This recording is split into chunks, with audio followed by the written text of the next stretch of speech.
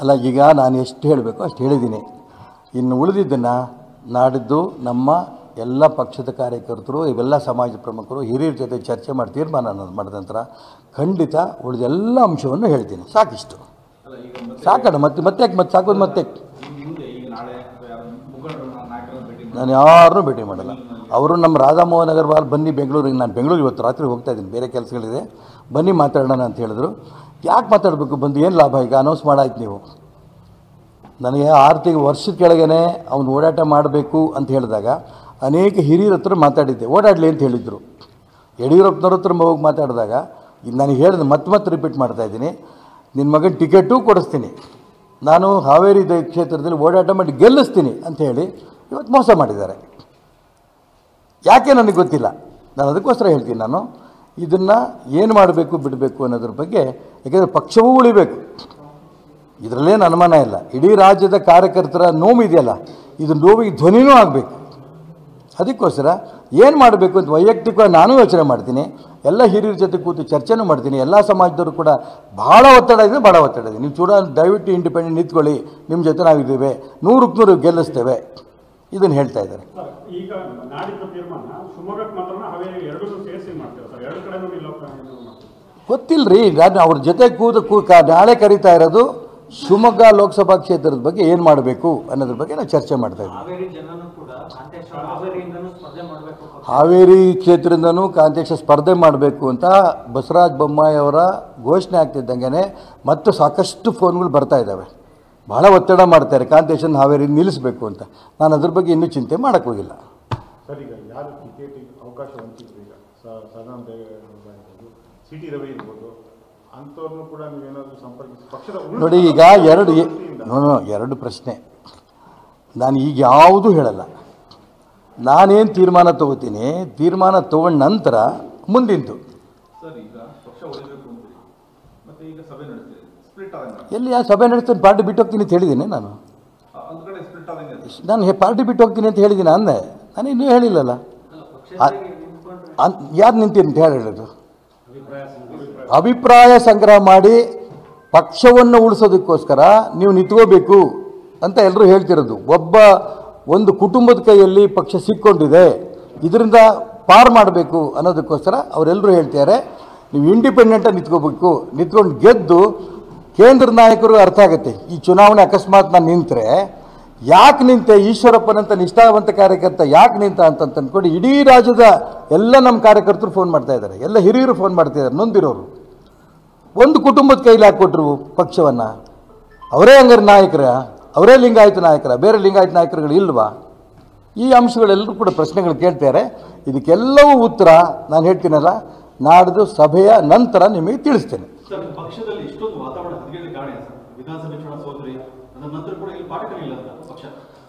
ನೋಡ ಆಮೇಲೆ ಹೇಳ್ತೀನಲ್ಲ ಧನ್ಯವಾದ.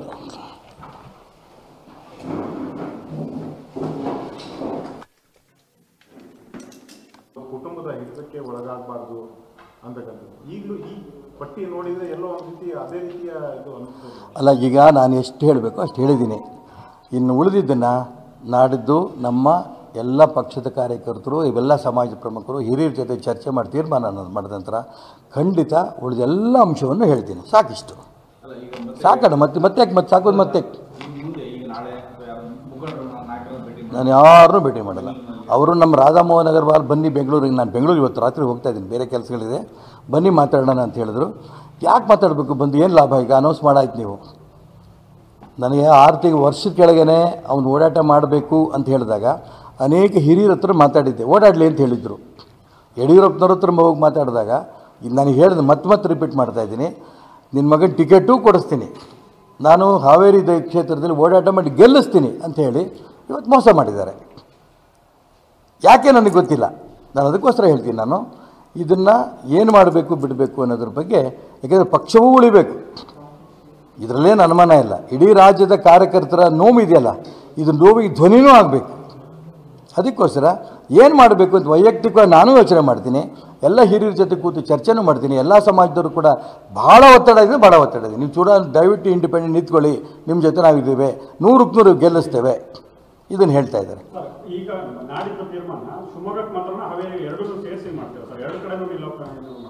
ಗೊತ್ತಿಲ್ಲ ರೀ ನಾನು ಅವ್ರ ಜೊತೆ ಕೂದು ಕೂ ಕಾ- ನಾಳೆ ಕರೀತಾ ಇರೋದು ಶಿವಮೊಗ್ಗ ಲೋಕಸಭಾ ಕ್ಷೇತ್ರದ ಬಗ್ಗೆ ಏನು ಮಾಡಬೇಕು ಅನ್ನೋದ್ರ ಬಗ್ಗೆ ನಾವು ಚರ್ಚೆ ಮಾಡ್ತಾ ಇದ್ದೀವಿ.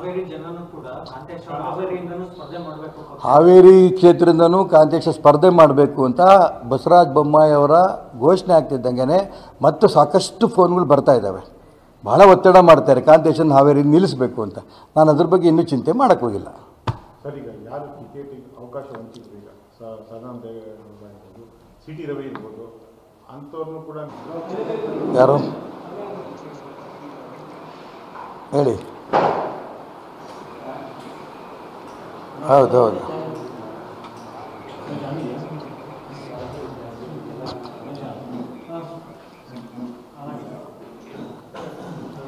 ಇಲ್ಲ ನಾನು ಮತ್ತೆ ಮಾತಾಡ್ತೀನಿ, ಆಮೇಲೆ ಅದೊಂದು ಜನ ಇದರಲ್ಲಿ ಮಾತಾಡ್ತೀನಿ. ಇಟ್ಕೊಳ್ಳಿ. ಈಗ ಮಾನ್ಯ ಯಡಿಯೂರಪ್ಪನವರು ಹಾವೇರಿ ಲೋಕಸಭಾ ಟಿಕೆಟಿನ ಬಗ್ಗೆ ನಾನು ನನ್ನ ಮಗ ಅವ್ರ ಮನೆಗೆ ಹೋದಾಗ, ಕಾಂತೇಶ್ ಹೋದಾಗ, ನಾನು ಖಂಡಿತ ಲೋಕಸಭಾ ಟಿಕೆಟನ್ನು ಹಾವೇರಿಯಿಂದ ಕಾಂತೇಶಿಗೆ ಕೊಡಿಸ್ತೇನೆ. ಜೊತೆಗೆ ಹಾವೇರಿ ಲೋಕಸಭಾ ಕ್ಷೇತ್ರದಲ್ಲಿ ನಾನೇ ಓಡಾಟ ಮಾಡಿ ಅವನು ಗೆಲ್ಲಿಸ್ತೇನೆ ಅನ್ನೋಂಥ ಮಾತನ್ನು ಹೇಳಿ, ಅವನು ಹಾವೇರಿ ಗದಗ ಜಿಲ್ಲೆಗಳಲ್ಲಿ ಸಾಕಷ್ಟು ಸಮಯವನ್ನು ಓಡಾಟ ಮಾಡಿದ್ದ. ಆ ಎಲ್ಲ ಜನರು ಕೂಡ ಅವನು ವಿಶ್ವಾಸ ಗೆಲ್ಲಿಸಿದ್ದ, ಆ ಭಾಗದ ಎಲ್ಲ ಸ್ವಾತಂತ್ರ್ಯರು ಕೂಡ ಮಠಾಧಿಪತಿಗಳು ಕೂಡ ಆಶೀರ್ವಾದ ಮಾಡಿದರು. ನೂರಕ್ಕೆ ನೂರು ನಾವು ಗೆಲ್ಲಿಸ್ಕೊಡ್ತೀವಿ ಅಂತ. ಈಗ ಯಡಿಯೂರಪ್ಪನವರು ಅವ್ರ ಮಾತು ನಂಗೆ ನಡ್ಕೊಳ್ಲಿಲ್ಲ. ಅನ್ಯಾಯ ಮಾಡಿದ್ರು. ಹಾಗಾಗಿ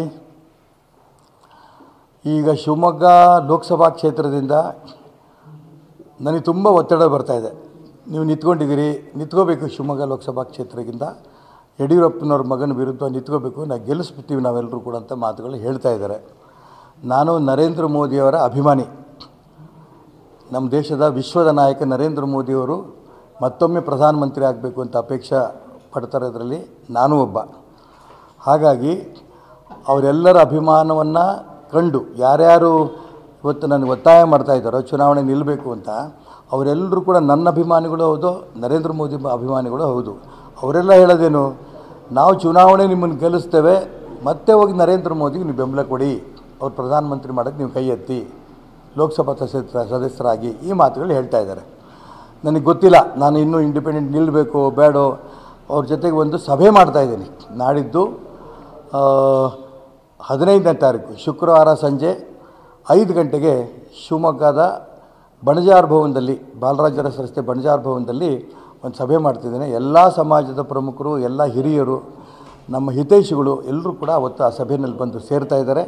ಅವರೆಲ್ಲರ ಸಲಹೆ ಏನು ಕೊಡ್ತಾರೆ? ಆ ಸಲಹೆ ಮೇಲೆ ನಾನು ಮುಂದಿನ ತೀರ್ಮಾನವನ್ನು ನಾನು ತಗೋತೀನಿ.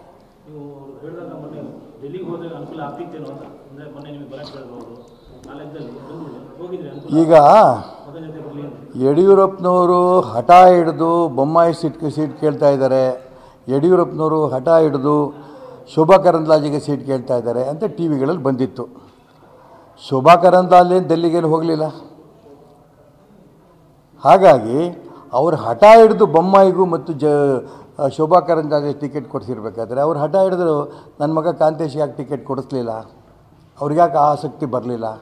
ನನಗಂತೂ ಗೊತ್ತಿಲ್ಲ. ನಾನು ನಲವತ್ತು ವರ್ಷ ಈ ಪಕ್ಷದಲ್ಲಿ ನಿಷ್ಠೆಯಿಂದ ಕೆಲಸ ಮಾಡ್ಕೊಂಡು ಬಂದಿದ್ದೇನೆ. ಆ ನಿಷ್ಠೆನ ನಮ್ಮ ಇಡೀ ರಾಜ್ಯ ಜನ, ಕ್ಷೇತ್ರ ಜನ ಗುರುತಿಸಿದ್ದಾರೆ. ನನಗೆ ಕಳೆದ ವಿಧಾನಸಭಾ ಚುನಾವಣಾ ಸಂದರ್ಭದಲ್ಲಿ ನೀವು ಚುನಾವಣೆ ರಾಜಕಾರಣದಿಂದ ಹೊರಗಿರಬೇಕು, ಚುನಾವಣೆ ನಿಲ್ಲಬಾರ್ದು ಅಂತ ಕೇಂದ್ರ ನಾಯಕರಿಗೂ ಕೊಟ್ಟಂಥ ಅಪೇಕ್ಷೆ ತಕ್ಕಂತೆ ಪಕ್ಷದ ನಿಷ್ಠಾವಂತನಾಗಿ ನಾನು ಚುನಾವಣೆ ಸ್ಪರ್ಧೆ ಮಾಡಲಿಲ್ಲ. ಮತ್ತು ಈ ಕ್ಷೇತ್ರದ ಶಿವಮೊಗ್ಗ ಕ್ಷೇತ್ರದಿಂದ ಒಬ್ಬ ಸಾಮಾನ್ಯ ಕಾರ್ಯಕರ್ತನ ಎಂ ಎಲ್ ಎ ಗೆಲ್ಲಿಸ್ಕೊಂಡ್ವಿ ಇದನ್ನು ಒಪ್ಪಿ ಸಂತೋಷದಿಂದ ಮಾನ್ಯ ಪ್ರಧಾನಮಂತ್ರಿ ನರೇಂದ್ರ ಮೋದಿಯವರು ಕೂಡ ನನಗೆ ಮಾತಾಡಿ, ಒಳ್ಳೆ ಕೆಲಸ ಮಾಡಿದ್ಯಪ್ಪ, ನೀ ಡಿಸಿಪ್ಲಿನ್ ಸೋಲ್ಜರ್ ಅಂತ ಮಾತು ಹೇಳಿದರು. ಅನೇಕ ಹಿರಿಯರು ಕೂಡ ನಮ್ಮ ಮನೆಗೆ ಬಂದು ಹೇಳಿಬಿಟ್ಟು ಹೋಗಿದ್ದರು ನಿಮಗೆ ಮುಂದೆ ಭವಿಷ್ಯ ಇದೆ, ನಿನಗೂ ಭವಿಷ್ಯ ಇದೆ ಮತ್ತು ಕಾಂತೇಶಿಗೂ ಭವಿಷ್ಯ ಇದೆ ಅಂತ ಮಾತುಗಳು ಹೇಳ್ಬಿಟ್ಟು ಹೋಗಿದ್ದರು ಈಗ ಹಠ ಹಿಡಿದು ಯಡಿಯೂರಪ್ಪನವ್ರು ಕರ್ನಾಟಕ ರಾಜ್ಯದಲ್ಲಿರೋಂಥ ಅನೇಕ ವ್ಯಕ್ತಿಗಳಿಗೆ ಅನ್ಯಾಯ ಆಗಿದೆ. ಪ್ರತಾಪ್ ಸಿಂಹ ಅವ್ರಿಗೆ ಅನ್ಯಾಯ ಆಗಿದೆ ಭಾಳ ಪಾಪ್ಯುಲರ್ ಲೀಡರ್ ಮೈಸೂರಿನಲ್ಲಿ. ಮನೆ ಸಿ ಟಿ ರವಿ ಅವ್ರಿಗೆ ಅನ್ಯಾಯ ಆಗಿದೆ. ಅದೇ ರೀತಿ ಸದಾನಂದ ಗೌಡ್ರಿಗೆ ಅನ್ಯಾಯ ಆಗಿದೆ. ಇನ್ನು ಯಾರ್ಯಾರಿಗೆ ಅನ್ಯಾಯ ಆಗಿದೆ ನೋಡೋಣ. ಹಾಂ ನಳಿನ್ ಕುಮಾರ್ ಕಟೀಲ್ಗೆ. ಹಾಗಾಗಿ ನಾನು ಇಷ್ಟು ಮಾತ್ರ ಹೇಳಬಲ್ಲೆ. ನಮ್ಮ ಪಕ್ಷದ ಹಿತೈಷಿಗಳು ನಮ್ಮ ಪಕ್ಷದ ಕಾರ್ಯಕರ್ತರು ನನ್ನ ಅಭಿಮಾನಿಗಳು ನರೇಂದ್ರ ಮೋದಿಯವರ ಅಭಿಮಾನಿಗಳು ಅವರೆಲ್ಲರೂ ಬಂದು ಏನು ಹೇಳ್ತಾರೆ ಕೇಳಿಕೊಂಡು ಅವರ ಅಭಿಮಾನದ ತಕ್ಕಂತೆ ನಾನು ಮುಂದಿನ ತೀರ್ಮಾನ ತಗೊಳ್ಳಲಿದ್ದೇನೆ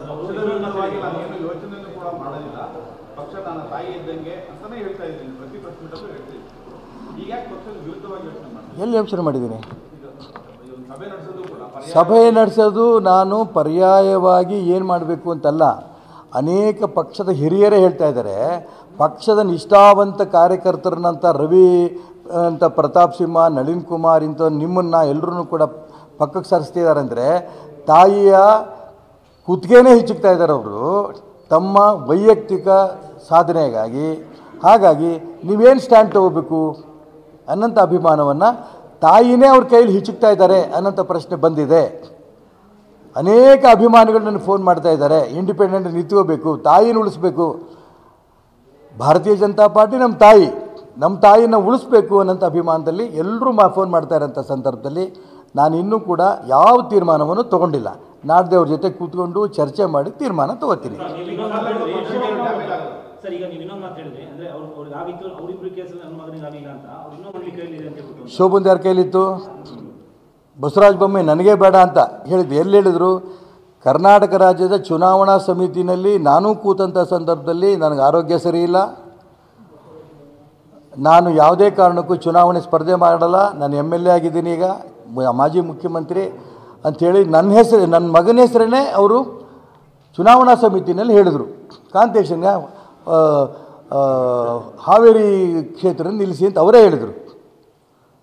ಮತ್ತು ಇನ್ನೊಂದು ಅವರು ಹೇಳಿದರು, ದೆಹಲಿನಲ್ಲಿ ಚುನಾವಣಾ ಸಮಿತಿನಲ್ಲೂ ಕೂಡ ನಾನೇ ಮತ್ತೆ ಕಾಂತೇಶನ್ ಹೆಸರನ್ನು ಹೇಳಿದ್ರು ಅಂತಂದ್ರೆ. ಆಗ ಬಸವರಾಜ ಬೊಮ್ಮಾಯಿ ಯಾಕೆ ಒತ್ತಾಯ ಮಾಡಿ ನಿಲ್ಲಿಸ್ತಾ ಇದ್ದಾರೆ? ನಾನು ಯಾತಕ್ಕೆ ಇದನ್ನು ಹೇಳ್ತಾ ಇದ್ದೀನಿ ಅಂತಂದರೆ, ಇದು ಪಕ್ಷದ ನಿಷ್ಠಾವಂತ ಕಾರ್ಯಕರ್ತರುಗಳು, ರವೀನೋ, ನಳಿನ್ ಕುಮಾರ್ ಕಟೀಲೋ, ಪ್ರತಾಪ್ ಸಿಂಹನೋ, ನಾನು ನಾವೆಲ್ಲರೂ ಕೂಡ ಯತ್ನಾಳ್ಗಂತೂ ಹಿಂದುತ್ವದ ಪರವಾಗಿ ಯಾರು ಮಾತಾಡ್ತಿದ್ದಾರೆ ಅಂಥವ್ರನ್ನೆಲ್ಲರೂ ಕೂಡ ಒಂದು ರೀತಿಯ ತೊಂದರೆ ಕೊಟ್ಟು ಸಂಘ ನಿಷ್ಠೆಯಿಂದಿರೋಂಥ ಪಕ್ಷದ ಕಾರ್ಯಕರ್ತರಿಗೆ ತೊಂದರೆ ಕೊಟ್ಟು ಪಕ್ಕಕ್ಕೆ ಸರಿಸೋಂಥ ಪ್ರಯತ್ನವನ್ನು ಮನೆ ಯಡಿಯೂರಪ್ಪನವ್ರು ಮಾಡ್ತಾ ಇದ್ದಾರೆ ಅಂತ ಭಾವನೆ ಭಾಳ ಜನಕ್ಕೆ ಬಂದಿದೆ. ನಾನು ಅದಕ್ಕೋಸ್ಕರ ಈಗ ಯಾವುದೇ ತೀರ್ಮಾನವನ್ನು ಇವತ್ತು ಹೇಳೋದಿಲ್ಲ. ನಾನು ಶುಕ್ರವಾರ ಸಂಜೆ ಐದು ಗಂಟೆಗೆ ಬಣಜಾರ್ ಭವನದಲ್ಲಿ ಸೇರಿದಂಥ ಎಲ್ಲ ನಮ್ಮ ಪಕ್ಷದ ಹಿತೈಷಿಗಳು, ವಿವಿಧ ಸಮಾಜಗಳ ಪ್ರಮುಖರುಗಳು ನಮ್ಮ ಪಕ್ಷದ ಎಲ್ಲ ಪ್ರಮುಖ ಕಾರ್ಯಕರ್ತರು ಸೇರಿದಂಥ ಸಭೆಯಲ್ಲಿ ನಾನು ಅಂತಿಮ ತೀರ್ಮಾನವನ್ನು ಅವರ ಅಭಿ ಅವರ ಅಭಿಪ್ರಾಯಕ್ಕೆ ತೀರ್ಮಾನ ತಗೋತೇನೆ ಇಡೀ ರಾಜ್ಯದ ಜನ ನೋವಲ್ಲಿ ಅನುಭವಿಸ್ತಾ ಇದ್ದಾರೆ. ನಿಷ್ಠಾವಂತ ಕಾರ್ಯಕರ್ತರಿಗೆ ಕೆಲಸ ಮಾಡ್ತಾ ಮಾಡ್ತಿರೋಂಥ ಕಾರ್ಯಕರ್ತರಿಗೆ ಯಡಿಯೂರಪ್ಪನವ್ರು ಅನ್ಯಾಯ ಮಾಡ್ತಾ ಇದ್ದಾರೆ ಅಂತ ನೋವನ್ನು ಅನುಭವಿಸ್ಕೊತಾ ಇದ್ದಾರೆ. ಅವ್ರ ಧ್ವನಿ ಆಗಬೇಕಲ್ಲ ನಾನು? ಅದನ್ನು ನಾಳೆ ಚಿಂತೆ ಮಾಡ್ತೀನಿ ನಾನು, ಈಗಲೇ ಹೇಳ ಯಾವುದು ಹೇಳಲ್ಲ. ನಾನು ಈಗಲೂ ಕೂಡ ಇನ್ನೂ ಹೇಳ್ತಾ ಇದ್ದೀನಿ, ನನಗೆ ಈಗ ತಾನೇ ರಾಧಾಮೋಹನ್ ಅಗರ್ವಾಲ್ ನಮ್ಮ ರಾಷ್ಟ್ರೀಯ ಸ ಪ್ರಧಾನ ಕಾರ್ಯದರ್ಶಿಗಳು, ಲೋಕಸಭಾ ಕ್ಷೇತ್ರ ಇನ್ಚಾರ್ಜ್, ಅವರು ನನಗೆ ಈಗ ಒಂದು ಹತ್ತು ನಿಮಿಷ ಕೆಳಗೆ ಫೋನ್ ಮಾಡಿದ್ದರು. ನಿಮ್ಮ ಮಗನಿಗೆ ಈ ವಿಧಾನ ಪರಿಷತ್ತಿನ ಟಿಕೆಟ್ನ ಕೊಡ್ತೇನೆ. ಕೇಂದ್ರದ ನಾಯಕರ ಹತ್ರ ಮಾತಾಡಿದ್ದೀವಿ. ಕಾಂತೇಶಿಗೆ ನಾಳೆ ಬರೋಂಥ ಗ್ರಾಜ್ಯುಯೇಟ್ ಚುನಾವಣೆ ನಿಲ್ಲಿಸ್ತೀವಿ, ಅವಕಾಶ ಮಾಡಿಕೊಡ್ತೀವಿ ಅಂತ ಹೇಳಿದರು. ನಾನು ಯಾವುದೂ ಇನ್ನೂ ಅವ್ರಿಗೆ ಪ್ರಾಮಿಸ್ ಮಾಡಿಲ್ಲ. ಅವ್ರ ಜೊತೆ ಕೂತು ಚರ್ಚೆ ಮಾಡಿ ತೀರ್ಮಾನ ಮಾಡ್ತೀನಿ.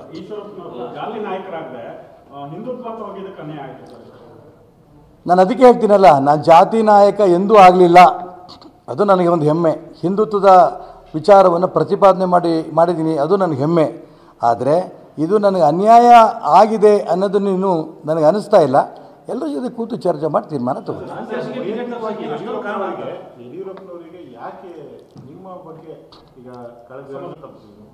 ಈಗಲೂ ಕೂಡ ಏಕೆ ವೈಯಕ್ತಿಕವಾಗಿ ನನಗೂ ಅವ್ರಿಗೂ ಹೇಗೆ ಆತ್ಮೀಯ ಸ್ನೇಹಿತರು ಒಂದೇ ತಟ್ಟೆಯಲ್ಲಿ ಊಟ ಮಾಡ್ತಿದ್ದವ್ರು ನಾವು? ಅವರ ಕೆಲವು ದೋಷಗಳನ್ನು ನೇರವಾಗಿ ಅವ್ರಿಗೆ ನಾನು ಹೇಳಿದೆ. ಇಂತಿಂಥ ತಪ್ಪುಗಳು ನೀವು ಮಾಡ್ತಾ ಇದ್ದೀರಿ, ಇದು ಒಳ್ಳೆಯದಲ್ಲ ನಮ್ಗೆ ಇನ್ನೊಬ್ಬ ಯಡಿಯೂರಪ್ಪ ಸಿಗೋದಿಲ್ಲ. ಅಂತಂಥ ಸಂದರ್ಭದಲ್ಲಿ ಅವರು ಒಂದು ಮೂರು ನಾಲ್ಕು ಸಾರಿ ನಾನು ಹೇಳಿದಂಥ ಸಂದರ್ಭದಲ್ಲಿ, ಯಾಕಂದರೆ ಯಡಿಯೂರಪ್ಪನವ್ರ ಬಗ್ಗೆ ಆಪಾದನೆ ಬಂದಿದ್ದು ನಮಗೆ ಸಮಾಧಾನ ಆಗ್ತಿರಲಿಲ್ಲ. ನಮಗೆ ನೋವಾಗುತ್ತೆ.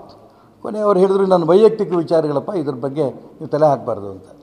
ಅಲ್ಲಿಂದ ನಾನು ಸರ್ಕೊಂಡೆ ನಂಬರ್ ಒನ್ ನಂಬರ್ ಟು ಅವರು ಕೆ ಜಿ ಪಿಗೆ ಹೋದರು. ನಾನು ಯಾವುದೇ ಕಾರಣಕ್ಕೂ ಕೆ ಜಿ ಪಿಗೆ ಹೋಗಲಿಲ್ಲ. ಈ ಥರದ ಅನೇಕ ಅಂಶಗಳು ಇರ್ಬೋದು. ನನ್ನ ಮಾತು ಕೇಳ್ತಾ ಇಲ್ಲಲ್ಲ.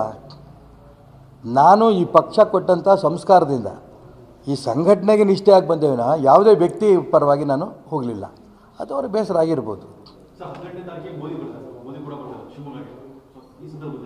ನೋಡೋಣ ಏನೇನಾಗುತ್ತೆ ಅಂತ ನಾಳೆ ಹದಿನೈದನೇ ತಾರೀಕು ಸಭೆ ತೀರ್ಮಾನದಲ್ಲಿ ಇದೆಲ್ಲ ನಿಂತಿದೆ. ನೋಡೋಣ ಏನೇನಂತ. ನೂರು ಪ್ರಾಣ ಹೋದರೂ ಕೂಡ ನಾನು ಮೋದಿಯವ್ರು ಬಿಡೋಲ್ಲ ಮೋದಿಯವ್ರ ಪರವಾಗೇ ಇರೋದು. ಅವ್ರು ಅಕಸ್ಮಾತ್ ಎಲ್ಲರೂ ಸೇರಿ ಚುನಾವಣೆ ನಿಲ್ಲಬೇಕು ಅಂತಂದರೂ ಕೂಡ ಚುನಾವಣೆ ನಾನು ಗೆದ್ದು ಮೋದಿ ಪರವಾಗೇ ಹೋಗ್ತೀನಿ ನಾ. ಮೋದಿ ಬಿಟ್ಟು ನಾನು ಎಂದೆಂದೂ ಹೋಗೋಕ್ಕೆ ಸಾಧ್ಯ ಇಲ್ಲ. ಸರ್ ಮತ್ತೆ ಎಲ್ಲೋ ಪಕ್ಷ ಯಡಿಯೂರಪ್ಪನ ಹಿಂದೆ ನೀವು ಲಾಸ್ಟ್ ಚುನಾವಣೆ ಸಂದರ್ಭದಲ್ಲಿ ಕೂಡ ಅಲ್ಲ ಈಗ ನಾನು ಎಷ್ಟು ಹೇಳಬೇಕು ಅಷ್ಟು ಹೇಳಿದ್ದೀನಿ. ಇನ್ನು ಉಳಿದಿದ್ದನ್ನು ನಾಡಿದ್ದು ನಮ್ಮ ಎಲ್ಲ ಪಕ್ಷದ ಕಾರ್ಯಕರ್ತರು, ಇವೆಲ್ಲ ಸಮಾಜ ಪ್ರಮುಖರು, ಹಿರಿಯರ ಜೊತೆ ಚರ್ಚೆ ಮಾಡಿ ತೀರ್ಮಾನ ಮಾಡಿದ ನಂತರ ಖಂಡಿತ ಉಳಿದೆಲ್ಲ ಅಂಶವನ್ನು ಹೇಳ್ತೀನಿ. ಸಾಕಿಷ್ಟು. ಸಾಕಣ, ಮತ್ತೆ ಮತ್ತೆ ಯಾಕೆ ಮತ್ತೆ ಸಾಕೋದು ಮತ್ತೆ? ನಾನು ಯಾರನ್ನೂ ಭೇಟಿ ಮಾಡಲ್ಲ. ಅವರು ನಮ್ಮ ರಾಧಾಮೋಹನ್ ಅಗರ್ವಾಲ್ ಬನ್ನಿ ಬೆಂಗಳೂರಿಗೆ, ನಾನು ಬೆಂಗಳೂರಿಗೆ ಇವತ್ತು ರಾತ್ರಿ ಹೋಗ್ತಾ ಇದ್ದೀನಿ. ಬೇರೆ ಕೆಲಸಗಳಿದೆ. ಬನ್ನಿ ಮಾತಾಡೋಣ ಅಂತ ಹೇಳಿದ್ರು. ಯಾಕೆ ಮಾತಾಡಬೇಕು? ಬಂದು ಏನು ಲಾಭ? ಈಗ ಅನೌನ್ಸ್ ಮಾಡಾಯ್ತು ನೀವು. ನನಗೆ ಆರು ತಿಂಗಳು ವರ್ಷದ ಕೆಳಗೇ ಅವ್ನು ಓಡಾಟ ಮಾಡಬೇಕು ಅಂತ ಹೇಳಿದಾಗ ಅನೇಕ ಹಿರಿಯರ ಹತ್ರ ಮಾತಾಡಿದ್ದೆ. ಓಡಾಡಲಿ ಅಂತ ಹೇಳಿದರು. ಯಡಿಯೂರಪ್ಪನವ್ರ ಹತ್ರ ಹೋಗಿ ಮಾತಾಡಿದಾಗ, ನಾನು ಹೇಳಿದೆ ಮತ್ತೆ ಮತ್ತೆ ರಿಪೀಟ್ ಮಾಡ್ತಾ ಇದ್ದೀನಿ. ನಿನ್ನ ಮಗನ ಟಿಕೆಟೂ ಕೊಡಿಸ್ತೀನಿ. ನಾನು ಹಾವೇರಿ ಕ್ಷೇತ್ರದಲ್ಲಿ ಓಡಾಟ ಮಾಡಿ ಗೆಲ್ಲಿಸ್ತೀನಿ ಅಂತ ಹೇಳಿ ಇವತ್ತು ಮೋಸ ಮಾಡಿದ್ದಾರೆ. ಯಾಕೆ ನನಗೆ ಗೊತ್ತಿಲ್ಲ? ನಾನು ಅದಕ್ಕೋಸ್ಕರ ಹೇಳ್ತೀನಿ ನಾನು. ಇದನ್ನು ಏನು ಮಾಡಬೇಕು ಬಿಡಬೇಕು ಅನ್ನೋದ್ರ ಬಗ್ಗೆ, ಯಾಕೆಂದರೆ ಪಕ್ಷವೂ ಉಳಿಬೇಕು. ಇದರಲ್ಲೇನು ಅನುಮಾನ ಇಲ್ಲ. ಇಡೀ ರಾಜ್ಯದ ಕಾರ್ಯಕರ್ತರ ನೋವಿದೆಯಲ್ಲ ಇದು ನೋವಿಗೆ ಧ್ವನಿನೂ ಆಗಬೇಕು. ಅದಕ್ಕೋಸ್ಕರ ಏನು ಮಾಡಬೇಕು ಅಂತ ವೈಯಕ್ತಿಕವಾಗಿ ನಾನು ಯೋಚನೆ ಮಾಡ್ತೀನಿ. ಎಲ್ಲ ಹಿರಿಯರ ಜೊತೆ ಕೂತು ಚರ್ಚೆನೂ ಮಾಡ್ತೀನಿ. ಎಲ್ಲ ಸಮಾಜದವರು ಕೂಡ ಭಾಳ ಒತ್ತಡ ಇದೆ ಭಾಳ ಒತ್ತಡ ಇದೆ. ನೀವು ಚೂಡ ದಯವಿಟ್ಟು ಇಂಡಿಪೆಂಡೆಂಟ್ ನಿಂತ್ಕೊಳ್ಳಿ. ನಿಮ್ಮ ಜೊತೆ ನಾವಿದ್ದೇವೆ. ನೂರಕ್ಕೆ ನೂರು ಗೆಲ್ಲಿಸ್ತೇವೆ. ಇದನ್ನು ಹೇಳ್ತಾ ಇದ್ದಾರೆ.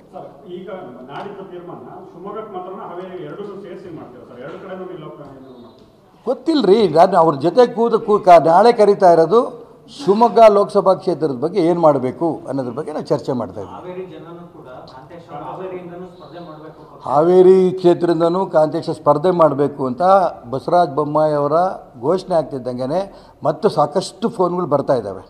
ಭಾಳ ಒತ್ತಡ ಮಾಡ್ತಾರೆ ಕಾಂತೇಶನ್ ಹಾವೇರಿ ನಿಲ್ಲಿಸಬೇಕು ಅಂತ. ನಾನು ಅದ್ರ ಬಗ್ಗೆ ಇನ್ನೂ ಚಿಂತೆ ಮಾಡೋಕ್ಕೆ ಹೋಗಿಲ್ಲ. ಅವಕಾಶ ಕೂಡ ನೀವೇನಾದರೂ ಸಂಪರ್ಕಿಸಿ. ಪಕ್ಷದ ನೋಡಿ ಈಗ ಎರಡು ನೋ, ನೋ, ಎರಡು ಪ್ರಶ್ನೆ. ನಾನು ಈಗ ಯಾವುದೂ ಹೇಳಲ್ಲ. ನಾನೇನು ತೀರ್ಮಾನ ತಗೋತೀನಿ ತೀರ್ಮಾನ ತಗೊಂಡ ನಂತರ ಮುಂದಿಂದು. ಸರ್ ಈಗ ಪಕ್ಷ ಉಳಿಬೇಕು ಮತ್ತೆ ಈಗ ಸಭೆ ನಡೆಸ್ತೀರಿ ಸ್ಪ್ಲಿಟ್ ಆದಂಗೆ ಎಲ್ಲಿ ಆ ಸಭೆ ನಡೆಸ್ತೀನಿ ಪಾರ್ಟಿ ಬಿಟ್ಟು ಹೋಗ್ತೀನಿ ಅಂತ ಹೇಳಿದ್ದೀನಿ ನಾನು. ನಾನು ಹೇ- ಪಾರ್ಟಿ ಬಿಟ್ಟು ಹೋಗ್ತೀನಿ ಅಂತ ಹೇಳಿದ್ದೀನಿ ಅಂದೆ. ನಾನು ಇನ್ನೂ ಹೇಳಿಲ್ಲಲ್ಲ. ಯಾರು ನಿಂತೀನಿ ಅಂತ ಹೇಳಿ ಹೇಳೋದು. ಅಭಿಪ್ರಾಯ ಸಂಗ್ರಹ ಮಾಡಿ ಪಕ್ಷವನ್ನು ಉಳಿಸೋದಕ್ಕೋಸ್ಕರ ನೀವು ನಿಂತ್ಕೋಬೇಕು ಅಂತ ಎಲ್ಲರೂ ಹೇಳ್ತಿರೋದು. ಒಬ್ಬ ಒಂದು ಕುಟುಂಬದ ಕೈಯಲ್ಲಿ ಪಕ್ಷ ಸಿಕ್ಕೊಂಡಿದೆ, ಇದರಿಂದ ಪಾರ್ ಮಾಡಬೇಕು ಅನ್ನೋದಕ್ಕೋಸ್ಕರ ಅವರೆಲ್ಲರೂ ಹೇಳ್ತಾರೆ ನೀವು ಇಂಡಿಪೆಂಡೆಂಟಾಗಿ ನಿಂತ್ಕೋಬೇಕು. ನಿಂತ್ಕೊಂಡು ಗೆದ್ದು ಕೇಂದ್ರ ನಾಯಕರು ಅರ್ಥ ಆಗುತ್ತೆ. ಈ ಚುನಾವಣೆ ಅಕಸ್ಮಾತ್ ನಾನು ನಿಂತರೆ ಯಾಕೆ ನಿಂತೆ? ಈಶ್ವರಪ್ಪನಂತ ನಿಷ್ಠಾವಂತ ಕಾರ್ಯಕರ್ತ ಯಾಕೆ ನಿಂತ ಅಂತ ಅಂದ್ಕೊಂಡು ಇಡೀ ರಾಜ್ಯದ ಎಲ್ಲ ನಮ್ಮ ಕಾರ್ಯಕರ್ತರು ಫೋನ್ ಮಾಡ್ತಾ ಇದ್ದಾರೆ. ಎಲ್ಲ ಹಿರಿಯರು ಫೋನ್ ಮಾಡ್ತಾ ಇದ್ದಾರೆ. ನೊಂದಿರೋರು. ಒಂದು ಕುಟುಂಬದ ಕೈಲಿ ಹಾಕ್ಕೊಟ್ರು ಪಕ್ಷವನ್ನು. ಅವರೇ ಹಂಗಾರೆ ನಾಯಕರ ಅವರೇ ಲಿಂಗಾಯತ ನಾಯಕರ ಬೇರೆ ಲಿಂಗಾಯತ ನಾಯಕರುಗಳು ಇಲ್ವಾ? ಈ ಅಂಶಗಳೆಲ್ಲರೂ ಕೂಡ ಪ್ರಶ್ನೆಗಳು ಕೇಳ್ತಾರೆ. ಇದಕ್ಕೆಲ್ಲವೂ ಉತ್ತರ ನಾನು ಹೇಳ್ತೀನಲ್ಲ ನಾಡ್ದು ಸಭೆಯ ನಂತರ ನಿಮಗೆ ತಿಳಿಸ್ತೇನೆ.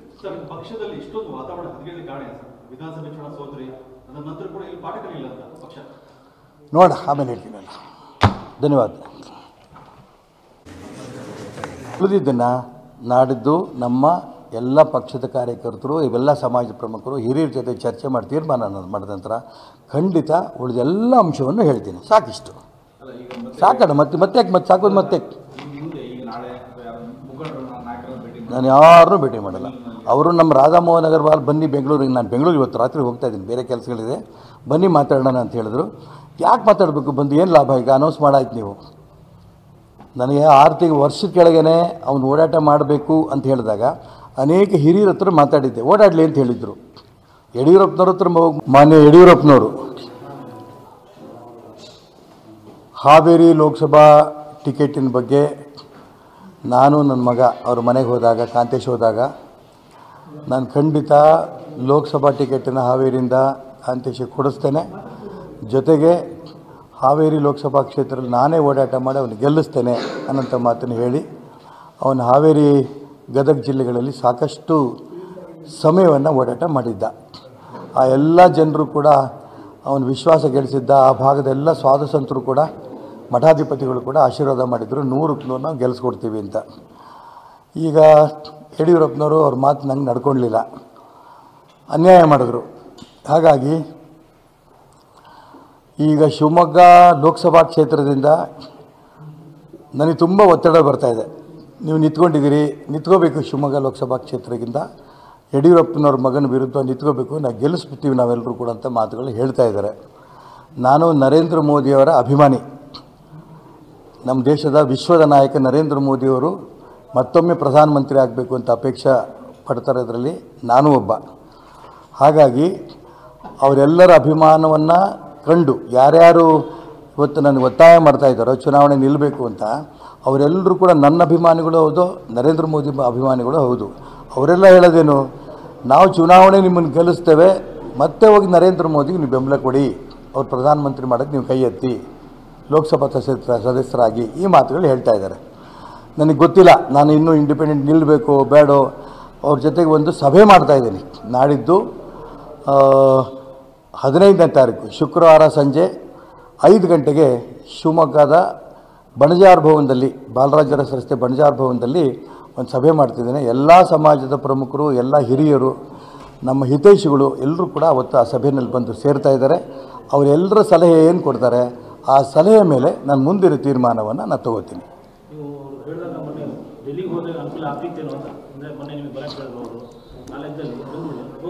ಈಗ ಯಡಿಯೂರಪ್ಪನವರು ಹಠ ಹಿಡಿದು ಬೊಮ್ಮಾಯಿ ಸೀಟ್ ಸೀಟ್ ಕೇಳ್ತಾ ಇದ್ದಾರೆ. ಯಡಿಯೂರಪ್ಪನವರು ಹಠ ಹಿಡಿದು ಶೋಭಾ ಕರಂದ್ಲಾಜೆಗೆ ಸೀಟ್ ಕೇಳ್ತಾ ಇದ್ದಾರೆ ಅಂತ ಟಿ ವಿಗಳಲ್ಲಿ ಬಂದಿತ್ತು. ಶೋಭಾ ಕರಂದ್ಲಾಜೆ ಡೆಲ್ಲಿಗೇನು ಹೋಗಲಿಲ್ಲ? ಹಾಗಾಗಿ ಅವರು ಹಠ ಹಿಡಿದು ಬೊಮ್ಮಾಯಿಗೂ ಮತ್ತು ಜ, ಶೋಭಾ ಕರಂದ್ಲಾಜೆ ಟಿಕೆಟ್ ಕೊಡಿಸಿರ್ಬೇಕಾದ್ರೆ ಅವ್ರು ಹಠ ಹಿಡಿದ್ರು ನನ್ನ ಮಗ ಕಾಂತೇಶ್ ಯಾಕೆ ಟಿಕೆಟ್ ಕೊಡಿಸ್ಲಿಲ್ಲ? ಅವ್ರಿಗೆ ಯಾಕೆ ಆಸಕ್ತಿ ಬರಲಿಲ್ಲ? ನನಗಂತೂ ಗೊತ್ತಿಲ್ಲ. ನಾನು ನಲವತ್ತು ವರ್ಷ ಈ ಪಕ್ಷದಲ್ಲಿ ನಿಷ್ಠೆಯಿಂದ ಕೆಲಸ ಮಾಡ್ಕೊಂಡು ಬಂದಿದ್ದೇನೆ. ಆ ನಿಷ್ಠೆನ ನಮ್ಮ ಇಡೀ ರಾಜ್ಯ ಜನ, ಕ್ಷೇತ್ರ ಜನ ಗುರುತಿಸಿದ್ದಾರೆ. ನನಗೆ ಕಳೆದ ವಿಧಾನಸಭಾ ಚುನಾವಣಾ ಸಂದರ್ಭದಲ್ಲಿ ನೀವು ಚುನಾವಣೆ ರಾಜಕಾರಣದಿಂದ ಹೊರಗಿರಬೇಕು, ಚುನಾವಣೆ ನಿಲ್ಲಬಾರದು ಅಂತ ಕೇಂದ್ರ ನಾಯಕರಿಗೆ ಕೊಟ್ಟಂಥ ಅಪೇಕ್ಷೆ ತಕ್ಕಂತೆ ಪಕ್ಷದ ನಿಷ್ಠಾವಂತನಾಗಿ ನಾನು ಚುನಾವಣೆ ಸ್ಪರ್ಧೆ ಮಾಡಲಿಲ್ಲ. ಮತ್ತು ಈ ಕ್ಷೇತ್ರದ ಶಿವಮೊಗ್ಗ ಕ್ಷೇತ್ರದಿಂದ ಒಬ್ಬ ಸಾಮಾನ್ಯ ಕಾರ್ಯಕರ್ತನ ಎಂ ಎಲ್ ಎ ಗೆಲ್ಲಿಸ್ಕೊಂಡ್ವಿ ಇದನ್ನು ಒಪ್ಪಿ ಸಂತೋಷದಿಂದ ಮಾನ್ಯ ಪ್ರಧಾನಮಂತ್ರಿ ನರೇಂದ್ರ ಮೋದಿಯವರು ಕೂಡ ನನಗೆ ಮಾತಾಡಿ ಒಳ್ಳೆ ಕೆಲಸ ಮಾಡಿದ್ಯಪ್ಪ, ನೀ ಡಿಸಿಪ್ಲಿನ್ ಸೋಲ್ಜರ್ ಅಂತ ಮಾತು ಹೇಳಿದರು. ಅನೇಕ ಹಿರಿಯರು ಕೂಡ ನಮ್ಮ ಮನೆಗೆ ಬಂದು ಹೇಳಿಬಿಟ್ಟು ಹೋಗಿದ್ದರು ನಿಮಗೆ ಮುಂದೆ ಭವಿಷ್ಯ ಇದೆ, ನಿನಗೂ ಭವಿಷ್ಯ ಇದೆ ಮತ್ತು ಕಾಂತೇಶಿಗೂ ಭವಿಷ್ಯ ಇದೆ ಅಂತ ಮಾತುಗಳು ಹೇಳಿಬಿಟ್ಟು ಹೋಗಿದ್ದರು ಈಗ ಹಠ ಹಿಡಿದು ಯಡಿಯೂರಪ್ಪನವ್ರು ಕರ್ನಾಟಕ ರಾಜ್ಯದಲ್ಲಿರೋಂಥ ಅನೇಕ ವ್ಯಕ್ತಿಗಳಿಗೆ ಅನ್ಯಾಯ ಆಗಿದೆ. ಪ್ರತಾಪ್ ಸಿಂಹ ಅವ್ರಿಗೆ ಅನ್ಯಾಯ ಆಗಿದೆ ಭಾಳ ಪಾಪ್ಯುಲರ್ ಲೀಡರ್ ಮೈಸೂರಿನಲ್ಲಿ. ಮನೆ ಸಿ ಟಿ ರವಿ ಅವ್ರಿಗೆ ಅನ್ಯಾಯ ಆಗಿದೆ. ಅದೇ ರೀತಿ ಸದಾನಂದ ಗೌಡ್ರಿಗೆ ಅನ್ಯಾಯ ಆಗಿದೆ. ಇನ್ನು ಯಾರ್ಯಾರಿಗೆ ಅನ್ಯಾಯ ಆಗಿದೆ ನೋಡೋಣ. ಹಾಂ ನಳಿನ್ ಕುಮಾರ್ ಕಟೀಲ್ಗೆ. ಹಾಗಾಗಿ ನಾನು ಇಷ್ಟು ಮಾತ್ರ ಹೇಳಬಲ್ಲೆ. ನಮ್ಮ ಪಕ್ಷದ ಹಿತೈಷಿಗಳು, ನಮ್ಮ ಪಕ್ಷದ ಕಾರ್ಯಕರ್ತರು, ನನ್ನ ಅಭಿಮಾನಿಗಳು, ನರೇಂದ್ರ ಮೋದಿಯವರ ಅಭಿಮಾನಿಗಳು, ಅವರೆಲ್ಲರೂ ಬಂದು ಏನು ಹೇಳ್ತಾರೆ ಕೇಳಿಕೊಂಡು ಅವರ ಅಭಿಮಾನದ ತಕ್ಕಂತೆ ನಾನು ಮುಂದಿನ ತೀರ್ಮಾನ ತಗೊಳ್ಳಲಿದ್ದೇನೆ ಪಕ್ಷದ ವಿರುದ್ಧವಾಗಿ ನಾನು ಏನು ಯೋಚನೆಯನ್ನು ಕೂಡ ಮಾಡೋದಿಲ್ಲ ಪಕ್ಷ ನನ್ನ ತಾಯಿ ಇದ್ದಂಗೆ ಅಂತಾನೆ ಹೇಳ್ತಾ ಇದ್ದೀನಿ ಪ್ರತಿ ಪ್ರೆಸ್ ಮೀಟಲ್ಲೂ ಹೇಳ್ತೀನಿ ಈಗ ಯಾಕೆ ಪಕ್ಷದ ವಿರುದ್ಧವಾಗಿ ಯೋಚನೆ ಮಾಡ್ತೀನಿ ಎಲ್ಲಿ ಯೋಚನೆ ಮಾಡಿದ್ದೀನಿ? ಸಭೆ ನಡೆಸೋದು ನಾನು ಪರ್ಯಾಯವಾಗಿ ಏನು ಮಾಡಬೇಕು ಅಂತಲ್ಲ, ಅನೇಕ ಪಕ್ಷದ ಹಿರಿಯರೇ ಹೇಳ್ತಾ ಇದ್ದಾರೆ, ಪಕ್ಷದ ನಿಷ್ಠಾವಂತ ಕಾರ್ಯಕರ್ತರನ್ನಂಥ ರವಿ ಅಂತ ಪ್ರತಾಪ್ ಸಿಂಹ, ನಳಿನ್ ಕುಮಾರ್ ಇಂಥ ನಿಮ್ಮನ್ನು ಎಲ್ಲರೂ ಕೂಡ ಪಕ್ಕಕ್ಕೆ ಸರಿಸ್ತಿದ್ದಾರೆ ಅಂದರೆ, ತಾಯಿಯ ಕುತ್ತಿಗೆನೇ ಹಿಚ್ಚುಕ್ತಾ ಇದ್ದಾರೆ ಅವರು, ತಮ್ಮ ವೈಯಕ್ತಿಕ ಸಾಧನೆಗಾಗಿ. ಹಾಗಾಗಿ ನೀವೇನು ಸ್ಟ್ಯಾಂಡ್ ತಗೋಬೇಕು? ಅನ್ನೋಂಥ ಅಭಿಮಾನವನ್ನು ತಾಯಿನೇ ಅವ್ರ ಕೈಲಿ ಹಿಚುಕ್ತಾ ಇದ್ದಾರೆ ಅನ್ನೋಂಥ ಪ್ರಶ್ನೆ ಬಂದಿದೆ. ಅನೇಕ ಅಭಿಮಾನಿಗಳು ನನಗೆ ಫೋನ್ ಮಾಡ್ತಾ ಇದ್ದಾರೆ. ಇಂಡಿಪೆಂಡೆಂಟ್ ನಿಂತ್ಕೋಬೇಕು, ತಾಯಿನ ಉಳಿಸ್ಬೇಕು. ಭಾರತೀಯ ಜನತಾ ಪಾರ್ಟಿ ನಮ್ಮ ತಾಯಿ ನಮ್ಮ ತಾಯಿನ ಉಳಿಸ್ಬೇಕು ಅನ್ನೋಂಥ ಅಭಿಮಾನದಲ್ಲಿ ಎಲ್ಲರೂ ಮಾ ಫೋನ್ ಮಾಡ್ತಾ ಇರೋಂಥ ಸಂದರ್ಭದಲ್ಲಿ ನಾನು ಇನ್ನೂ ಕೂಡ ಯಾವ ತೀರ್ಮಾನವನ್ನು ತಗೊಂಡಿಲ್ಲ. ನಾಡ್ದೇವ್ರ ಜೊತೆ ಕೂತ್ಕೊಂಡು ಚರ್ಚೆ ಮಾಡಿ ತೀರ್ಮಾನ ತಗೋತೀನಿ. ಸರ್, ಈಗ ನೀವು ಇನ್ನೊಂದು ಮಾತು ಹೇಳಿದ್ರಿ, ಅಂದ್ರೆ ಅವ್ರು ಅವ್ರಿಗೆ ಆಗಿತ್ತು ಅವ್ರಿಬ್ರು ಕೇಸಲ್ಲಿ ನನ್ನ ಮಗನಿಗೆ ಆಗಿಲ್ಲ ಅಂತ, ಅವ್ರು ಇನ್ನೂ ಕೈಯಲ್ಲಿ ಕೈಲಿದೆ ಅಂತ ಹೇಳ್ಬಿಟ್ಟು. ಯಾರ ಕೈಲಿತ್ತು? ಬಸವರಾಜ ಬೊಮ್ಮೆ ನನಗೆ ಬೇಡ ಅಂತ ಹೇಳಿದ್ದು ಎಲ್ಲಿ ಹೇಳಿದರು? ಕರ್ನಾಟಕ ರಾಜ್ಯದ ಚುನಾವಣಾ ಸಮಿತಿನಲ್ಲಿ ನಾನು ಕೂತಂಥ ಸಂದರ್ಭದಲ್ಲಿ ನನಗೆ ಆರೋಗ್ಯ ಸರಿ ಇಲ್ಲ.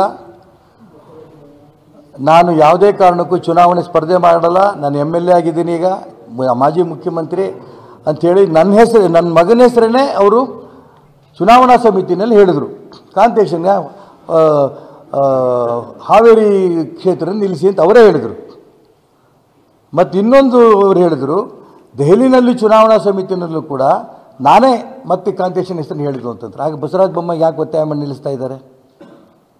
ನಾನು ಯಾತಕ್ಕೆ ಇದನ್ನು ಹೇಳ್ತಾ ಇದ್ದೀನಿ ಅಂತಂದರೆ, ಇದು ಪಕ್ಷದ ನಿಷ್ಠಾವಂತ ಕಾರ್ಯಕರ್ತರುಗಳು, ರವೀನೋ, ನಳಿನ್ ಕುಮಾರ್ ಕಟೀಲೋ, ಪ್ರತಾಪ್ ಸಿಂಹನೋ, ನಾನು ನಾವೆಲ್ಲರೂ ಕೂಡ ಯತ್ನಾಳ್ಗಂತೂ ಹಿಂದುತ್ವದ ಪರವಾಗಿ ಯಾರು ಮಾತಾಡ್ತಿದ್ದಾರೆ ಅಂಥವ್ರನ್ನೆಲ್ಲರೂ ಕೂಡ ಒಂದು ರೀತಿಯ ತೊಂದರೆ ಕೊಟ್ಟು ಸಂಘ ನಿಷ್ಠೆಯಿಂದಿರೋಂಥ ಪಕ್ಷದ ಕಾರ್ಯಕರ್ತರಿಗೆ ತೊಂದರೆ ಕೊಟ್ಟು ಪಕ್ಕಕ್ಕೆ ಸರಿಸೋಂಥ ಪ್ರಯತ್ನವನ್ನು ಮನೆ ಯಡಿಯೂರಪ್ಪನವ್ರು ಮಾಡ್ತಾ ಇದ್ದಾರೆ ಅಂತ ಭಾವನೆ ಭಾಳ ಜನಕ್ಕೆ ಬಂದಿದೆ.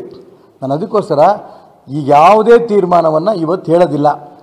ನಾನು ಶುಕ್ರವಾರ ಸಂಜೆ ಐದು ಗಂಟೆಗೆ ಬಡಜಾರ್ ಭವನದಲ್ಲಿ ಸೇರಿದಂಥ ಎಲ್ಲ ನಮ್ಮ ಪಕ್ಷದ ಹಿತೈಷಿಗಳು, ವಿವಿಧ ಸಮಾಜದ ಪ್ರಮುಖರುಗಳು ನಮ್ಮ ಪಕ್ಷದ ಎಲ್ಲ ಪ್ರಮುಖ ಕಾರ್ಯಕರ್ತರು ಸೇರಿದಂಥ ಸಭೆಯಲ್ಲಿ ನಾನು ಅಂತಿಮ ತೀರ್ಮಾನವನ್ನು ಅವರ ಅಭಿ ಅವರ ಅಭಿಪ್ರಾಯಕ್ಕೆ ತೀರ್ಮಾನ ಆಗುತ್ತೆ ಇಡೀ ರಾಜ್ಯದ ಜನ ನೋವಲ್ಲಿ ಅನುಭವಿಸ್ತಾ ಇದ್ದಾರೆ. ನಿಷ್ಠಾವಂತ ಕಾರ್ಯಕರ್ತರಿಗೆ ಕೆಲಸ ಮಾಡ್ತಾ ಮಾಡ್ತಿರೋಂಥ ಕಾರ್ಯಕರ್ತರಿಗೆ ಯಡಿಯೂರಪ್ಪನವ್ರು ಅನ್ಯಾಯ ಮಾಡ್ತಾ ಇದ್ದಾರೆ ಅಂತ ನೋವನ್ನು ಅನುಭವಿಸ್ಕೊತಾ ಇದ್ದಾರೆ. ಅವ್ರ ಧ್ವನಿ ಆಗಬೇಕಲ್ಲ ನಾನು? ಅದನ್ನು ನಾಳೆ ಚಿಂತೆ ಮಾಡ್ತೀನಿ ನಾನು. ಈಗಲೇ ಹೇಳ ಯಾವುದು ಹೇಳಲ್ಲ. ನಾನು ಈಗಲೂ ಕೂಡ ಇನ್ನೂ ಹೇಳ್ತಾ ಇದ್ದೀನಿ, ನನಗೆ ಈಗ ತಾನೇ ರಾಧಾಮೋಹನ್ ಅಗರ್ವಾಲ್ ನಮ್ಮ ರಾಷ್ಟ್ರೀಯ ಸ ಪ್ರಧಾನ ಕಾರ್ಯದರ್ಶಿಗಳು, ಲೋಕಸಭಾ ಕ್ಷೇತ್ರ ಇನ್ಚಾರ್ಜ್, ಅವರು ನನಗೆ ಈಗ ಒಂದು ಹತ್ತು ನಿಮಿಷ ಕೇಳಿ ಫೋನ್ ಮಾಡಿದ್ದರು ನಿಮ್ಮ ಮಗನಿಗೆ ಈ ವಿಧಾನ ಪರಿಷತ್ತಿನ ಟಿಕೆಟ್ನ ಕೊಡ್ತೇನೆ. ಕೇಂದ್ರ ನಾಯಕರ ಹತ್ರ ಮಾತಾಡಿದ್ದೀವಿ. ಕಾಂತೇಶಿಂಗೆ ನಾಳೆ ಬರೋಂಥ ಗ್ರಾಜ್ಯುಯೇಟ್ ಚುನಾವಣೆ ನಿಲ್ಲಿಸ್ತೀವಿ, ಅವಕಾಶ ಮಾಡಿಕೊಡ್ತೀವಿ ಅಂತ ಹೇಳಿದರು. ನಾನು ಯಾವುದೂ ಇನ್ನೂ ಅವ್ರಿಗೆ ಪ್ರಾಮಿಸ್ ಮಾಡಿಲ್ಲ. ಅವ್ರ ಜೊತೆ ಕೂತು ಚರ್ಚೆ ಮಾಡಿ ತೀರ್ಮಾನ ಮಾಡ್ತೀನಿ. ಆಯ್ತು ಸರ್ ನಾನು ಅದಕ್ಕೆ ಹೇಳ್ತೀನಲ್ಲ ನಾನು ಜಾತಿ ನಾಯಕ ಎಂದೂ ಆಗಲಿಲ್ಲ. ಅದು ನನಗೆ ಒಂದು ಹೆಮ್ಮೆ. ಹಿಂದುತ್ವದ ವಿಚಾರವನ್ನು ಪ್ರತಿಪಾದನೆ ಮಾಡಿ ಮಾಡಿದ್ದೀನಿ ಅದು ನನಗೆ ಹೆಮ್ಮೆ. ಆದರೆ ಇದು ನನಗೆ ಅನ್ಯಾಯ ಆಗಿದೆ ಅನ್ನೋದನ್ನು ಇನ್ನೂ ನನಗೆ ಅನಿಸ್ತಾ ಇಲ್ಲ. ಎಲ್ಲರ ಜೊತೆ ಕೂತು ಚರ್ಚೆ ಮಾಡಿ ತೀರ್ಮಾನ ತಗೊಂಡು ಯಡಿಯೂರಪ್ಪನವರಿಗೆ ಯಾಕೆ ನಿಮ್ಮ ಬಗ್ಗೆ ಈಗ ಈಗಲೂ ಕೂಡ ಮಗನಿಗೆ ಏಕೆ ವೈಯಕ್ತಿಕವಾಗಿ ನನಗೂ ಅವ್ರಿಗೂ ಆತ್ಮೀಯ ಸ್ನೇಹಿತರು ಒಂದೇ ತಟ್ಟೆಯಲ್ಲಿ ಊಟ ಮಾಡ್ತಿದ್ದವ್ರು ನಾವು. ಅವರ ಕೆಲವು ದೋಷಗಳನ್ನು ನೇರವಾಗಿ ಅವ್ರಿಗೆ ನಾನು ಹೇಳಿದೆ. ಇಂತಿಂಥ ತಪ್ಪುಗಳು ನೀವು ಮಾಡ್ತಾ ಇದ್ದೀರಿ, ಇದು ಒಳ್ಳೆಯದಲ್ಲ ನಮ್ಗೆ ಇನ್ನೊಬ್ಬ ಯಡಿಯೂರಪ್ಪ ಸಿಗೋದಿಲ್ಲ. ಅಂತಂಥ ಸಂದರ್ಭದಲ್ಲಿ ಅವರು ಒಂದು ಮೂರು ನಾಲ್ಕು ಸಾರಿ ನಾನು ಹೇಳಿದಂಥ ಸಂದರ್ಭದಲ್ಲಿ, ಯಾಕಂದರೆ ಯಡಿಯೂರಪ್ಪನವ್ರ ಬಗ್ಗೆ ಆಪಾದನೆ ಬಂದಿದ್ದು ನಮಗೆ ಸಮಾಧಾನ ಆಗ್ತಿರಲಿಲ್ಲ. ನಮಗೆ ನೋವಾಗುತ್ತೆ. ಕೊನೆ ಅವ್ರು ಹೇಳಿದ್ರು, ನನ್ನ ವೈಯಕ್ತಿಕ ವಿಚಾರಗಳಪ್ಪ, ಇದ್ರ ಬಗ್ಗೆ ನೀವು ತಲೆ ಹಾಕಬಾರ್ದು ಅಂತ. ಅಲ್ಲಿಂದ ನಾನು ಸರ್ಕೊಂಡೆ ನಂಬರ್ ಒನ್ ನಂಬರ್ ಟು ಅವ್ರು ಕೆ ಜಿ ಪಿಗೆ ಹೋದರು. ನಾನು ಯಾವುದೇ ಕಾರಣಕ್ಕೂ ಕೆ ಜಿ ಪಿಗೆ ಹೋಗಲಿಲ್ಲ. ಈ ಥರದ ಅನೇಕ ಅಂಶಗಳು ಇರ್ಬೋದು. ನನ್ನ ಮಾತು ಕೇಳ್ತಾ ಇಲ್ಲಲ್ಲ. ನಾನು ಈ ಪಕ್ಷ ಕೊಟ್ಟಂಥ ಸಂಸ್ಕಾರದಿಂದ ಈ ಸಂಘಟನೆಗೆ ನಿಷ್ಠೆಯಾಗಿ ಬಂದೇವಿನ ಯಾವುದೇ ವ್ಯಕ್ತಿ ಪರವಾಗಿ ನಾನು ಹೋಗಲಿಲ್ಲ. ಅದು ಅವರ ಬೇಸರ ಆಗಿರ್ಬೋದು. ನೋಡೋಣ, ಏನೇನಾಗುತ್ತೆ ಅಂತ ನಾಳೆ ಹದಿನೈದನೇ ತಾರೀಕು ಸಭೆ ತೀರ್ಮಾನದಲ್ಲಿ ಇದೆಲ್ಲ ನಿಂತಿದೆ. ನೋಡೋಣ ಏನೇನಂತ. ನೂರು ಪ್ರಾಣ ಹೋದರೂ ಕೂಡ ನಾನು ಮೋದಿಯವ್ರು ಬಿಡೋಲ್ಲ ಮೋದಿಯವ್ರ ಪರವಾಗೇ ಇರೋದು. ಅವ್ರು ಅಕಸ್ಮಾತ್ ಎಲ್ಲರೂ ಸೇರಿ ಚುನಾವಣೆ ನಿಲ್ಲಬೇಕು ಅಂತಂದರೂ ಕೂಡ ಚುನಾವಣೆ ನಾನು ಗೆದ್ದು ಮೋದಿ ಪರವಾಗೇ ಹೋಗ್ತೀನಿ ನಾ. ಮೋದಿ ಬಿಟ್ಟು ನಾನು ಎಂದೆಂದೂ ಹೋಗೋಕ್ಕೆ ಸಾಧ್ಯ ಇಲ್ಲ.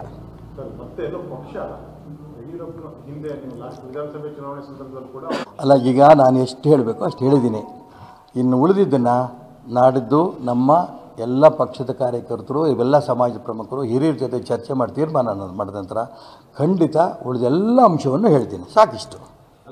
ಸಾಕಣ, ಮತ್ತೆ ಮತ್ತೆ ಯಾಕೆ ಮತ್ತೆ ಸಾಕೋದು ಮತ್ತೆ ನಾನು ಯಾರನ್ನೂ ಭೇಟಿ ಮಾಡಲ್ಲ.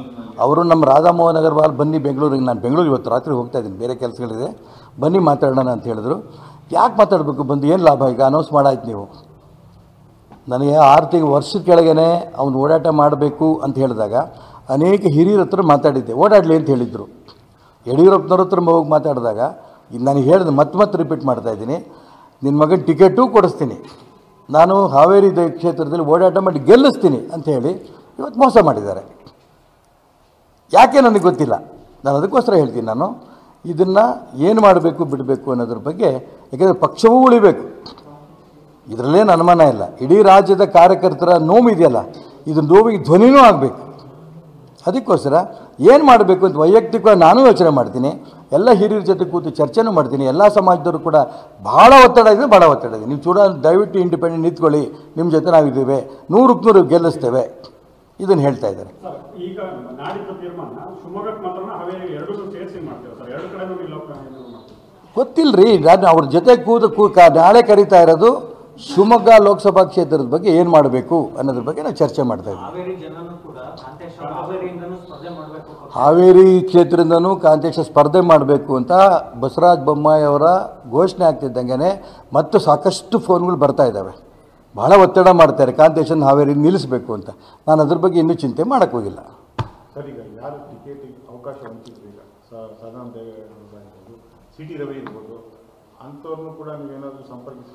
ನೋಡಿ ಈಗ ಎರಡು ನೋ, ನೋ, ಎರಡು ಪ್ರಶ್ನೆ. ನಾನು ಈಗ ಯಾವುದೂ ಹೇಳಲ್ಲ. ನಾನೇನು ತೀರ್ಮಾನ ತಗೋತೀನಿ ತೀರ್ಮಾನ ತಗೊಂಡ ನಂತರ ಮುಂದಿಂತು. ಸರ್ ಈಗ ಪಕ್ಷ ಉಳಿಬೇಕು ಅಂತೀರಿ. ಮತ್ತೆ ಈಗ ಸಭೆ ನಡೆಸ್ತೀರಿ ಸ್ಪ್ಲಿಟ್ ಆದಂಗೆ ಎಲ್ಲಿ ಯಾವ ಸಭೆ ನಡೆಸ್ತೀನಿ ಪಾರ್ಟಿ ಬಿಟ್ಟು ಹೋಗ್ತೀನಿ ಅಂತ ಹೇಳಿದ್ದೀನಿ ನಾನು. ನಾನು ಹೇ- ಪಾರ್ಟಿ ಬಿಟ್ಟು ಹೋಗ್ತೀನಿ ಅಂತ ಹೇಳಿದ್ದೀನಿ ಅಂದೆ. ನಾನು ಇನ್ನೂ ಹೇಳಿಲ್ಲಲ್ಲ. ಯಾರು ನಿಂತೀನಿ ಅಂತ ಹೇಳಿ ಹೇಳೋದು. ಅಭಿಪ್ರಾಯ ಸಂಗ್ರಹ ಮಾಡಿ ಪಕ್ಷವನ್ನು ಉಳಿಸೋದಕ್ಕೋಸ್ಕರ ನೀವು ನಿಂತ್ಕೋಬೇಕು ಅಂತ ಎಲ್ಲರೂ ಹೇಳ್ತಿರೋದು. ಒಬ್ಬ ಒಂದು ಕುಟುಂಬದ ಕೈಯಲ್ಲಿ ಪಕ್ಷ ಸಿಕ್ಕೊಂಡಿದೆ, ಇದರಿಂದ ಪಾರ್ ಮಾಡಬೇಕು ಅನ್ನೋದಕ್ಕೋಸ್ಕರ ಅವರೆಲ್ಲರೂ ಹೇಳ್ತಾರೆ ನೀವು ಇಂಡಿಪೆಂಡೆಂಟಾಗಿ ನಿಂತ್ಕೋಬೇಕು. ನಿಂತ್ಕೊಂಡು ಗೆದ್ದು ಕೇಂದ್ರ ನಾಯಕರು ಅರ್ಥ ಆಗುತ್ತೆ. ಈ ಚುನಾವಣೆ ಅಕಸ್ಮಾತ್ ನಾನು ನಿಂತರೆ ಯಾಕೆ ನಿಂತೆ? ಈಶ್ವರಪ್ಪನಂತ ನಿಷ್ಠಾವಂತ ಕಾರ್ಯಕರ್ತ ಯಾಕೆ ನಿಂತ ಅಂತ ಅಂದ್ಕೊಂಡು ಇಡೀ ರಾಜ್ಯದ ಎಲ್ಲ ನಮ್ಮ ಕಾರ್ಯಕರ್ತರು ಫೋನ್ ಮಾಡ್ತಾ ಇದ್ದಾರೆ. ಎಲ್ಲ ಹಿರಿಯರು ಫೋನ್ ಮಾಡ್ತಾ ಇದ್ದಾರೆ. ನೊಂದಿರೋರು. ಒಂದು ಕುಟುಂಬದ ಕೈಲಿ ಹಾಕ್ಕೊಟ್ರು ಪಕ್ಷವನ್ನು. ಅವರೇ ಹಂಗಾರೆ ನಾಯಕರ ಅವರೇ ಲಿಂಗಾಯತ ನಾಯಕರ ಬೇರೆ ಲಿಂಗಾಯತ ನಾಯಕರುಗಳು ಇಲ್ವಾ? ಈ ಅಂಶಗಳೆಲ್ಲರೂ ಕೂಡ ಪ್ರಶ್ನೆಗಳು ಕೇಳ್ತಾರೆ. ಇದಕ್ಕೆಲ್ಲವೂ ಉತ್ತರ ನಾನು ಹೇಳ್ತೀನಲ್ಲ ನಾಡಿದ್ದು ಸಭೆಯ ನಂತರ ನಿಮಗೆ ತಿಳಿಸ್ತೇನೆ.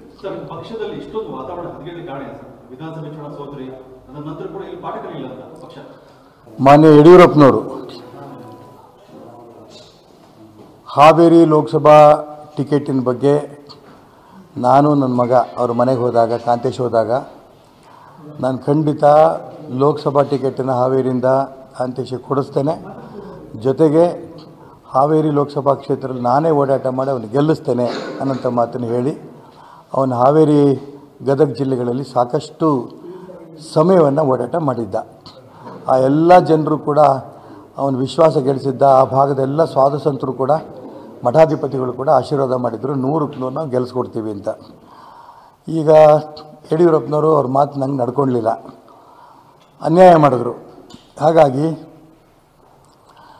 ಈಗ ಶಿವಮೊಗ್ಗ ಲೋಕಸಭಾ ಕ್ಷೇತ್ರದಿಂದ ನನಗೆ ತುಂಬ ಒತ್ತಡ ಬರ್ತಾ ಇದೆ.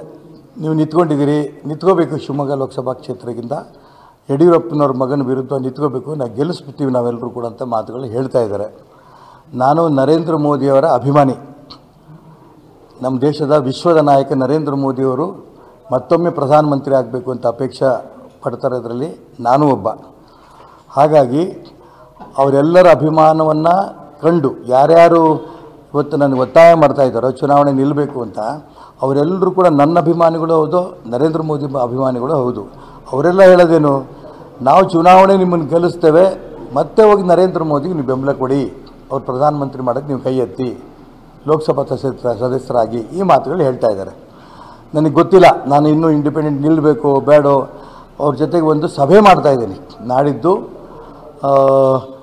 ಹದಿನೈದನೇ ತಾರೀಕು, ಶುಕ್ರವಾರ ಸಂಜೆ ಐದು ಗಂಟೆಗೆ ಶಿವಮೊಗ್ಗದ ಬಣಜಾರ್ ಭವನದಲ್ಲಿ, ಬಾಲರಾಜರ ರಸ್ತೆ ಬಣಜಾರ್ ಭವನದಲ್ಲಿ ಒಂದು ಸಭೆ ಮಾಡ್ತಿದ್ದೇನೆ. ಎಲ್ಲ ಸಮಾಜದ ಪ್ರಮುಖರು, ಎಲ್ಲ ಹಿರಿಯರು, ನಮ್ಮ ಹಿತೈಷಿಗಳು ಎಲ್ಲರೂ ಕೂಡ ಅವತ್ತು ಆ ಸಭೆಯಲ್ಲಿ ಬಂದು ಸೇರ್ತಾ ಇದ್ದಾರೆ. ಅವರೆಲ್ಲರ ಸಲಹೆ ಏನು ಕೊಡ್ತಾರೆ? ಆ ಸಲಹೆ ಮೇಲೆ ನಾನು ಮುಂದಿನ ತೀರ್ಮಾನವನ್ನು ನಾನು ತಗೋತೀನಿ.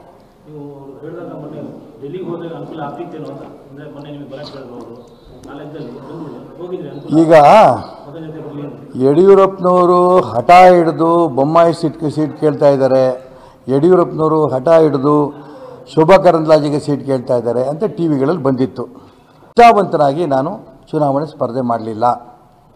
ಮತ್ತು ಈ ಕ್ಷೇತ್ರದ ಶಿವಮೊಗ್ಗ ಕ್ಷೇತ್ರದಿಂದ ಒಬ್ಬ ಸಾಮಾನ್ಯ ಕಾರ್ಯಕರ್ತನ ಎಂ ಎಲ್ ಎ ಗೆಲ್ಲಿಸ್ಕೊಂಡ್ವಿ ಇದನ್ನು ಒಪ್ಪಿ ಸಂತೋಷದಿಂದ ಮಾನ್ಯ ಪ್ರಧಾನಮಂತ್ರಿ ನರೇಂದ್ರ ಮೋದಿಯವರು ಕೂಡ ನನಗೆ ಮಾತಾಡಿ, ಒಳ್ಳೆ ಕೆಲಸ ಮಾಡಿದ್ಯಪ್ಪ, ನೀ ಡಿಸಿಪ್ಲಿನ್ ಸೋಲ್ಜರ್ ಅಂತ ಮಾತು ಹೇಳಿದರು. ಅನೇಕ ಹಿರಿಯರು ಕೂಡ ನಮ್ಮ ಮನೆಗೆ ಬಂದು ಹೇಳಿಬಿಟ್ಟು ಹೋಗಿದ್ದರು ನಿಮಗೆ ಮುಂದೆ ಭವಿಷ್ಯ ಇದೆ, ನಿನಗೂ ಭವಿಷ್ಯ ಇದೆ ಮತ್ತು ಕಾಂತೇಶಿಗೂ ಭವಿಷ್ಯ ಇದೆ ಅಂತ ಮಾತುಗಳು ಹೇಳಿಬಿಟ್ಟು ಹೋಗಿದ್ದರು ಈಗ ಹಠ ಹಿಡಿದು ಯಡಿಯೂರಪ್ಪನವ್ರು ಕರ್ನಾಟಕ ರಾಜ್ಯದಲ್ಲಿರೋಂಥ ಅನೇಕ ವ್ಯಕ್ತಿಗಳಿಗೆ ಅನ್ಯಾಯ ಆಗಿದೆ. ಪ್ರತಾಪ್ ಸಿಂಹ ಅವ್ರಿಗೆ ಅನ್ಯಾಯ ಆಗಿದೆ. ಭಾಳ ಪಾಪ್ಯುಲರ್ ಲೀಡರ್ ಮೈಸೂರಿನಲ್ಲಿ. ಮನೆ ಸಿ ಟಿ ರವಿ ಅವ್ರಿಗೆ ಅನ್ಯಾಯ ಆಗಿದೆ. ಅದೇ ರೀತಿ ಸದಾನಂದ ಗೌಡ್ರಿಗೆ ಅನ್ಯಾಯ ಆಗಿದೆ. ಇಲ್ಲಿ ಯಾರ್ಯಾರಿಗೆ ಅನ್ಯಾಯ ಆಗಿದೆ ನೋಡೋಣ. ಹಾಂ ನಳಿನ್ ಕುಮಾರ್ ಕಟೀಲ್ಗೆ. ಹಾಗಾಗಿ ನಾನು ಇಷ್ಟು ಮಾತ್ರ ಹೇಳಬಲ್ಲೆ. ನಮ್ಮ ಪಕ್ಷದ ಹಿತೈಷಿಗಳು, ನಮ್ಮ ಪಕ್ಷದ ಕಾರ್ಯಕರ್ತರು, ನನ್ನ ಅಭಿಮಾನಿಗಳು, ನರೇಂದ್ರ ಮೋದಿಯವರ ಅಭಿಮಾನಿಗಳು, ಅವರೆಲ್ಲರೂ ಬಂದು ಏನು ಹೇಳ್ತಾರೆ ಕೇಳಿಕೊಂಡು ಅವರ ಅಭಿಮಾನದ ತಕ್ಕಂತೆ ನಾನು ಮುಂದಿನ ತೀರ್ಮಾನ ತಗೊಳ್ಳಲಿದ್ದೇನೆ.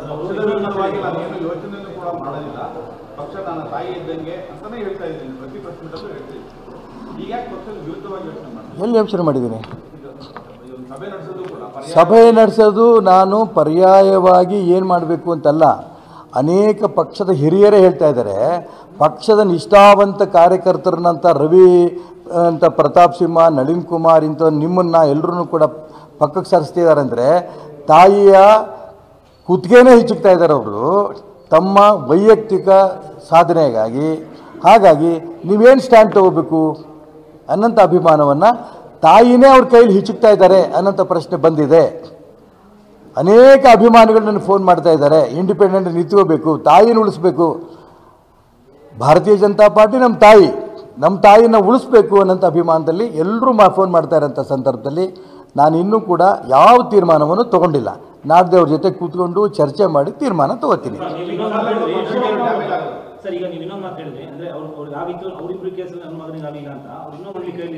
ಶೋಭನ್ ಯಾರ ಕೈಲಿತ್ತು?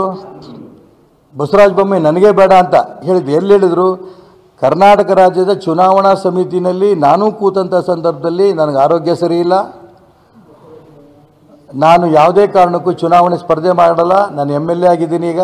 ಮಾಜಿ ಮುಖ್ಯಮಂತ್ರಿ ಅಂಥೇಳಿ ನನ್ನ ಹೆಸರು ನನ್ನ ಮಗನ ಹೆಸರನ್ನೇ ಅವರು ಚುನಾವಣಾ ಸಮಿತಿನಲ್ಲಿ ಹೇಳಿದರು. ಆ, ಹಾವೇರಿ ಕ್ಷೇತ್ರ ನಿಲ್ಲಿಸಿ ಅಂತ ಅವರೇ ಹೇಳಿದರು. ಮತ್ತು ಇನ್ನೊಂದು ಅವರು ಹೇಳಿದರು ದೆಹಲಿನಲ್ಲಿ ಚುನಾವಣಾ ಸಮಿತಿನಲ್ಲೂ ಕೂಡ ನಾನೇ ಮತ್ತೆ ಕಾಂತೇಶನ್ ಹೆಸರನ್ನು ಹೇಳಿದ್ರು ಅಂತಂದ್ರೆ. ಆಗ ಬಸವರಾಜ ಬೊಮ್ಮಾಯಿ ಯಾಕೆ ಒತ್ತಾಯ ಮಾಡಿ ನಿಲ್ಲಿಸ್ತಾ ಇದ್ದಾರೆ? ನಾನು ಯಾತಕ್ಕೆ ಇದನ್ನು ಹೇಳ್ತಾ ಇದ್ದೀನಿ ಅಂತಂದರೆ ಇದು ಪಕ್ಷದ ನಿಷ್ಠಾವಂತ ಕಾರ್ಯಕರ್ತರುಗಳು ರವೀನೋ ನಳಿನ್ ಕುಮಾರ್ ಕಟೀಲೋ, ಪ್ರತಾಪ್ ಸಿಂಹನೋ, ನಾನು ನಾವೆಲ್ಲರೂ ಕೂಡ ಯತ್ನಾಳ್ಗಂತೂ ಹಿಂದುತ್ವದ ಪರವಾಗಿ ಯಾರ್ಯಾರು ಮಾತಾಡ್ತಿದ್ದಾರೆ ಅಂಥವ್ರನ್ನೆಲ್ಲರೂ ಕೂಡ ಒಂದು ರೀತಿಯ ತೊಂದರೆ ಕೊಟ್ಟು ಸಂಘ ನಿಷ್ಠೆಯಿಂದಿರೋಂಥ ಪಕ್ಷದ ಕಾರ್ಯಕರ್ತರಿಗೆ ತೊಂದರೆ ಕೊಟ್ಟು ಪಕ್ಕಕ್ಕೆ ಸರಿಸೋಂಥ ಪ್ರಯತ್ನವನ್ನು ಮನೆ ಯಡಿಯೂರಪ್ಪನವ್ರು ಮಾಡ್ತಾ ಇದ್ದಾರೆ ಅಂತ ಭಾವನೆ ಭಾಳ ಜನಕ್ಕೆ ಬಂದಿದೆ. ನಾನು ಅದಕ್ಕೋಸ್ಕರ ಈಗ ಯಾವುದೇ ತೀರ್ಮಾನವನ್ನು ಇವತ್ತು ಹೇಳೋದಿಲ್ಲ. ನಾನು ಶುಕ್ರವಾರ ಸಂಜೆ ಐದು ಗಂಟೆಗೆ ಬಡಜಾರ್ ಭವನದಲ್ಲಿ ಸೇರಿದಂಥ ಎಲ್ಲ ನಮ್ಮ ಪಕ್ಷದ ಹಿತೈಷಿಗಳು, ವಿವಿಧ ಸಮಾಜಗಳ ಪ್ರಮುಖರುಗಳು, ನಮ್ಮ ಪಕ್ಷದ ಎಲ್ಲ ಪ್ರಮುಖ ಕಾರ್ಯಕರ್ತರು ಸೇರಿದಂಥ ಸಭೆಯಲ್ಲಿ ನಾನು ಅಂತಿಮ ತೀರ್ಮಾನವನ್ನು ಅವರ ಅಭಿ, ಅವರ ಅಭಿಪ್ರಾಯಕ್ಕೆ ತೀರ್ಮಾನ ಸಂಘಟನೆಗೆ ಇಡೀ ರಾಜ್ಯದ ಜನ ನೋವನ್ನು ಅನುಭವಿಸ್ತಾ ಇದ್ದಾರೆ. ನಿಷ್ಠಾವಂತ ಕಾರ್ಯಕರ್ತರಿಗೆ, ಕೆಲಸ ಮಾಡ್ತಾ, ಮಾಡ್ತಿರೋಂಥ ಕಾರ್ಯಕರ್ತರಿಗೆ ಯಡಿಯೂರಪ್ಪನವ್ರು ಅನ್ಯಾಯ ಮಾಡ್ತಾ ಇದ್ದಾರೆ ಅಂತ ನೋವನ್ನು ಅನುಭವಿಸ್ಕೊತಾ ಇದ್ದಾರೆ. ಅವ್ರ ಧ್ವನಿ ಆಗಬೇಕಲ್ಲ ನಾನು? ಅದನ್ನು ನಾಳೆ ಚಿಂತೆ ಮಾಡ್ತೀನಿ, ನಾನು ಈಗಲೇ ಹೇಳ, ಯಾವುದು ಹೇಳಲ್ಲ. ನಾನು ಈಗಲೂ ಕೂಡ ಇನ್ನೂ ಹೇಳ್ತಾ ಇದ್ದೀನಿ, ನನಗೆ ಈಗ ತಾನೇ ರಾಧಾಮೋಹನ್ ಅಗರ್ವಾಲ್ ನಮ್ಮ ರಾಷ್ಟ್ರೀಯ ಸ, ಪ್ರಧಾನ ಕಾರ್ಯದರ್ಶಿಗಳು, ಲೋಕಸಭಾ ಕ್ಷೇತ್ರ ಇನ್ಚಾರ್ಜ್, ಅವರು ನನಗೆ ಈಗ ಒಂದು ಹತ್ತು ನಿಮಿಷ ಕೇಳಿ ಫೋನ್ ಮಾಡಿದ್ದರು ನಿಮ್ಮ ಮಗನಿಗೆ ಈ ವಿಧಾನ ಪರಿಷತ್ತಿನ ಟಿಕೆಟ್ನ ಕೊಡ್ತೇನೆ. ಕೇಂದ್ರ ನಾಯಕರ ಹತ್ರ ಮಾತಾಡಿದ್ದೀವಿ. ಕಾಂತೇಶಿಂಗೆ ನಾಳೆ ಬರೋಂಥ ಗ್ರಾಜ್ಯುಯೇಟ್ ಚುನಾವಣೆ ನಿಲ್ಲಿಸ್ತೀವಿ ಅವಕಾಶ ಮಾಡಿಕೊಡ್ತೀವಿ ಅಂತ ಹೇಳಿದರು. ನಾನು ಯಾವುದೂ ಇನ್ನೂ ಅವ್ರಿಗೆ ಪ್ರಾಮಿಸ್ ಮಾಡಿಲ್ಲ. ಅವ್ರ ಜೊತೆ ಕೂತು ಚರ್ಚೆ ಮಾಡಿ ತೀರ್ಮಾನ ಮಾಡ್ತೀನಿ.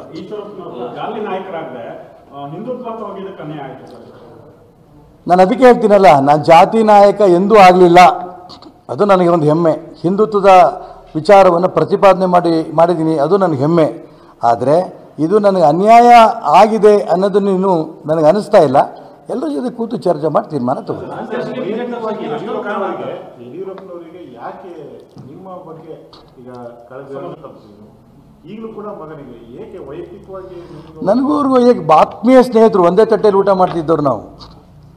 ಅವರ ಕೆಲವು ದೋಷಗಳನ್ನು ನೇರವಾಗಿ ಅವ್ರಿಗೆ ನಾನು ಹೇಳಿದೆ. ಇಂತಿಂಥ ತಪ್ಪುಗಳು ನೀವು ಮಾಡ್ತಾ ಇದ್ದೀರಿ ಇದು ಒಳ್ಳೇದಲ್ಲ. ನಮ್ಗೆ ಇನ್ನೊಬ್ಬ ಯಡಿಯೂರಪ್ಪ ಸಿಗೋದಿಲ್ಲ. ಅಂತಂಥ ಸಂದರ್ಭದಲ್ಲಿ ಅವರು ಒಂದು ಮೂರು ನಾಲ್ಕು ಸಾರಿ ನಾನು ಹೇಳಿದಂಥ ಸಂದರ್ಭದಲ್ಲಿ. ಯಾಕಂದರೆ ಯಡಿಯೂರಪ್ಪನವ್ರ ಬಗ್ಗೆ ಆಪಾದನೆ ಬಂದಿದ್ದು ನಮಗೆ ಸಮಾಧಾನ ಆಗ್ತಿರಲಿಲ್ಲ. ನಮಗೆ ನೋವಾಗುತ್ತೆ. ಕೊನೆ ಅವ್ರು ಹೇಳಿದ್ರು, ನನ್ನ ವೈಯಕ್ತಿಕ ವಿಚಾರಗಳಪ್ಪ, ಇದ್ರ ಬಗ್ಗೆ ನೀವು ತಲೆ ಹಾಕಬಾರ್ದು ಅಂತ. ಅಲ್ಲಿಂದ ನಾನು ಸರ್ಕೊಂಡೆ ನಂಬರ್ ಒನ್ ನಂಬರ್ ಟು ಅವರು ಕೆ ಜಿ ಪಿಗೆ ಹೋದರು.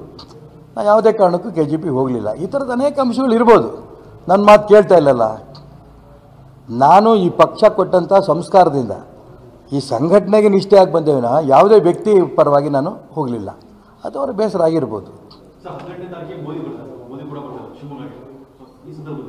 ನೋಡೋಣ, ಏನೇನಾಗುತ್ತೆ ಅಂತ ನಾಳೆ ಹದಿನೈದನೇ ತಾರೀಕು ಸಭೆ ತೀರ್ಮಾನದಲ್ಲಿ ಇದೆಲ್ಲ ನಿಂತಿದೆ. ನೋಡೋಣ ಏನೇನಂತ. ನೂರು ಪ್ರಾಣ ಹೋದರೂ ಕೂಡ ನಾನು ಮೋದಿಯವ್ರು ಬಿಡೋಲ್ಲ ಮೋದಿಯವ್ರ ಪರವಾಗೇ ಇರೋದು. ಅವ್ರು ಅಕಸ್ಮಾತ್ ಎಲ್ಲರೂ ಸೇರಿ ಚುನಾವಣೆ ನಿಲ್ಲಬೇಕು ಅಂತಂದರೂ ಕೂಡ ಚುನಾವಣೆ ನಾನು ಗೆದ್ದು ಮೋದಿ ಪರವಾಗೇ ಹೋಗ್ತೀನಿ ನಾ ಮೋದಿ ಬಿಟ್ಟು ನಾನು ಎಂದೆಂದೂ ಹೋಗೋಕ್ಕೆ ಸಾಧ್ಯ ಇಲ್ಲ.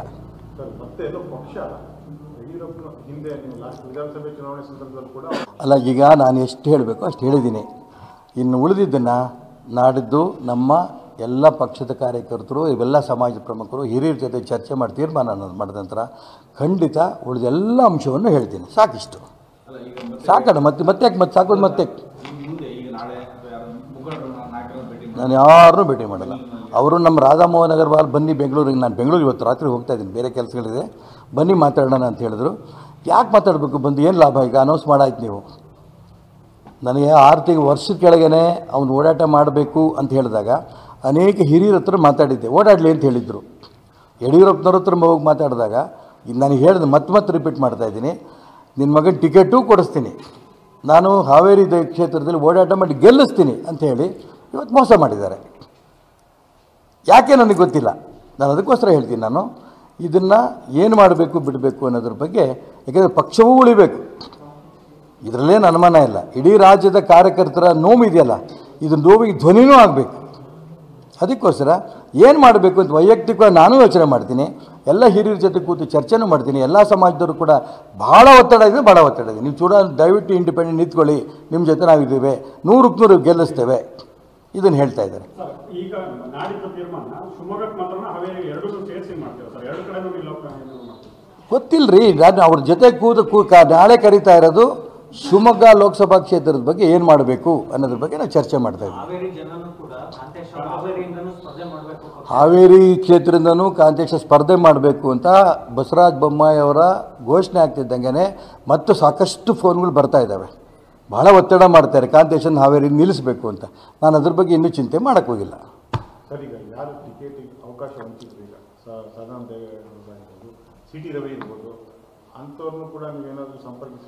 ನೋಡಿ ಈಗ ಎರಡು ನೋ, ನೋ, ಎರಡು ಪ್ರಶ್ನೆ. ನಾನು ಈಗ ಯಾವುದೂ ಹೇಳಲ್ಲ. ನಾನೇನು ತೀರ್ಮಾನ ತಗೋತೀನಿ? ತೀರ್ಮಾನ ತಗೊಂಡ ನಂತರ ಮುಂದಿಂತು ಸರ್ ಈಗ ಪಕ್ಷ ಉಳಿಬೇಕು ಅಂತೀರಿ ಮತ್ತೆ ಈಗ ಸಭೆ ನಡೆಸ್ತೀರಿ ಸ್ಪ್ಲಿಟ್ ಆದಂಗೆ ಎಲ್ಲಿ ಆ ಸಭೆ ನಡೆಸ್ತೀನಿ ಪಾರ್ಟಿ ಬಿಟ್ಟು ಹೋಗ್ತೀನಿ ಅಂತ ಹೇಳಿದ್ದೀನಿ ನಾನು. ನಾನು ಪಾರ್ಟಿ ಬಿಟ್ಟು ಹೋಗ್ತೀನಿ ಅಂತ ಹೇಳಿದ್ದೀನಿ ಅಂದೆ. ನಾನು ಇನ್ನೂ ಹೇಳಿಲ್ಲಲ್ಲ.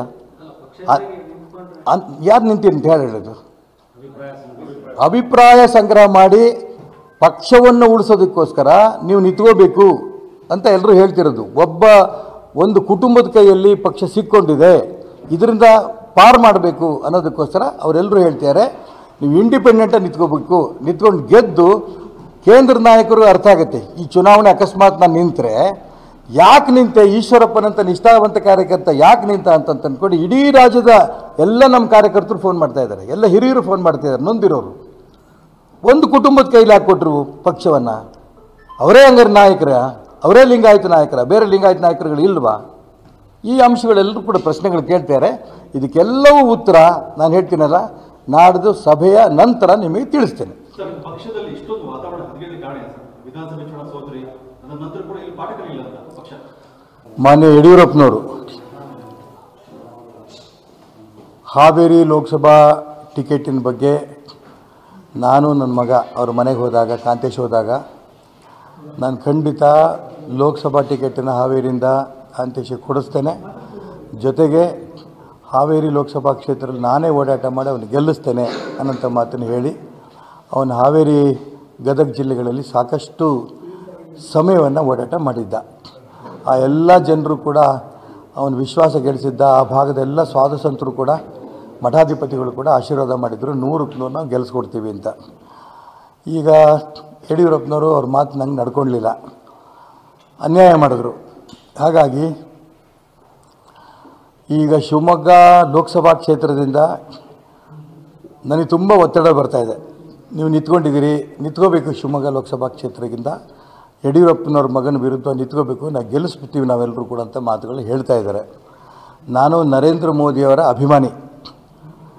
ನಮ್ಮ ದೇಶದ ವಿಶ್ವದ ನಾಯಕ ನರೇಂದ್ರ ಮೋದಿಯವರು ಮತ್ತೊಮ್ಮೆ ಪ್ರಧಾನಮಂತ್ರಿ ಆಗಬೇಕು ಅಂತ ಅಪೇಕ್ಷೆ ಪಡ್ತಾರೆ ಅದರಲ್ಲಿ ನಾನು ಒಬ್ಬ. ಹಾಗಾಗಿ ಅವರೆಲ್ಲರ ಅಭಿಮಾನವನ್ನು ಕಂಡು, ಯಾರ್ಯಾರು ಇವತ್ತು ನನಗೆ ಒತ್ತಾಯ ಮಾಡ್ತಾ ಇದ್ದಾರೋ, ಚುನಾವಣೆ ನಿಲ್ಲಬೇಕು ಅಂತ ಅವರೆಲ್ಲರೂ ಕೂಡ ನನ್ನ ಅಭಿಮಾನಿಗಳು ಹೌದು, ನರೇಂದ್ರ ಮೋದಿ ಅಭಿಮಾನಿಗಳು ಹೌದು. ಅವರೆಲ್ಲ ಹೇಳೋದೇನು? ನಾವು ಚುನಾವಣೆ ನಿಮ್ಮನ್ನು ಗೆಲ್ಲಿಸ್ತೇವೆ, ಮತ್ತೆ ಹೋಗಿ ನರೇಂದ್ರ ಮೋದಿಗೆ ನೀವು ಬೆಂಬಲ ಕೊಡಿ, ಅವ್ರು ಪ್ರಧಾನಮಂತ್ರಿ ಮಾಡೋಕ್ಕೆ ನೀವು ಕೈ ಎತ್ತಿ, ಲೋಕಸಭಾ ಸದಸ್ಯ ಸದಸ್ಯರಾಗಿ ಈ ಮಾತುಗಳು ಹೇಳ್ತಾ ಇದ್ದಾರೆ. ನನಗೆ ಗೊತ್ತಿಲ್ಲ, ನಾನು ಇನ್ನೂ ಇಂಡಿಪೆಂಡೆಂಟ್ ನಿಲ್ಲಬೇಕು ಬೇಡೋ, ಅವ್ರ ಜೊತೆಗೆ ಒಂದು ಸಭೆ ಮಾಡ್ತಾ ಇದ್ದೀನಿ. ನಾಡಿದ್ದು ಹದಿನೈದನೇ ತಾರೀಕು, ಶುಕ್ರವಾರ ಸಂಜೆ ಐದು ಗಂಟೆಗೆ ಶಿವಮೊಗ್ಗದ ಬಣಜಾರ್ ಭವನದಲ್ಲಿ ಬಾಲರಾಜರ ಸಂಸ್ಥೆ ಬಣಜಾರ್ ಭವನದಲ್ಲಿ ಒಂದು ಸಭೆ ಮಾಡ್ತಿದ್ದೇನೆ. ಎಲ್ಲ ಸಮಾಜದ ಪ್ರಮುಖರು ಎಲ್ಲ ಹಿರಿಯರು ನಮ್ಮ ಹಿತೈಷಿಗಳು ಎಲ್ಲರೂ ಕೂಡ ಅವತ್ತು ಆ ಸಭೆಯಲ್ಲಿ ಬಂದು ಸೇರ್ತಾ ಇದ್ದಾರೆ. ಅವರೆಲ್ಲರ ಸಲಹೆ ಏನು ಕೊಡ್ತಾರೆ ಆ ಸಲಹೆ ಮೇಲೆ ನಾನು ಮುಂದಿನ ತೀರ್ಮಾನವನ್ನು ನಾನು ತಗೋತೀನಿ.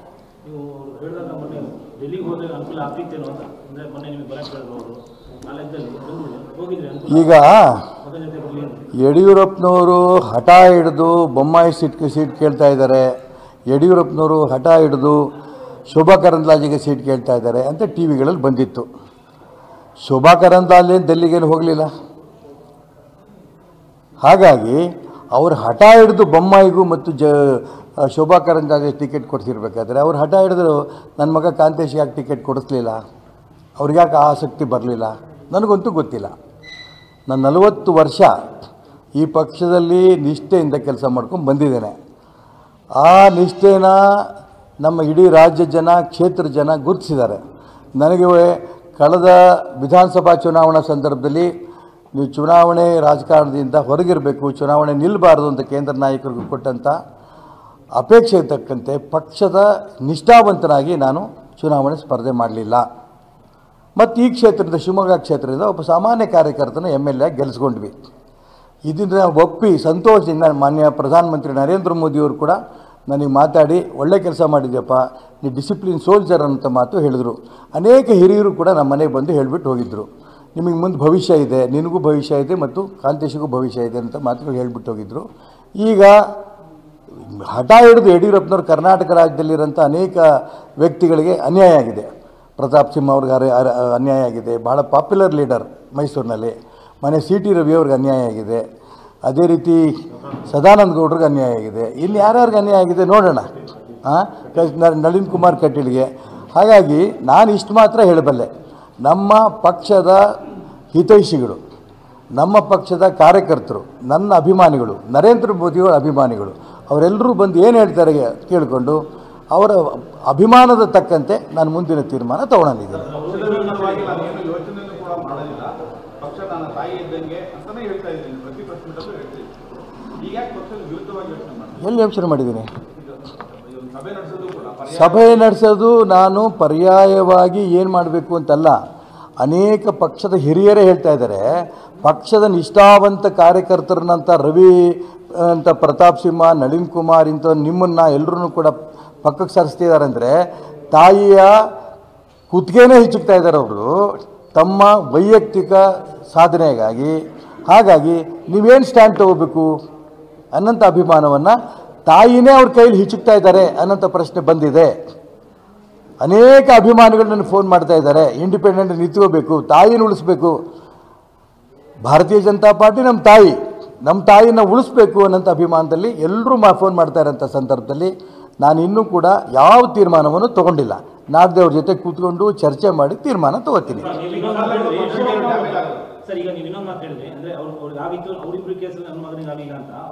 ಹೇಳಿದ್ರಿ ಶೋಭನ್ ಯಾರ ಕೈಲಿತ್ತು? ಬಸವರಾಜ ಬೊಮ್ಮೆ ನನಗೆ ಬೇಡ ಅಂತ ಹೇಳಿದ್ದು ಎಲ್ಲಿ ಹೇಳಿದ್ರು? ಕರ್ನಾಟಕ ರಾಜ್ಯದ ಚುನಾವಣಾ ಸಮಿತಿನಲ್ಲಿ ನಾನು ಕೂತಂಥ ಸಂದರ್ಭದಲ್ಲಿ ನನಗೆ ಆರೋಗ್ಯ ಸರಿ ಇಲ್ಲ.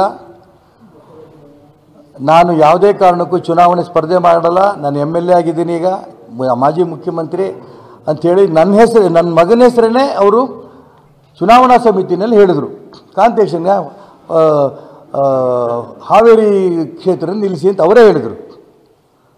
ಮತ್ತು ಇನ್ನೊಂದು ಅವರು ಹೇಳಿದರು ದೆಹಲಿನಲ್ಲಿ ಚುನಾವಣಾ ಸಮಿತಿನಲ್ಲೂ ಕೂಡ ನಾನೇ ಮತ್ತೆ ಕಾಂತೇಶನ್ ಹೆಸರು ಹೇಳಿದ್ರು ಅಂತಂದ್ರೆ. ಹಾಗೆ ಬಸವರಾಜ ಬೊಮ್ಮಾಯಿ ಯಾಕೆ ಒತ್ತಾಯ ಮಾಡಿ ನಿಲ್ಲಿಸ್ತಾ ಇದ್ದಾರೆ?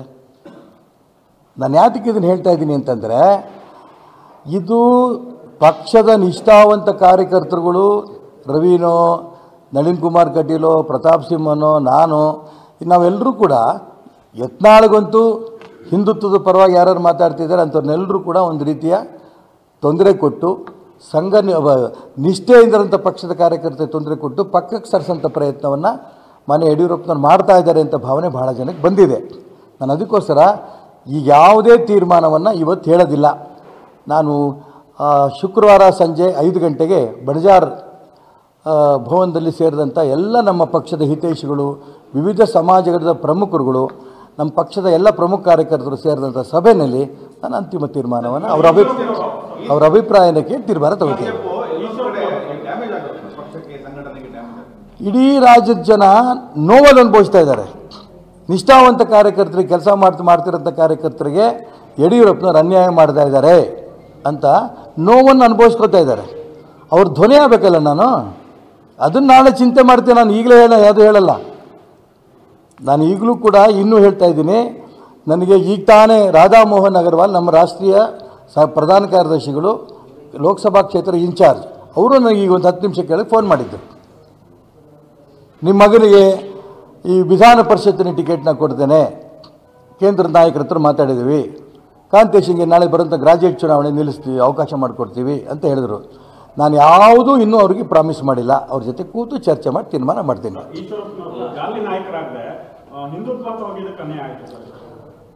ನಾನು ಅದಕ್ಕೆ ಹೇಳ್ತೀನಲ್ಲ ನಾನು ಜಾತಿ ನಾಯಕ ಎಂದೂ ಆಗಲಿಲ್ಲ. ಅದು ನನಗೆ ಒಂದು ಹೆಮ್ಮೆ. ಹಿಂದುತ್ವದ ವಿಚಾರವನ್ನು ಪ್ರತಿಪಾದನೆ ಮಾಡಿ ಮಾಡಿದ್ದೀನಿ ಅದು ನನಗೆ ಹೆಮ್ಮೆ. ಆದರೆ ಇದು ನನಗೆ ಅನ್ಯಾಯ ಆಗಿದೆ ಅನ್ನೋದನ್ನು ಇನ್ನೂ ನನಗೆ ಅನಿಸ್ತಾ ಇಲ್ಲ. ಎಲ್ಲರ ಜೊತೆ ಕೂತು ಚರ್ಚೆ ಮಾಡಿ ತೀರ್ಮಾನ ತಗೊಂಡು ಯಡಿಯೂರಪ್ಪನವರಿಗೆ ಯಡಿಯೂರಪ್ಪನವರಿಗೆ ಯಾಕೆ ನಿಮ್ಮ ಬಗ್ಗೆ ಈಗ ಈಗಲೂ ಕೂಡ ಮಗನಿಗೆ ಏಕೆ ವೈಯಕ್ತಿಕವಾಗಿ ನನಗೂ ಅವ್ರಿಗೂ ಹೇಗೆ ಆತ್ಮೀಯ ಸ್ನೇಹಿತರು ಒಂದೇ ತಟ್ಟೆಯಲ್ಲಿ ಊಟ ಮಾಡ್ತಿದ್ದವ್ರು ನಾವು. ಅವರ ಕೆಲವು ದೋಷಗಳನ್ನು ನೇರವಾಗಿ ಅವ್ರಿಗೆ ನಾನು ಹೇಳಿದೆ. ಇಂತಿಂಥ ತಪ್ಪುಗಳು ನೀವು ಮಾಡ್ತಾ ಇದ್ದೀರಿ. ಇದು ಒಳ್ಳೇದಲ್ಲ. ನಮ್ಗೆ ಇನ್ನೊಬ್ಬ ಯಡಿಯೂರಪ್ಪ ಸಿಗೋದಿಲ್ಲ. ಅಂತಂಥ ಸಂದರ್ಭದಲ್ಲಿ ಅವರು ಒಂದು ಮೂರು ನಾಲ್ಕು ಸಾರಿ ನಾನು ಹೇಳಿದಂಥ ಸಂದರ್ಭದಲ್ಲಿ. ಯಾಕಂದರೆ ಯಡಿಯೂರಪ್ಪನವ್ರ ಬಗ್ಗೆ ಆಪಾದನೆ ಬಂದಿದ್ದು ನಮಗೆ ಸಮಾಧಾನ ಆಗ್ತಿರಲಿಲ್ಲ. ನಮಗೆ ನೋವಾಗುತ್ತೆ.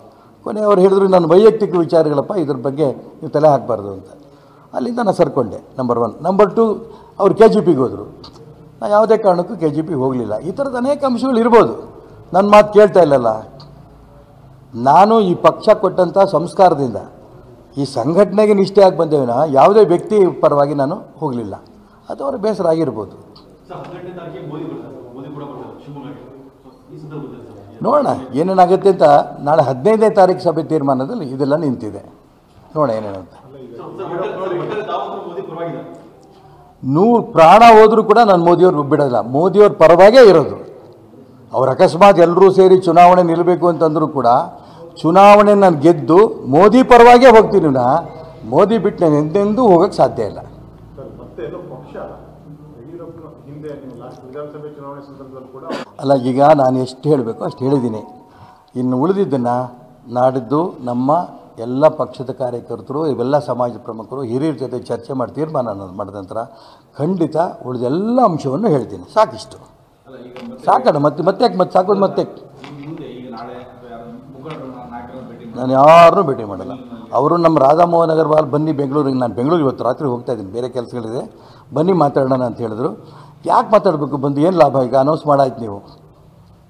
ನನಗೆ ಆರು ತಿಂಗಳು ವರ್ಷದ ಕೆಳಗೇ ಅವ್ನು ಓಡಾಟ ಮಾಡಬೇಕು ಅಂತ ಹೇಳಿದಾಗ ಅನೇಕ ಹಿರಿಯರ ಹತ್ರ ಮಾತಾಡಿದ್ದೆ. ಓಡಾಡಲಿ ಅಂತ ಹೇಳಿದರು. ಯಡಿಯೂರಪ್ಪನವ್ರ ಹತ್ರ ಹೋಗಿ ಮಾತಾಡಿದಾಗ ನಾನು ಹೇಳಿದೆ ಮತ್ತೆ ಮತ್ತೆ ರಿಪೀಟ್ ಮಾಡ್ತಾ ಇದ್ದೀನಿ. ನಿನ್ನ ಮಗನ ಟಿಕೆಟು ಕೊಡಿಸ್ತೀನಿ. ನಾನು ಹಾವೇರಿ ಕ್ಷೇತ್ರದಲ್ಲಿ ಓಡಾಟ ಮಾಡಿ ಗೆಲ್ಲಿಸ್ತೀನಿ ಅಂತ ಹೇಳಿ ಇವತ್ತು ಮೋಸ ಮಾಡಿದ್ದಾರೆ. ಯಾಕೆ ನನಗೆ ಗೊತ್ತಿಲ್ಲ? ನಾನು ಅದಕ್ಕೋಸ್ಕರ ಹೇಳ್ತೀನಿ ನಾನು. ಇದನ್ನು ಏನು ಮಾಡಬೇಕು ಬಿಡಬೇಕು ಅನ್ನೋದ್ರ ಬಗ್ಗೆ, ಯಾಕೆಂದರೆ ಪಕ್ಷವೂ ಉಳಿಬೇಕು. ಇದರಲ್ಲೇನು ಅನುಮಾನ ಇಲ್ಲ. ಇಡೀ ರಾಜ್ಯದ ಕಾರ್ಯಕರ್ತರ ನೋವು ಇದೆಯಲ್ಲ ಇದು ನೋವಿಗೆ ಧ್ವನಿನೂ ಆಗಬೇಕು. ಅದಕ್ಕೋಸ್ಕರ ಏನು ಮಾಡಬೇಕು ಅಂತ ವೈಯಕ್ತಿಕವಾಗಿ ನಾನು ಯೋಚನೆ ಮಾಡ್ತೀನಿ. ಎಲ್ಲ ಹಿರಿಯರ ಜೊತೆ ಕೂತು ಚರ್ಚೆನೂ ಮಾಡ್ತೀನಿ. ಎಲ್ಲ ಸಮಾಜದವರು ಕೂಡ ಭಾಳ ಒತ್ತಡ ಇದೆ ಭಾಳ ಒತ್ತಡ ಇದೆ. ನೀವು ಚೂಡ ದಯವಿಟ್ಟು ಇಂಡಿಪೆಂಡೆಂಟ್ ನಿಂತ್ಕೊಳ್ಳಿ. ನಿಮ್ಮ ಜೊತೆ ನಾವಿದ್ದೇವೆ. ನೂರಕ್ಕೆ ನೂರು ಗೆಲ್ಲಿಸ್ತೇವೆ. ಇದನ್ನು ಹೇಳ್ತಾ ಇದ್ದಾರೆ. ಸರ್ ಈಗ ನಾಡಿದ್ದು ತೀರ್ಮಾನ ಶಿವಮೊಗ್ಗಕ್ಕೆ ಮಾತ್ರ ಹಾವೇರಿ ಎರಡೂ ಸೇರಿಸಿ ಮಾಡ್ತೀವಿ ಸರ್. ಎರಡು ಕಡೆನೂ ನಿಲ್ಲೋ ಇದು ಮಾಡ್ತೀವಿ? ಗೊತ್ತಿಲ್ಲರಿ ನಾನು ಅವ್ರ ಜೊತೆ ಕೂದ ಕೂ ನಾಳೆ ಕರೀತಾ ಇರೋದು ಶಿವಮೊಗ್ಗ ಲೋಕಸಭಾ ಕ್ಷೇತ್ರದ ಬಗ್ಗೆ ಏನು ಮಾಡಬೇಕು ಅನ್ನೋದ್ರ ಬಗ್ಗೆ ನಾವು ಚರ್ಚೆ ಮಾಡ್ತಾ ಇದ್ದೀವಿ. ಹಾವೇರಿ ಜನನು ಕೂಡ ಕಾಂತೇಶ್ ಸ್ಪರ್ಧೆ ಮಾಡಬೇಕು ಹಾವೇರಿ ಕ್ಷೇತ್ರದಿಂದನೂ ಕಾಂತೇಶ ಸ್ಪರ್ಧೆ ಮಾಡಬೇಕು ಅಂತ ಬಸವರಾಜ ಬೊಮ್ಮಾಯಿ ಅವರ ಘೋಷಣೆ ಆಗ್ತಿದ್ದಂಗೆ ಮತ್ತು ಸಾಕಷ್ಟು ಫೋನ್ಗಳು ಬರ್ತಾ ಇದ್ದಾವೆ. ಭಾಳ ಒತ್ತಡ ಮಾಡ್ತಾರೆ. ಕಾಂತೇಶನ್ ಹಾವೇರಿ ನಿಲ್ಲಿಸಬೇಕು ಅಂತ. ನಾನು ಅದ್ರ ಬಗ್ಗೆ ಇನ್ನೂ ಚಿಂತೆ ಮಾಡೋಕ್ಕೆ ಹೋಗಿಲ್ಲ. ಸರ್ ಯಾರು ಟಿಕೆಟಿಗೆ ಅವಕಾಶ ವಂಚಿತರು ಈಗ? ಸ- ಸದಾನಂದ ದೇವೇಗೌಡ ಇರ್ಬೋದು ರವಿ ಇರ್ಬೋದು ಅಂಥವ್ರನ್ನು ಕೂಡ ನೀವೇನಾದರೂ ಸಂಪರ್ಕಿಸಿ. ಪಕ್ಷದ ನೋಡಿ ಈಗ ಎರಡು ಎರಡು ಪ್ರಶ್ನೆ. ನಾನು ಈಗ ಯಾವುದೂ ಹೇಳಲ್ಲ. ನಾನೇನು ತೀರ್ಮಾನ ತಗೋತೀನಿ? ತೀರ್ಮಾನ ತಗೊಂಡ ನಂತರ ಮುಂದಿಂತು ಸರ್ ಈಗ ಪಕ್ಷ ಉಳಿಬೇಕು ಅಂತೀರಿ ಮತ್ತೆ ಈಗ ಸಭೆ ನಡೆಸ್ತೀರಿ ಸ್ಪ್ಲಿಟ್ ಆದಂಗೆ ಎಲ್ಲಿ ಆ ಸಭೆ ನಡೆಸ್ತೀನಿ, ಪಾರ್ಟಿ ಬಿಟ್ಟು ಹೋಗ್ತೀನಿ ಅಂತ ಹೇಳಿದ್ದೀನಿ ನಾನು. ನಾನು ಪಾರ್ಟಿ ಬಿಟ್ಟು ಹೋಗ್ತೀನಿ ಅಂತ ಹೇಳಿದ್ದೀನಿ ಅಂದೆ. ನಾನು ಇನ್ನೂ ಹೇಳಿಲ್ಲಲ್ಲ. ಯಾರು ನಿಂತೀನಿ ಅಂತ ಹೇಳಿ ಹೇಳೋದು. ಅಭಿಪ್ರಾಯ ಸಂಗ್ರಹ ಮಾಡಿ ಪಕ್ಷವನ್ನು ಉಳಿಸೋದಕ್ಕೋಸ್ಕರ ನೀವು ನಿಂತ್ಕೋಬೇಕು ಅಂತ ಎಲ್ಲರೂ ಹೇಳ್ತಿರೋದು. ಒಬ್ಬ ಒಂದು ಕುಟುಂಬದ ಕೈಯಲ್ಲಿ ಪಕ್ಷ ಸಿಕ್ಕೊಂಡಿದೆ, ಇದರಿಂದ ಪಾರ್ ಮಾಡಬೇಕು ಅನ್ನೋದಕ್ಕೋಸ್ಕರ ಅವರೆಲ್ಲರೂ ಹೇಳ್ತಾರೆ ನೀವು ಇಂಡಿಪೆಂಡೆಂಟಾಗಿ ನಿಂತ್ಕೋಬೇಕು. ನಿಂತ್ಕೊಂಡು ಗೆದ್ದು ಕೇಂದ್ರ ನಾಯಕರು ಅರ್ಥ ಆಗುತ್ತೆ. ಈ ಚುನಾವಣೆ ಅಕಸ್ಮಾತ್ ನಾನು ನಿಂತರೆ ಯಾಕೆ ನಿಂತೆ ಈಶ್ವರಪ್ಪನಂತ ನಿಷ್ಠಾವಂತ ಕಾರ್ಯಕರ್ತ ಯಾಕೆ ನಿಂತ ಅಂತ ಅಂದ್ಕೊಂಡು ಇಡೀ ರಾಜ್ಯದ ಎಲ್ಲ ನಮ್ಮ ಕಾರ್ಯಕರ್ತರು ಫೋನ್ ಮಾಡ್ತಾ ಇದ್ದಾರೆ. ಎಲ್ಲ ಹಿರಿಯರು ಫೋನ್ ಮಾಡ್ತಾ ಇದ್ದಾರೆ. ನೊಂದಿರೋರು. ಒಂದು ಕುಟುಂಬದ ಕೈಲಿ ಹಾಕ್ಕೊಟ್ರು ಪಕ್ಷವನ್ನು? ಅವರೇ ಹಂಗಾರೆ ನಾಯಕರ? ಅವರೇ ಲಿಂಗಾಯತ ನಾಯಕರ? ಬೇರೆ ಲಿಂಗಾಯತ ನಾಯಕರುಗಳು ಇಲ್ವಾ? ಈ ಅಂಶಗಳೆಲ್ಲರೂ ಕೂಡ ಪ್ರಶ್ನೆಗಳು ಕೇಳ್ತಾರೆ ಇದಕ್ಕೆಲ್ಲವೂ ಉತ್ತರ ನಾನು ಹೇಳ್ತೀನಲ್ಲ, ನಾಡ್ದು ಸಭೆಯ ನಂತರ ನಿಮಗೆ ತಿಳಿಸ್ತೇನೆ. ಸರ್ ಪಕ್ಷದಲ್ಲಿ ಇಷ್ಟೊಂದು ವಾತಾವರಣ ಹದಗೆಡ್ಲಿ ಕಾರಣ ಸರ್? ವಿಧಾನಸಭೆ ಚುನಾವಣೆ ಸೋತ್ರಿ, ಅದರ ನಂತರ ಕೂಡ ಇಲ್ಲಿ ಪಾಠ ಕಲಿಯಿಲ್ಲ ಅಂತ ಪಕ್ಷ. ಮಾನ್ಯ ಯಡಿಯೂರಪ್ಪನವರು, ಹಾವೇರಿ ಲೋಕಸಭಾ ಟಿಕೆಟಿನ ಬಗ್ಗೆ ನಾನು ನನ್ನ ಮಗ, ಅವ್ರ ಮನೆಗೆ ಹೋದಾಗ, ಕಾಂತೇಶ್ ಹೋದಾಗ, ನಾನು ಖಂಡಿತ ಲೋಕಸಭಾ ಟಿಕೆಟನ್ನು ಹಾವೇರಿಯಿಂದ ಕಾಂತೇಶಿಗೆ ಕೊಡಿಸ್ತೇನೆ. ಜೊತೆಗೆ ಹಾವೇರಿ ಲೋಕಸಭಾ ಕ್ಷೇತ್ರದಲ್ಲಿ ನಾನೇ ಓಡಾಟ ಮಾಡಿ ಅವನು ಗೆಲ್ಲಿಸ್ತೇನೆ ಅನ್ನೋಂಥ ಮಾತನ್ನು ಹೇಳಿ ಅವನು ಹಾವೇರಿ ಗದಗ ಜಿಲ್ಲೆಗಳಲ್ಲಿ ಸಾಕಷ್ಟು ಸಮಯವನ್ನು ಓಡಾಟ ಮಾಡಿದ್ದ. ಆ ಎಲ್ಲ ಜನರು ಕೂಡ ಅವನು ವಿಶ್ವಾಸ ಗೆಲ್ಲಿಸಿದ್ದ ಆ ಭಾಗದ ಎಲ್ಲ ಸ್ವಾದಸಂತರು ಕೂಡ, ಮಠಾಧಿಪತಿಗಳು ಕೂಡ ಆಶೀರ್ವಾದ ಮಾಡಿದರು. ನೂರಕ್ಕೆ ನೂರು ನಾವು ಗೆಲ್ಲಿಸ್ಕೊಡ್ತೀವಿ ಅಂತ. ಈಗ ಯಡಿಯೂರಪ್ಪನವರು ಅವ್ರ ಮಾತು ನಂಗೆ ನಡ್ಕೊಳ್ಲಿಲ್ಲ. ಅನ್ಯಾಯ ಮಾಡಿದ್ರು. ಹಾಗಾಗಿ ಈಗ ಶಿವಮೊಗ್ಗ ಲೋಕಸಭಾ ಕ್ಷೇತ್ರದಿಂದ ನನಗೆ ತುಂಬ ಒತ್ತಡ ಬರ್ತಾ ಇದೆ. ನೀವು ನಿಂತ್ಕೊಂಡಿದ್ದೀರಿ, ನಿಂತ್ಕೋಬೇಕು ಶಿವಮೊಗ್ಗ ಲೋಕಸಭಾ ಕ್ಷೇತ್ರದಿಂದ. ಯಡಿಯೂರಪ್ಪನವ್ರ ಮಗನ ವಿರುದ್ಧ ನಿಂತ್ಕೋಬೇಕು ನಾವು ಗೆಲ್ಲಿಸ್ಬಿಡ್ತೀವಿ ನಾವೆಲ್ಲರೂ ಕೂಡ ಅಂತ ಮಾತುಗಳು ಹೇಳ್ತಾ ಇದ್ದಾರೆ. ನಾನು ನರೇಂದ್ರ ಮೋದಿಯವರ ಅಭಿಮಾನಿ. ನಮ್ಮ ದೇಶದ ವಿಶ್ವದ ನಾಯಕ ನರೇಂದ್ರ ಮೋದಿಯವರು ಮತ್ತೊಮ್ಮೆ ಪ್ರಧಾನಮಂತ್ರಿ ಆಗಬೇಕು ಅಂತ ಅಪೇಕ್ಷೆ ಪಡ್ತಾರೆ ಅದರಲ್ಲಿ ನಾನು ಒಬ್ಬ. ಹಾಗಾಗಿ ಅವರೆಲ್ಲರ ಅಭಿಮಾನವನ್ನು ಕಂಡು, ಯಾರ್ಯಾರು ಇವತ್ತು ನನಗೆ ಒತ್ತಾಯ ಮಾಡ್ತಾ ಇದ್ದಾರೋ, ಚುನಾವಣೆ ನಿಲ್ಲಬೇಕು ಅಂತ ಅವರೆಲ್ಲರೂ ಕೂಡ ನನ್ನ ಅಭಿಮಾನಿಗಳು ಹೌದು, ನರೇಂದ್ರ ಮೋದಿ ಅಭಿಮಾನಿಗಳು ಹೌದು. ಅವರೆಲ್ಲ ಹೇಳೋದೇನು, ನಾವು ಚುನಾವಣೆ ನಿಮ್ಮನ್ನು ಗೆಲ್ಲಿಸ್ತೇವೆ, ಮತ್ತೆ ಹೋಗಿ ನರೇಂದ್ರ ಮೋದಿಗೆ ನೀವು ಬೆಂಬಲ ಕೊಡಿ, ಅವ್ರು ಪ್ರಧಾನಮಂತ್ರಿ ಮಾಡೋಕ್ಕೆ ನೀವು ಕೈ ಎತ್ತಿ, ಲೋಕಸಭಾ ಸದಸ್ಯ ಸದಸ್ಯರಾಗಿ ಈ ಮಾತುಗಳು ಹೇಳ್ತಾ ಇದ್ದಾರೆ. ನನಗೆ ಗೊತ್ತಿಲ್ಲ, ನಾನು ಇನ್ನೂ ಇಂಡಿಪೆಂಡೆಂಟ್ ನಿಲ್ಲಬೇಕು ಬೇಡೋ, ಅವ್ರ ಜೊತೆಗೆ ಒಂದು ಸಭೆ ಮಾಡ್ತಾ ಇದ್ದೀನಿ. ನಾಡಿದ್ದು ಹದಿನೈದನೇ ತಾರೀಕು, ಶುಕ್ರವಾರ ಸಂಜೆ ಐದು ಗಂಟೆಗೆ ಶಿವಮೊಗ್ಗದ ಬಣಜಾರ್ ಭವನದಲ್ಲಿ ಬಾಲರಾಜರ ಸಂಸ್ಥೆ ಬಣಜಾರ್ ಭವನದಲ್ಲಿ ಒಂದು ಸಭೆ ಮಾಡ್ತಿದ್ದೇನೆ. ಎಲ್ಲ ಸಮಾಜದ ಪ್ರಮುಖರು ಎಲ್ಲ ಹಿರಿಯರು ನಮ್ಮ ಹಿತೈಷಿಗಳು ಎಲ್ಲರೂ ಕೂಡ ಅವತ್ತು ಆ ಸಭೆಯಲ್ಲಿ ಬಂದು ಸೇರ್ತಾ ಇದ್ದಾರೆ. ಅವರೆಲ್ಲರ ಸಲಹೆ ಏನು ಕೊಡ್ತಾರೆ ಆ ಸಲಹೆ ಮೇಲೆ ನಾನು ಮುಂದಿನ ತೀರ್ಮಾನವನ್ನು ನಾನು ತಗೋತೀನಿ.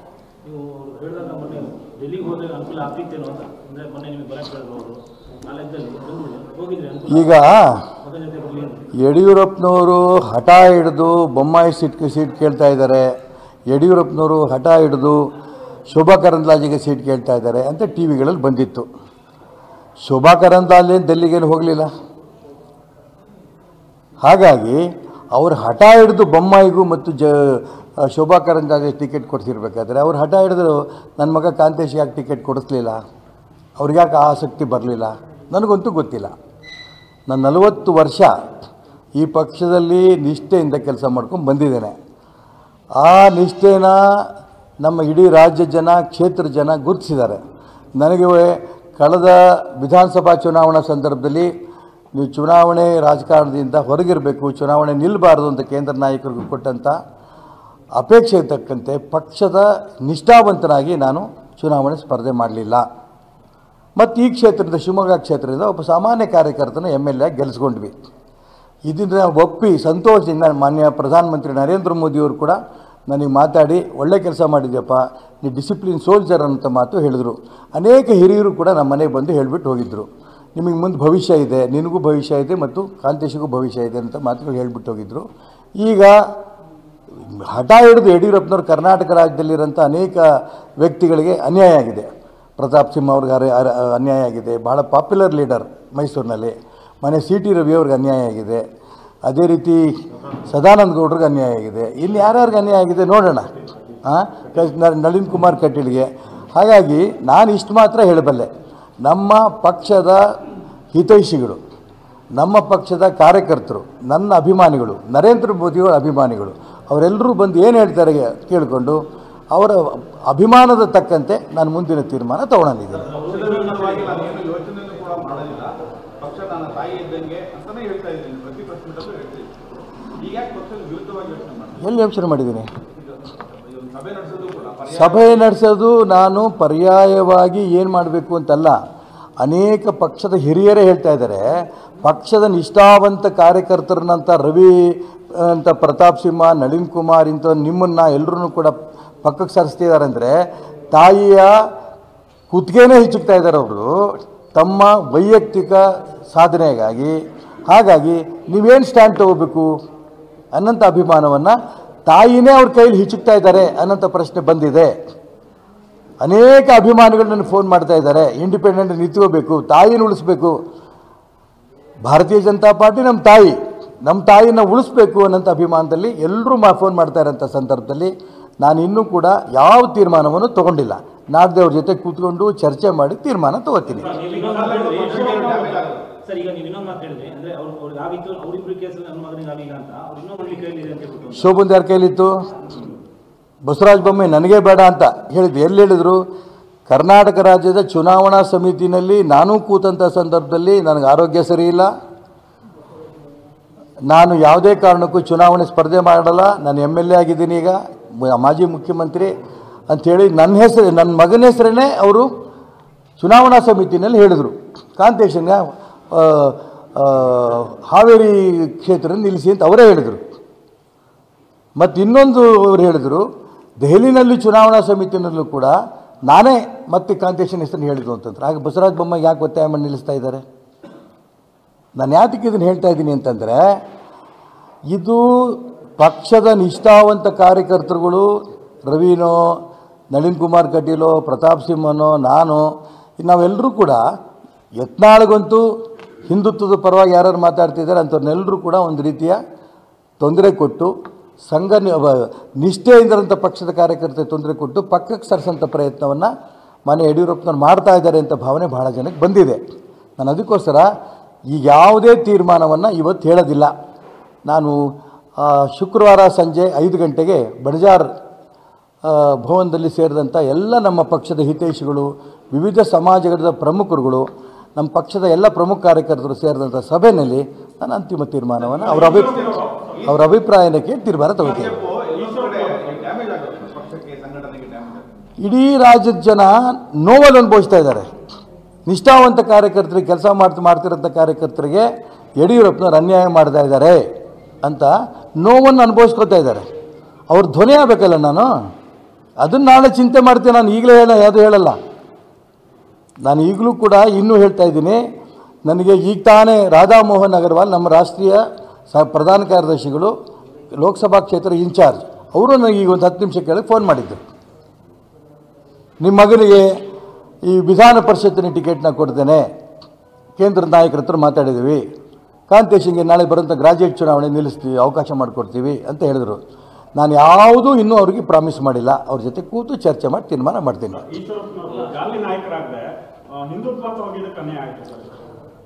ನಾನು ಅದಕ್ಕೆ ಹೇಳ್ತೀನಲ್ಲ ನಾನು ಜಾತಿ ನಾಯಕ ಎಂದೂ ಆಗಲಿಲ್ಲ. ಅದು ನನಗೆ ಒಂದು ಹೆಮ್ಮೆ. ಹಿಂದುತ್ವದ ವಿಚಾರವನ್ನು ಪ್ರತಿಪಾದನೆ ಮಾಡಿ ಮಾಡಿದ್ದೀನಿ ಅದು ನನಗೆ ಹೆಮ್ಮೆ. ಆದರೆ ಇದು ನನಗೆ ಅನ್ಯಾಯ ಆಗಿದೆ ಅನ್ನೋದನ್ನು ಇನ್ನೂ ನನಗೆ ಅನಿಸ್ತಾ ಇಲ್ಲ. ಎಲ್ಲರ ಜೊತೆ ಕೂತು ಚರ್ಚೆ ಮಾಡಿ ತೀರ್ಮಾನ ತಗೊಂಡು ಯಡಿಯೂರಪ್ಪನವರಿಗೆ ಯಡಿಯೂರಪ್ಪನವರಿಗೆ ಯಾಕೆ ನಿಮ್ಮ ಬಗ್ಗೆ ಈಗ ಈಗಲೂ ಕೂಡ ಮಗನಿಗೆ ಏಕೆ ವೈಯಕ್ತಿಕವಾಗಿ ನನಗೂ ಅವ್ರಿಗೂ ಈಗ ಆತ್ಮೀಯ ಸ್ನೇಹಿತರು ಒಂದೇ ತಟ್ಟೆಯಲ್ಲಿ ಊಟ ಮಾಡ್ತಿದ್ದವ್ರು ನಾವು. ಅವರ ಕೆಲವು ದೋಷಗಳನ್ನು ನೇರವಾಗಿ ಅವ್ರಿಗೆ ನಾನು ಹೇಳಿದೆ. ಇಂತಿಂಥ ತಪ್ಪುಗಳು ನೀವು ಮಾಡ್ತಾ ಇದ್ದೀರಿ. ಇದು ಒಳ್ಳೇದಲ್ಲ. ನಮ್ಗೆ ಇನ್ನೊಬ್ಬ ಯಡಿಯೂರಪ್ಪ ಸಿಗೋದಿಲ್ಲ. ಅಂತಂಥ ಸಂದರ್ಭದಲ್ಲಿ ಅವರು ಒಂದು ಮೂರ್ನಾಲ್ಕು ಸಾರಿ ನಾನು ಹೇಳಿದಂಥ ಸಂದರ್ಭದಲ್ಲಿ ಯಾಕಂದರೆ ಯಡಿಯೂರಪ್ಪನವ್ರ ಬಗ್ಗೆ ಆಪಾದನೆ ಬಂದಿದ್ದು ನಮಗೆ ಸಮಾಧಾನ ಆಗ್ತಿರಲಿಲ್ಲ. ನಮಗೆ ನೋವಾಗುತ್ತೆ. ಕೊನೆ ಅವ್ರು ಹೇಳಿದ್ರು, ನನ್ನ ವೈಯಕ್ತಿಕ ವಿಚಾರಗಳಪ್ಪ, ಇದ್ರ ಬಗ್ಗೆ ನೀವು ತಲೆ ಹಾಕಬಾರ್ದು ಅಂತ. ಅಲ್ಲಿಂದ ನಾನು ಸರ್ಕೊಂಡೆ ನಂಬರ್ ಒನ್ ನಂಬರ್ ಟು ಅವ್ರು ಕೆ ಜಿ ಪಿಗೆ ಹೋದರು. ನಾನು ಯಾವುದೇ ಕಾರಣಕ್ಕೂ ಕೆ ಜಿ ಪಿಗೆ ಹೋಗಲಿಲ್ಲ. ಈ ಥರದ ಅನೇಕ ಅಂಶಗಳು ಇರ್ಬೋದು. ನನ್ನ ಮಾತು ಕೇಳ್ತಾ ಇಲ್ಲಲ್ಲ. ನಾನು ಈ ಪಕ್ಷ ಕೊಟ್ಟಂಥ ಸಂಸ್ಕಾರದಿಂದ, ಈ ಸಂಘಟನೆಗೆ ನಿಷ್ಠೆಯಾಗಿ ಬಂದೇವಿನ ಯಾವುದೇ ವ್ಯಕ್ತಿ ಪರವಾಗಿ ನಾನು ಹೋಗಲಿಲ್ಲ. ಅದು ಅವರ ಬೇಸರ ಆಗಿರ್ಬೋದು. ನೋಡೋಣ, ಏನೇನಾಗುತ್ತೆ ಅಂತ ನಾಳೆ ಹದಿನೈದನೇ ತಾರೀಕು ಸಭೆ ತೀರ್ಮಾನದಲ್ಲಿ ಇದೆಲ್ಲ ನಿಂತಿದೆ. ನೋಡೋಣ ಏನೇನಂತ. ನೂರು ಪ್ರಾಣ ಹೋದರೂ ಕೂಡ ನಾನು ಮೋದಿಯವ್ರು ಬಿಡೋಲ್ಲ ಮೋದಿಯವ್ರ ಪರವಾಗೇ ಇರೋದು. ಅವ್ರು ಅಕಸ್ಮಾತ್ ಎಲ್ಲರೂ ಸೇರಿ ಚುನಾವಣೆ ನಿಲ್ಲಬೇಕು ಅಂತಂದರೂ ಕೂಡ ಚುನಾವಣೆ ನಾನು ಗೆದ್ದು ಮೋದಿ ಪರವಾಗೇ ಹೋಗ್ತೀನಿ ನಾ. ಮೋದಿ ಬಿಟ್ಟು ನಾನು ಎಂದೆಂದೂ ಹೋಗೋಕ್ಕೆ ಸಾಧ್ಯ ಇಲ್ಲ ಸರ್ ಮತ್ತೆ ಎಲ್ಲೋ ಪಕ್ಷ ಯಡಿಯೂರಪ್ಪನ ಹಿಂದೆ ನೀವು ಲಾಸ್ಟ್ ವಿಧಾನಸಭೆ ಚುನಾವಣೆ ಸಂದರ್ಭದಲ್ಲಿ ಕೂಡ ಅಲ್ಲ ಈಗ ನಾನು ಎಷ್ಟು ಹೇಳಬೇಕು ಅಷ್ಟು ಹೇಳಿದ್ದೀನಿ. ಇನ್ನು ಉಳಿದಿದ್ದನ್ನು ನಾಡಿದ್ದು ನಮ್ಮ ಎಲ್ಲ ಪಕ್ಷದ ಕಾರ್ಯಕರ್ತರು ಇವೆಲ್ಲ ಸಮಾಜ ಪ್ರಮುಖರು ಹಿರಿಯರ ಜೊತೆ ಚರ್ಚೆ ಮಾಡಿ ತೀರ್ಮಾನ ಅನ್ನೋದು ಮಾಡಿದ ನಂತರ ಖಂಡಿತ ಉಳಿದ ಎಲ್ಲ ಅಂಶವನ್ನು ಹೇಳ್ತೀನಿ. ಸಾಕಿಷ್ಟು. ಸಾಕಣ ಮತ್ತೆ ಮತ್ತೆ ಯಾಕೆ ಮತ್ತೆ ಸಾಕೋದು ಮತ್ತೆ? ನಾನು ಯಾರನ್ನೂ ಭೇಟಿ ಮಾಡಲ್ಲ. ಅವರು ನಮ್ಮ ರಾಧಾಮೋಹನ್ ಅಗರ್ವಾಲ್ ಬನ್ನಿ ಬೆಂಗಳೂರಿಗೆ ನಾನು ಬೆಂಗಳೂರಿಗೆ ಇವತ್ತು ರಾತ್ರಿ ಹೋಗ್ತಾ ಇದ್ದೀನಿ. ಬೇರೆ ಕೆಲಸಗಳಿದೆ. ಬನ್ನಿ ಮಾತಾಡೋಣ ಅಂತ ಹೇಳಿದ್ರು. ಯಾಕೆ ಮಾತಾಡಬೇಕು ಬಂದು? ಏನು ಲಾಭ? ಈಗ ಅನೌನ್ಸ್ ಮಾಡಾಯ್ತು ನೀವು. ನನಗೆ ಆರು ತಿಂಗಳು ವರ್ಷದ ಕೆಳಗೇನೆ ಅವ್ನು ಓಡಾಟ ಮಾಡಬೇಕು ಅಂತ ಹೇಳಿದಾಗ ಅನೇಕ ಹಿರಿಯರ ಹತ್ರ ಮಾತಾಡಿದ್ದೆ. ಓಡಾಡಲಿ ಅಂತ ಹೇಳಿದರು. ಯಡಿಯೂರಪ್ಪನವ್ರ ಹತ್ರ ಹೋಗಿ ಮಾತಾಡಿದಾಗ ನನಗೆ ಹೇಳಿದೆ ಮತ್ತೆ ಮತ್ತೆ ರಿಪೀಟ್ ಮಾಡ್ತಾ ಇದ್ದೀನಿ. ನಿನ್ನ ಮಗನ ಟಿಕೆಟು ಕೊಡಿಸ್ತೀನಿ. ನಾನು ಹಾವೇರಿ ಕ್ಷೇತ್ರದಲ್ಲಿ ಓಡಾಟ ಮಾಡಿ ಗೆಲ್ಲಿಸ್ತೀನಿ ಅಂತ ಹೇಳಿ ಇವತ್ತು ಮೋಸ ಮಾಡಿದ್ದಾರೆ. ಯಾಕೆ ನನಗೆ ಗೊತ್ತಿಲ್ಲ? ನಾನು ಅದಕ್ಕೋಸ್ಕರ ಹೇಳ್ತೀನಿ ನಾನು. ಇದನ್ನು ಏನು ಮಾಡಬೇಕು ಬಿಡಬೇಕು ಅನ್ನೋದ್ರ ಬಗ್ಗೆ, ಯಾಕೆಂದರೆ ಪಕ್ಷವೂ ಉಳಿಬೇಕು. ಇದರಲ್ಲೇನು ಅನುಮಾನ ಇಲ್ಲ. ಇಡೀ ರಾಜ್ಯದ ಕಾರ್ಯಕರ್ತರ ನೋವಿದೆಯಲ್ಲ ಇದು ನೋವಿಗೆ ಧ್ವನಿನೂ ಆಗಬೇಕು. ಅದಕ್ಕೋಸ್ಕರ ಏನು ಮಾಡಬೇಕು ಅಂತ ವೈಯಕ್ತಿಕವಾಗಿ ನಾನು ಯೋಚನೆ ಮಾಡ್ತೀನಿ. ಎಲ್ಲ ಹಿರಿಯರ ಜೊತೆ ಕೂತು ಚರ್ಚೆನೂ ಮಾಡ್ತೀನಿ. ಎಲ್ಲ ಸಮಾಜದವರು ಕೂಡ ಭಾಳ ಒತ್ತಡ ಇದೆ ಭಾಳ ಒತ್ತಡ ಇದೆ. ನೀವು ಚೂಡ ದಯವಿಟ್ಟು ಇಂಡಿಪೆಂಡೆಂಟ್ ನಿಂತ್ಕೊಳ್ಳಿ. ನಿಮ್ಮ ಜೊತೆ ನಾವಿದ್ದೇವೆ. ನೂರಕ್ಕೆ ನೂರು ಗೆಲ್ಲಿಸ್ತೇವೆ. ಇದನ್ನು ಹೇಳ್ತಾ ಇದ್ದಾರೆ. ಈಗ ನಾಡಿದ್ದು ತೀರ್ಮಾನ ಶಿವಮೊಗ್ಗಕ್ಕೆ ಮಾತ್ರ ಹಾವೇರಿ ಎರಡೂ ಸೇರಿಸಿ ಮಾಡ್ತೀವಿ ಸರ್? ಎರಡು ಕಡೆನೂ ನಿಲ್ಲೋ ಇದು ಮಾಡ್ತೀವಿ ಗೊತ್ತಿಲ್ಲರಿ ನಾನು ಅವ್ರ ಜೊತೆ ಕೂದ ಕೂ ನಾಳೆ ಕರೀತಾ ಇರೋದು ಶಿವಮೊಗ್ಗ ಲೋಕಸಭಾ ಕ್ಷೇತ್ರದ ಬಗ್ಗೆ ಏನು ಮಾಡಬೇಕು ಅನ್ನೋದ್ರ ಬಗ್ಗೆ ನಾವು ಚರ್ಚೆ ಮಾಡ್ತಾ ಇದ್ದೀವಿ. ಹಾವೇರಿ ಜನನು ಕೂಡ ಕಾಂತೇಶ್ ಅವರು ಸ್ಪರ್ಧೆ ಮಾಡಬೇಕು ಹಾವೇರಿ ಕ್ಷೇತ್ರದಿಂದನೂ ಕಾಂತೇಶ ಸ್ಪರ್ಧೆ ಮಾಡಬೇಕು ಅಂತ ಬಸವರಾಜ ಬೊಮ್ಮಾಯಿ ಅವರ ಘೋಷಣೆ ಆಗ್ತಿದ್ದಂಗೆ ಮತ್ತು ಸಾಕಷ್ಟು ಫೋನ್ಗಳು ಬರ್ತಾ ಇದ್ದಾವೆ. ಭಾಳ ಒತ್ತಡ ಮಾಡ್ತಾರೆ ಕಾಂತೇಶನ್ ಹಾವೇರಿ ನಿಲ್ಲಿಸಬೇಕು ಅಂತ. ನಾನು ಅದ್ರ ಬಗ್ಗೆ ಇನ್ನೂ ಚಿಂತೆ ಮಾಡೋಕ್ಕೆ ಹೋಗಿಲ್ಲ. ಅವಕಾಶ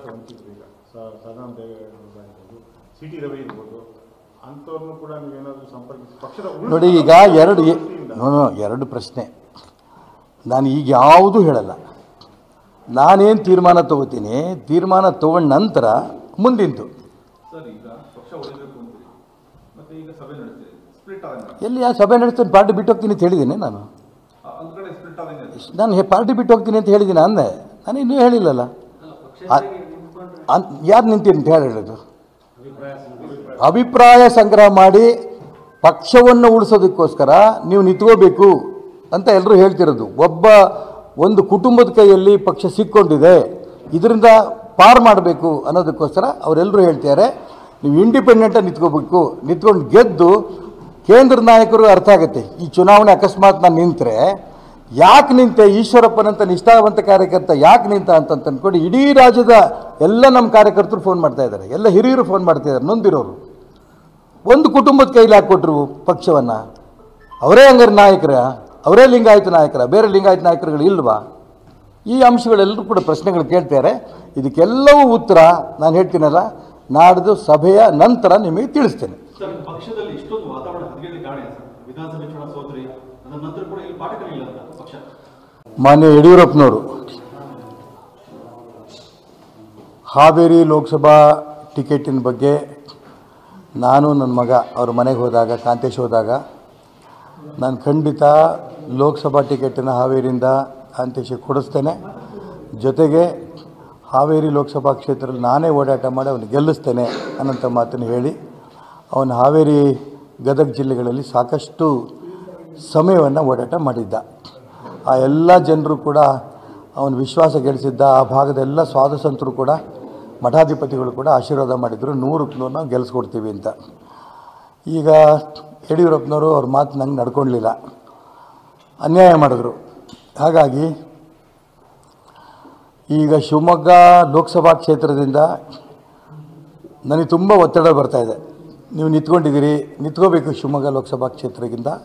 ಯಡಿಯೂರಪ್ಪನವ್ರ ಮಗನ ವಿರುದ್ಧ ನಿಂತ್ಕೋಬೇಕು ನಾವು ಗೆಲ್ಲಿಸ್ಬಿಡ್ತೀವಿ ನಾವೆಲ್ಲರೂ ಕೂಡ ಅಂತ ಮಾತುಗಳು ಹೇಳ್ತಾ ಇದ್ದಾರೆ. ನಾನು ನರೇಂದ್ರ ಮೋದಿಯವರ ಅಭಿಮಾನಿ. ನಮ್ಮ ದೇಶದ ವಿಶ್ವದ ನಾಯಕ ನರೇಂದ್ರ ಮೋದಿಯವರು ಮತ್ತೊಮ್ಮೆ ಪ್ರಧಾನಮಂತ್ರಿ ಆಗಬೇಕು ಅಂತ ಅಪೇಕ್ಷೆ ಪಡ್ತಾರೆ ಅದರಲ್ಲಿ ನಾನು ಒಬ್ಬ. ಹಾಗಾಗಿ ಅವರೆಲ್ಲರ ಅಭಿಮಾನವನ್ನು ಕಂಡು, ಯಾರ್ಯಾರು ಇವತ್ತು ನನಗೆ ಒತ್ತಾಯ ಮಾಡ್ತಾ ಇದ್ದಾರೋ, ಚುನಾವಣೆ ನಿಲ್ಲಬೇಕು ಅಂತ ಅವರೆಲ್ಲರೂ ಕೂಡ ನನ್ನ ಅಭಿಮಾನಿಗಳು ಹೌದು, ನರೇಂದ್ರ ಮೋದಿ ಅಭಿಮಾನಿಗಳು ಹೌದು. ಅವರೆಲ್ಲ ಹೇಳೋದೇನು? ನಾವು ಚುನಾವಣೆ ನಿಮ್ಮನ್ನು ಗೆಲ್ಲಿಸ್ತೇವೆ, ಮತ್ತೆ ಹೋಗಿ ನರೇಂದ್ರ ಮೋದಿಗೆ ನೀವು ಬೆಂಬಲ ಕೊಡಿ, ಅವ್ರು ಪ್ರಧಾನಮಂತ್ರಿ ಮಾಡೋಕ್ಕೆ ನೀವು ಕೈ ಎತ್ತಿ, ಲೋಕಸಭಾ ಸದಸ್ಯ ಸದಸ್ಯರಾಗಿ ಈ ಮಾತುಗಳು ಹೇಳ್ತಾ ಇದ್ದಾರೆ. ನನಗೆ ಗೊತ್ತಿಲ್ಲ, ನಾನು ಇನ್ನೂ ಇಂಡಿಪೆಂಡೆಂಟ್ ನಿಲ್ಲಬೇಕು ಬೇಡೋ, ಅವ್ರ ಜೊತೆಗೆ ಒಂದು ಸಭೆ ಮಾಡ್ತಾ ಇದ್ದೀನಿ. ನಾಡಿದ್ದು ಹದಿನೈದನೇ ತಾರೀಕು, ಶುಕ್ರವಾರ ಸಂಜೆ ಐದು ಗಂಟೆಗೆ ಶಿವಮೊಗ್ಗದ ಬಣಜಾರ್ ಭವನದಲ್ಲಿ ಬಾಲರಾಜರ ಸಂಸ್ಥೆ ಬಣಜಾರ್ ಭವನದಲ್ಲಿ ಒಂದು ಸಭೆ ಮಾಡ್ತಿದ್ದೇನೆ. ಎಲ್ಲ ಸಮಾಜದ ಪ್ರಮುಖರು ಎಲ್ಲ ಹಿರಿಯರು ನಮ್ಮ ಹಿತೈಷಿಗಳು ಎಲ್ಲರೂ ಕೂಡ ಅವತ್ತು ಆ ಸಭೆಯಲ್ಲಿ ಬಂದು ಸೇರ್ತಾ ಇದ್ದಾರೆ. ಅವರೆಲ್ಲರ ಸಲಹೆ ಏನು ಕೊಡ್ತಾರೆ ಆ ಸಲಹೆ ಮೇಲೆ ನಾನು ಮುಂದಿನ ತೀರ್ಮಾನವನ್ನು ನಾನು ತಗೋತೀನಿ.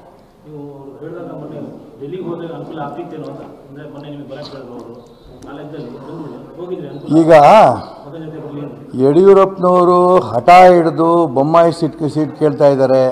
ಯಡಿಯೂರಪ್ಪನವರು ಹಠ ಹಿಡಿದು ಶೋಭಾ ಕರಂದ್ಲಾಜೆಗೆ ಸೀಟ್ ಕೇಳ್ತಾ ಇದ್ದಾರೆ ಅಂತ ಟಿ ವಿಗಳಲ್ಲಿ ಬಂದಿತ್ತು.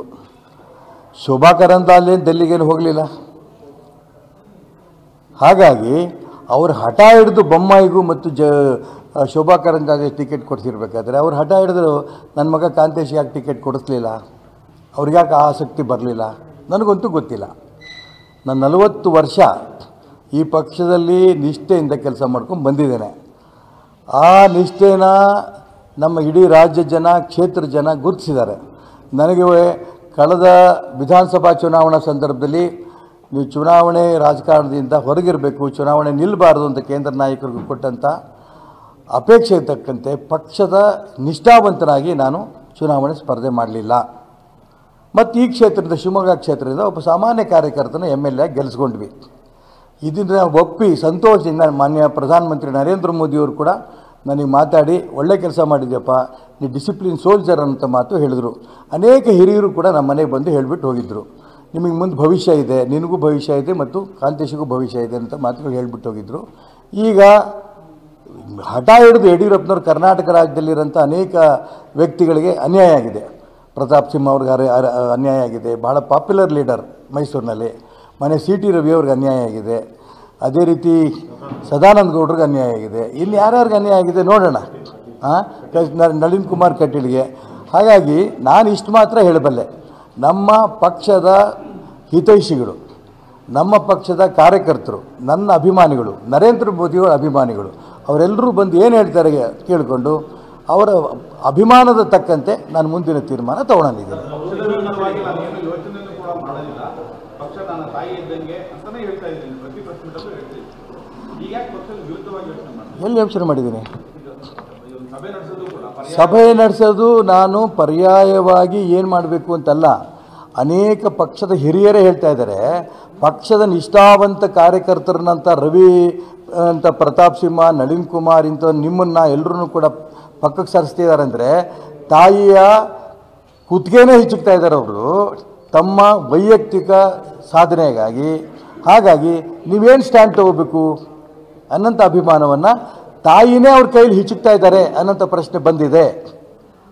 ಅನೇಕ ಅಭಿಮಾನಿಗಳು ನನಗೆ ಫೋನ್ ಮಾಡ್ತಾ ಇದ್ದಾರೆ. ಇಂಡಿಪೆಂಡೆಂಟ್ ನಿಂತ್ಕೋಬೇಕು, ತಾಯಿನ ಉಳಿಸ್ಬೇಕು.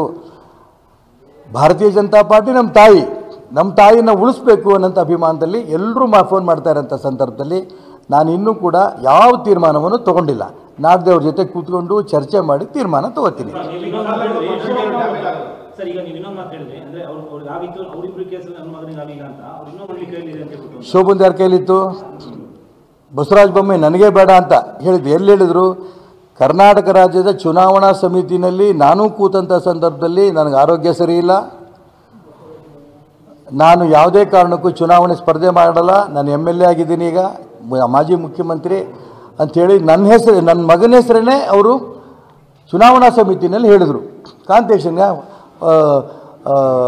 ಹಾವೇರಿ ಕ್ಷೇತ್ರ ನಿಲ್ಲಿಸಿ ಅಂತ ಅವರೇ ಹೇಳಿದರು.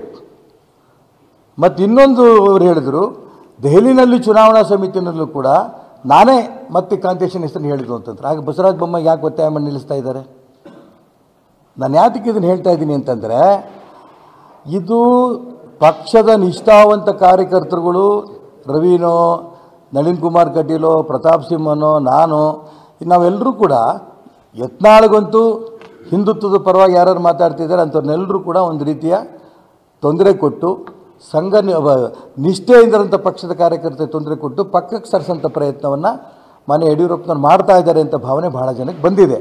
ನಾನು ಅದಕ್ಕೋಸ್ಕರ ಈಗ ಯಾವುದೇ ತೀರ್ಮಾನವನ್ನು ಇವತ್ತು ಹೇಳೋದಿಲ್ಲ. ನಾನು ಶುಕ್ರವಾರ ಸಂಜೆ ಐದು ಗಂಟೆಗೆ ಬಡಜಾರ್ ಭವನದಲ್ಲಿ ಸೇರಿದಂಥ ಎಲ್ಲ ನಮ್ಮ ಪಕ್ಷದ ಹಿತೈಷಿಗಳು, ವಿವಿಧ ಸಮಾಜಗಳ ಪ್ರಮುಖರುಗಳು ನಮ್ಮ ಪಕ್ಷದ ಎಲ್ಲ ಪ್ರಮುಖ ಕಾರ್ಯಕರ್ತರು ಸೇರಿದಂಥ ಸಭೆಯಲ್ಲಿ ನಾನು ಅಂತಿಮ ತೀರ್ಮಾನವನ್ನು ಅವರ ಅಭಿ ಅವರ ಅಭಿಪ್ರಾಯಕ್ಕೆ ತೀರ್ಮಾನ ಆಗುತ್ತೆ ಇಡೀ ರಾಜ್ಯದ ಜನ ನೋವನ್ನು ಅನುಭವಿಸ್ತಾ ಇದ್ದಾರೆ. ನಿಷ್ಠಾವಂತ ಕಾರ್ಯಕರ್ತರಿಗೆ ಕೆಲಸ ಮಾಡ್ತಾ ಮಾಡ್ತಿರೋಂಥ ಕಾರ್ಯಕರ್ತರಿಗೆ ಯಡಿಯೂರಪ್ಪನವ್ರು ಅನ್ಯಾಯ ಮಾಡ್ತಾ ಇದ್ದಾರೆ ಅಂತ ನೋವನ್ನು ಅನುಭವಿಸ್ಕೊತಾ ಇದ್ದಾರೆ. ಅವ್ರ ಧ್ವನಿ ಆಗಬೇಕಲ್ಲ ನಾನು? ಅದನ್ನು ನಾಳೆ ಚಿಂತೆ ಮಾಡ್ತೀನಿ ನಾನು, ಈಗಲೇ ಹೇಳ ಯಾವುದು ಹೇಳಲ್ಲ. ನಾನು ಈಗಲೂ ಕೂಡ ಇನ್ನೂ ಹೇಳ್ತಾ ಇದ್ದೀನಿ, ನನಗೆ ಈಗ ತಾನೇ ರಾಧಾಮೋಹನ್ ಅಗರ್ವಾಲ್ ನಮ್ಮ ರಾಷ್ಟ್ರೀಯ ಸ ಪ್ರಧಾನ ಕಾರ್ಯದರ್ಶಿಗಳು, ಲೋಕಸಭಾ ಕ್ಷೇತ್ರ ಇನ್ಚಾರ್ಜ್, ಅವರು ನನಗೆ ಈಗ ಒಂದು ಹತ್ತು ನಿಮಿಷ ಕೆಳಗೆ ಫೋನ್ ಮಾಡಿದ್ದರು ನಿಮ್ಮ ಮಗನಿಗೆ ಈ ವಿಧಾನ ಪರಿಷತ್ತಿನ ಟಿಕೆಟ್ನ ಕೊಡ್ತೇನೆ, ಕೇಂದ್ರ ನಾಯಕರ ಹತ್ರ ಮಾತಾಡಿದ್ದೀವಿ. ಕಾಂತೇಶಿಂಗೆ ನಾಳೆ ಬರೋಂಥ ಗ್ರಾಜ್ಯುಯೇಟ್ ಚುನಾವಣೆ ನಿಲ್ಲಿಸ್ತೀವಿ, ಅವಕಾಶ ಮಾಡಿಕೊಡ್ತೀವಿ ಅಂತ ಹೇಳಿದರು. ನಾನು ಯಾವುದೂ ಇನ್ನೂ ಅವ್ರಿಗೆ ಪ್ರಾಮಿಸ್ ಮಾಡಿಲ್ಲ. ಅವ್ರ ಜೊತೆ ಕೂತು ಚರ್ಚೆ ಮಾಡಿ ತೀರ್ಮಾನ ಮಾಡ್ತೀನಿ.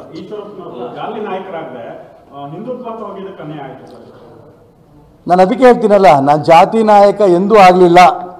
ಅದು ನನಗೆ ಒಂದು ಹೆಮ್ಮೆ. ಹಿಂದುತ್ವದ ವಿಚಾರವನ್ನು ಪ್ರತಿಪಾದನೆ ಮಾಡಿ, ಮಾಡಿದ್ದೀನಿ, ಅದು ನನಗೆ ಹೆಮ್ಮೆ. ಆದರೆ ಇದು ನನಗೆ ಅನ್ಯಾಯ ಆಗಿದೆ ಅನ್ನೋದನ್ನು ಇನ್ನೂ ನನಗೆ ಅನಿಸ್ತಾ ಇಲ್ಲ. ಎಲ್ಲರ ಜೊತೆ ಕೂತು ಚರ್ಚೆ ಮಾಡಿ ತೀರ್ಮಾನ ತಗೊಂಡು ಯಡಿಯೂರಪ್ಪನವರಿಗೆ ಯಡಿಯೂರಪ್ಪನವರಿಗೆ ಯಾಕೆ ನಿಮ್ಮ ಬಗ್ಗೆ ಈಗ ಕಳೆದ ತಪ್ಪಿಸಿದ್ರು ಈಗಲೂ ಕೂಡ ನನಗೂ ಅವ್ರಿಗೂ ಈಗ ಆತ್ಮೀಯ ಸ್ನೇಹಿತರು ಒಂದೇ ತಟ್ಟೆಯಲ್ಲಿ ಊಟ ಮಾಡ್ತಿದ್ದವ್ರು ನಾವು. ಅವರ ಕೆಲವು ದೋಷಗಳನ್ನು ನೇರವಾಗಿ ಅವ್ರಿಗೆ ನಾನು ಹೇಳಿದೆ. ಇಂತಿಂಥ ತಪ್ಪುಗಳು ನೀವು ಮಾಡ್ತಾ ಇದ್ದೀರಿ, ಇದು ಒಳ್ಳೇದಲ್ಲ, ನಮ್ಗೆ ಇನ್ನೊಬ್ಬ ಯಡಿಯೂರಪ್ಪ ಸಿಗೋದಿಲ್ಲ ಅಂತಂಥ ಸಂದರ್ಭದಲ್ಲಿ ಅವರು ಒಂದು ಮೂರು ನಾಲ್ಕು ಸಾರಿ ನಾನು ಹೇಳಿದಂಥ ಸಂದರ್ಭದಲ್ಲಿ. ಯಾಕಂದರೆ ಯಡಿಯೂರಪ್ಪನವ್ರ ಬಗ್ಗೆ ಆಪಾದನೆ ಬಂದಿದ್ದು ನಮಗೆ ಸಮಾಧಾನ ಆಗ್ತಿರಲಿಲ್ಲ. ನಮಗೆ ನೋವಾಗುತ್ತೆ. ಕೊನೆ ಅವ್ರು ಹೇಳಿದ್ರು, ನನ್ನ ವೈಯಕ್ತಿಕ ವಿಚಾರಗಳಪ್ಪ, ಇದ್ರ ಬಗ್ಗೆ ನೀವು ತಲೆ ಹಾಕಬಾರ್ದು ಅಂತ. ಅಲ್ಲಿಂದ ನಾನು ಸರ್ಕೊಂಡೆ ನಂಬರ್ ಒನ್ ನಂಬರ್ ಟು ಅವ್ರು ಕೆ ಜಿ ಪಿಗೆ ಹೋದರು. ನಾನು ಯಾವುದೇ ಕಾರಣಕ್ಕೂ ಕೆ ಜಿ ಪಿಗೆ ಹೋಗಲಿಲ್ಲ. ಈ ಥರದ ಅನೇಕ ಅಂಶಗಳು ಇರ್ಬೋದು. ನನ್ನ ಮಾತು ಕೇಳ್ತಾ ಇಲ್ಲಲ್ಲ. ನಾನು ಈ ಪಕ್ಷ ಕೊಟ್ಟಂಥ ಸಂಸ್ಕಾರದಿಂದ, ಈ ಸಂಘಟನೆಗೆ ನಿಷ್ಠೆಯಾಗಿ ಬಂದೇವಿನ ಯಾವುದೇ ವ್ಯಕ್ತಿ ಪರವಾಗಿ ನಾನು ಹೋಗಲಿಲ್ಲ. ಅದು ಅವರ ಬೇಸರ ಆಗಿರ್ಬೋದು. ನೋಡೋಣ, ಏನೇನಾಗುತ್ತೆ ಅಂತ ನಾಳೆ ಹದಿನೈದನೇ ತಾರೀಕು ಸಭೆ ತೀರ್ಮಾನದಲ್ಲಿ ಇದೆಲ್ಲ ನಿಂತಿದೆ. ನೋಡೋಣ ಏನೇನಂತ. ನೂರು ಪ್ರಾಣ ಹೋದರೂ ಕೂಡ ನಾನು ಮೋದಿಯವ್ರು ಬಿಡೋಲ್ಲ ಮೋದಿಯವ್ರ ಪರವಾಗೇ ಇರೋದು. ಅವ್ರು ಅಕಸ್ಮಾತ್ ಎಲ್ಲರೂ ಸೇರಿ ಚುನಾವಣೆ ನಿಲ್ಲಬೇಕು ಅಂತಂದರೂ ಕೂಡ ಚುನಾವಣೆ ನಾನು ಗೆದ್ದು ಮೋದಿ ಪರವಾಗೇ ಹೋಗ್ತೀನಿ ನಾ. ಮೋದಿ ಬಿಟ್ಟು ನಾನು ಎಂದೆಂದೂ ಹೋಗೋಕ್ಕೆ ಸಾಧ್ಯ ಇಲ್ಲ ಸರ್ ಮತ್ತೆ ಅದು ಪಕ್ಷ ಯಡಿಯೂರಪ್ಪನ ಹಿಂದೆ ನೀವು ಲಾಸ್ಟ್ ವಿಧಾನಸಭೆ ಚುನಾವಣೆ ಕೂಡ ಅಲ್ಲ, ಈಗ ನಾನು ಎಷ್ಟು ಹೇಳಬೇಕು ಅಷ್ಟು ಹೇಳಿದ್ದೀನಿ. ಇನ್ನು ಉಳಿದಿದ್ದನ್ನು ನಾಡಿದ್ದು ನಮ್ಮ ಎಲ್ಲ ಪಕ್ಷದ ಕಾರ್ಯಕರ್ತರು, ಇವೆಲ್ಲ ಸಮಾಜ ಪ್ರಮುಖರು, ಹಿರಿಯರ ಜೊತೆ ಚರ್ಚೆ ಮಾಡಿ ತೀರ್ಮಾನ ಮಾಡಿದ ನಂತರ ಖಂಡಿತ ಉಳಿದೆಲ್ಲ ಅಂಶವನ್ನು ಹೇಳ್ತೀನಿ. ಸಾಕಿಷ್ಟು. ಸಾಕಣ, ಮತ್ತೆ ಮತ್ತೆ ಯಾಕೆ, ಮತ್ತೆ ಸಾಕೋದು ಮತ್ತೆ ನಾನು ಯಾರನ್ನೂ ಭೇಟಿ ಮಾಡಲ್ಲ. ಅವರು ನಮ್ಮ ರಾಧಾಮೋಹನ್ ಅಗರ್ವಾಲ್ ಬನ್ನಿ ಬೆಂಗಳೂರಿಗೆ, ನಾನು ಬೆಂಗಳೂರಿಗೆ ಇವತ್ತು ರಾತ್ರಿ ಹೋಗ್ತಾ ಇದ್ದೀನಿ. ಬೇರೆ ಕೆಲಸಗಳಿದೆ. ಬನ್ನಿ ಮಾತಾಡೋಣ ಅಂತ ಹೇಳಿದ್ರು. ಯಾಕೆ ಮಾತಾಡಬೇಕು ಬಂದು? ಏನು ಲಾಭ? ಈಗ ಅನೌನ್ಸ್ ಮಾಡಾಯ್ತು ನೀವು. ನನಗೆ ಆರು ತಿಂಗಳು ವರ್ಷದ ಕೆಳಗೇ ಅವ್ನು ಓಡಾಟ ಮಾಡಬೇಕು ಅಂತ ಹೇಳಿದಾಗ ಅನೇಕ ಹಿರಿಯರ ಹತ್ರ ಮಾತಾಡಿದ್ದೆ. ಓಡಾಡಲಿ ಅಂತ ಹೇಳಿದರು. ಯಡಿಯೂರಪ್ಪನವ್ರ ಹತ್ರ ಹೋಗಿ ಮಾತಾಡಿದಾಗ ನಾನು ಹೇಳಿದೆ ಮತ್ತೆ ಮತ್ತೆ ರಿಪೀಟ್ ಮಾಡ್ತಾ ಇದ್ದೀನಿ. ನಿನ್ನ ಮಗನ ಟಿಕೆಟು ಕೊಡಿಸ್ತೀನಿ. ನಾನು ಹಾವೇರಿ ಕ್ಷೇತ್ರದಲ್ಲಿ ಓಡಾಟ ಮಾಡಿ ಗೆಲ್ಲಿಸ್ತೀನಿ ಅಂತ ಹೇಳಿ ಇವತ್ತು ಮೋಸ ಮಾಡಿದ್ದಾರೆ. ಯಾಕೆ ನನಗೆ ಗೊತ್ತಿಲ್ಲ? ನಾನು ಅದಕ್ಕೋಸ್ಕರ ಹೇಳ್ತೀನಿ ನಾನು. ಇದನ್ನು ಏನು ಮಾಡಬೇಕು ಬಿಡಬೇಕು ಅನ್ನೋದ್ರ ಬಗ್ಗೆ, ಯಾಕೆಂದರೆ ಪಕ್ಷವೂ ಉಳಿಬೇಕು. ಇದರಲ್ಲೇನು ಅನುಮಾನ ಇಲ್ಲ. ಇಡೀ ರಾಜ್ಯದ ಕಾರ್ಯಕರ್ತರ ನೋವು ಇದೆಯಲ್ಲ ಇದು ನೋವಿಗೆ ಧ್ವನಿನೂ ಆಗಬೇಕು. ಅದಕ್ಕೋಸ್ಕರ ಏನು ಮಾಡಬೇಕು ಅಂತ ವೈಯಕ್ತಿಕವಾಗಿ ನಾನು ಯೋಚನೆ ಮಾಡ್ತೀನಿ. ಎಲ್ಲ ಹಿರಿಯರ ಜೊತೆ ಕೂತು ಚರ್ಚೆನೂ ಮಾಡ್ತೀನಿ. ಎಲ್ಲ ಸಮಾಜದವರು ಕೂಡ ಭಾಳ ಒತ್ತಡ ಇದೆ ಭಾಳ ಒತ್ತಡ ಇದೆ. ನೀವು ಚೂಡ ದಯವಿಟ್ಟು ಇಂಡಿಪೆಂಡೆಂಟ್ ನಿಂತ್ಕೊಳ್ಳಿ. ನಿಮ್ಮ ಜೊತೆ ನಾವಿದ್ದೇವೆ. ನೂರಕ್ಕೆ ನೂರು ಗೆಲ್ಲಿಸ್ತೇವೆ. ಇದನ್ನು ಹೇಳ್ತಾ ಇದ್ದಾರೆ. ಈಗ ನಾಡಿದ್ದು ತೀರ್ಮಾನ ಶಿವಮೊಗ್ಗಕ್ಕೆ ಮಾತ್ರ ಹಾವೇರಿ ಎರಡೂ ಸೇರಿಸಿ ಮಾಡ್ತೀರಾ ಸರ್? ಎರಡು ಕಡೆನೂ ಇಲ್ಲ ಮಾಡ್ತೀವಿ ಗೊತ್ತಿಲ್ಲರಿ ನಾನು ಅವ್ರ ಜೊತೆ ಕೂದ ಕೂ ಕ- ನಾಳೆ ಕರೀತಾ ಇರೋದು ಶಿವಮೊಗ್ಗ ಲೋಕಸಭಾ ಕ್ಷೇತ್ರದ ಬಗ್ಗೆ ಏನು ಮಾಡಬೇಕು ಅನ್ನೋದ್ರ ಬಗ್ಗೆ ನಾವು ಚರ್ಚೆ ಮಾಡ್ತಾ ಇದ್ದೀವಿ ಹಾವೇರಿ ಜನನು ಕೂಡ ಕಾಂತೇಶ್ ಸ್ಪರ್ಧೆ ಮಾಡಬೇಕು ಹಾವೇರಿ ಕ್ಷೇತ್ರದಿಂದನೂ ಕಾಂತೇಶ ಸ್ಪರ್ಧೆ ಮಾಡಬೇಕು ಅಂತ ಬಸವರಾಜ ಬೊಮ್ಮಾಯಿ ಅವರ ಘೋಷಣೆ ಆಗ್ತಿದ್ದಂಗೆ ಮತ್ತು ಸಾಕಷ್ಟು ಫೋನ್ಗಳು ಬರ್ತಾ ಇದ್ದಾವೆ. ಬಹಳ ಒತ್ತಡ ಮಾಡ್ತಾರೆ ಕಾಂತೇಶನ್ ಹಾವೇರಿ ನಿಲ್ಲಿಸಬೇಕು ಅಂತ. ನಾನು ಅದ್ರ ಬಗ್ಗೆ ಇನ್ನೂ ಚಿಂತೆ ಮಾಡೋಕ್ಕೋಗಿಲ್ಲ ಅವಕಾಶ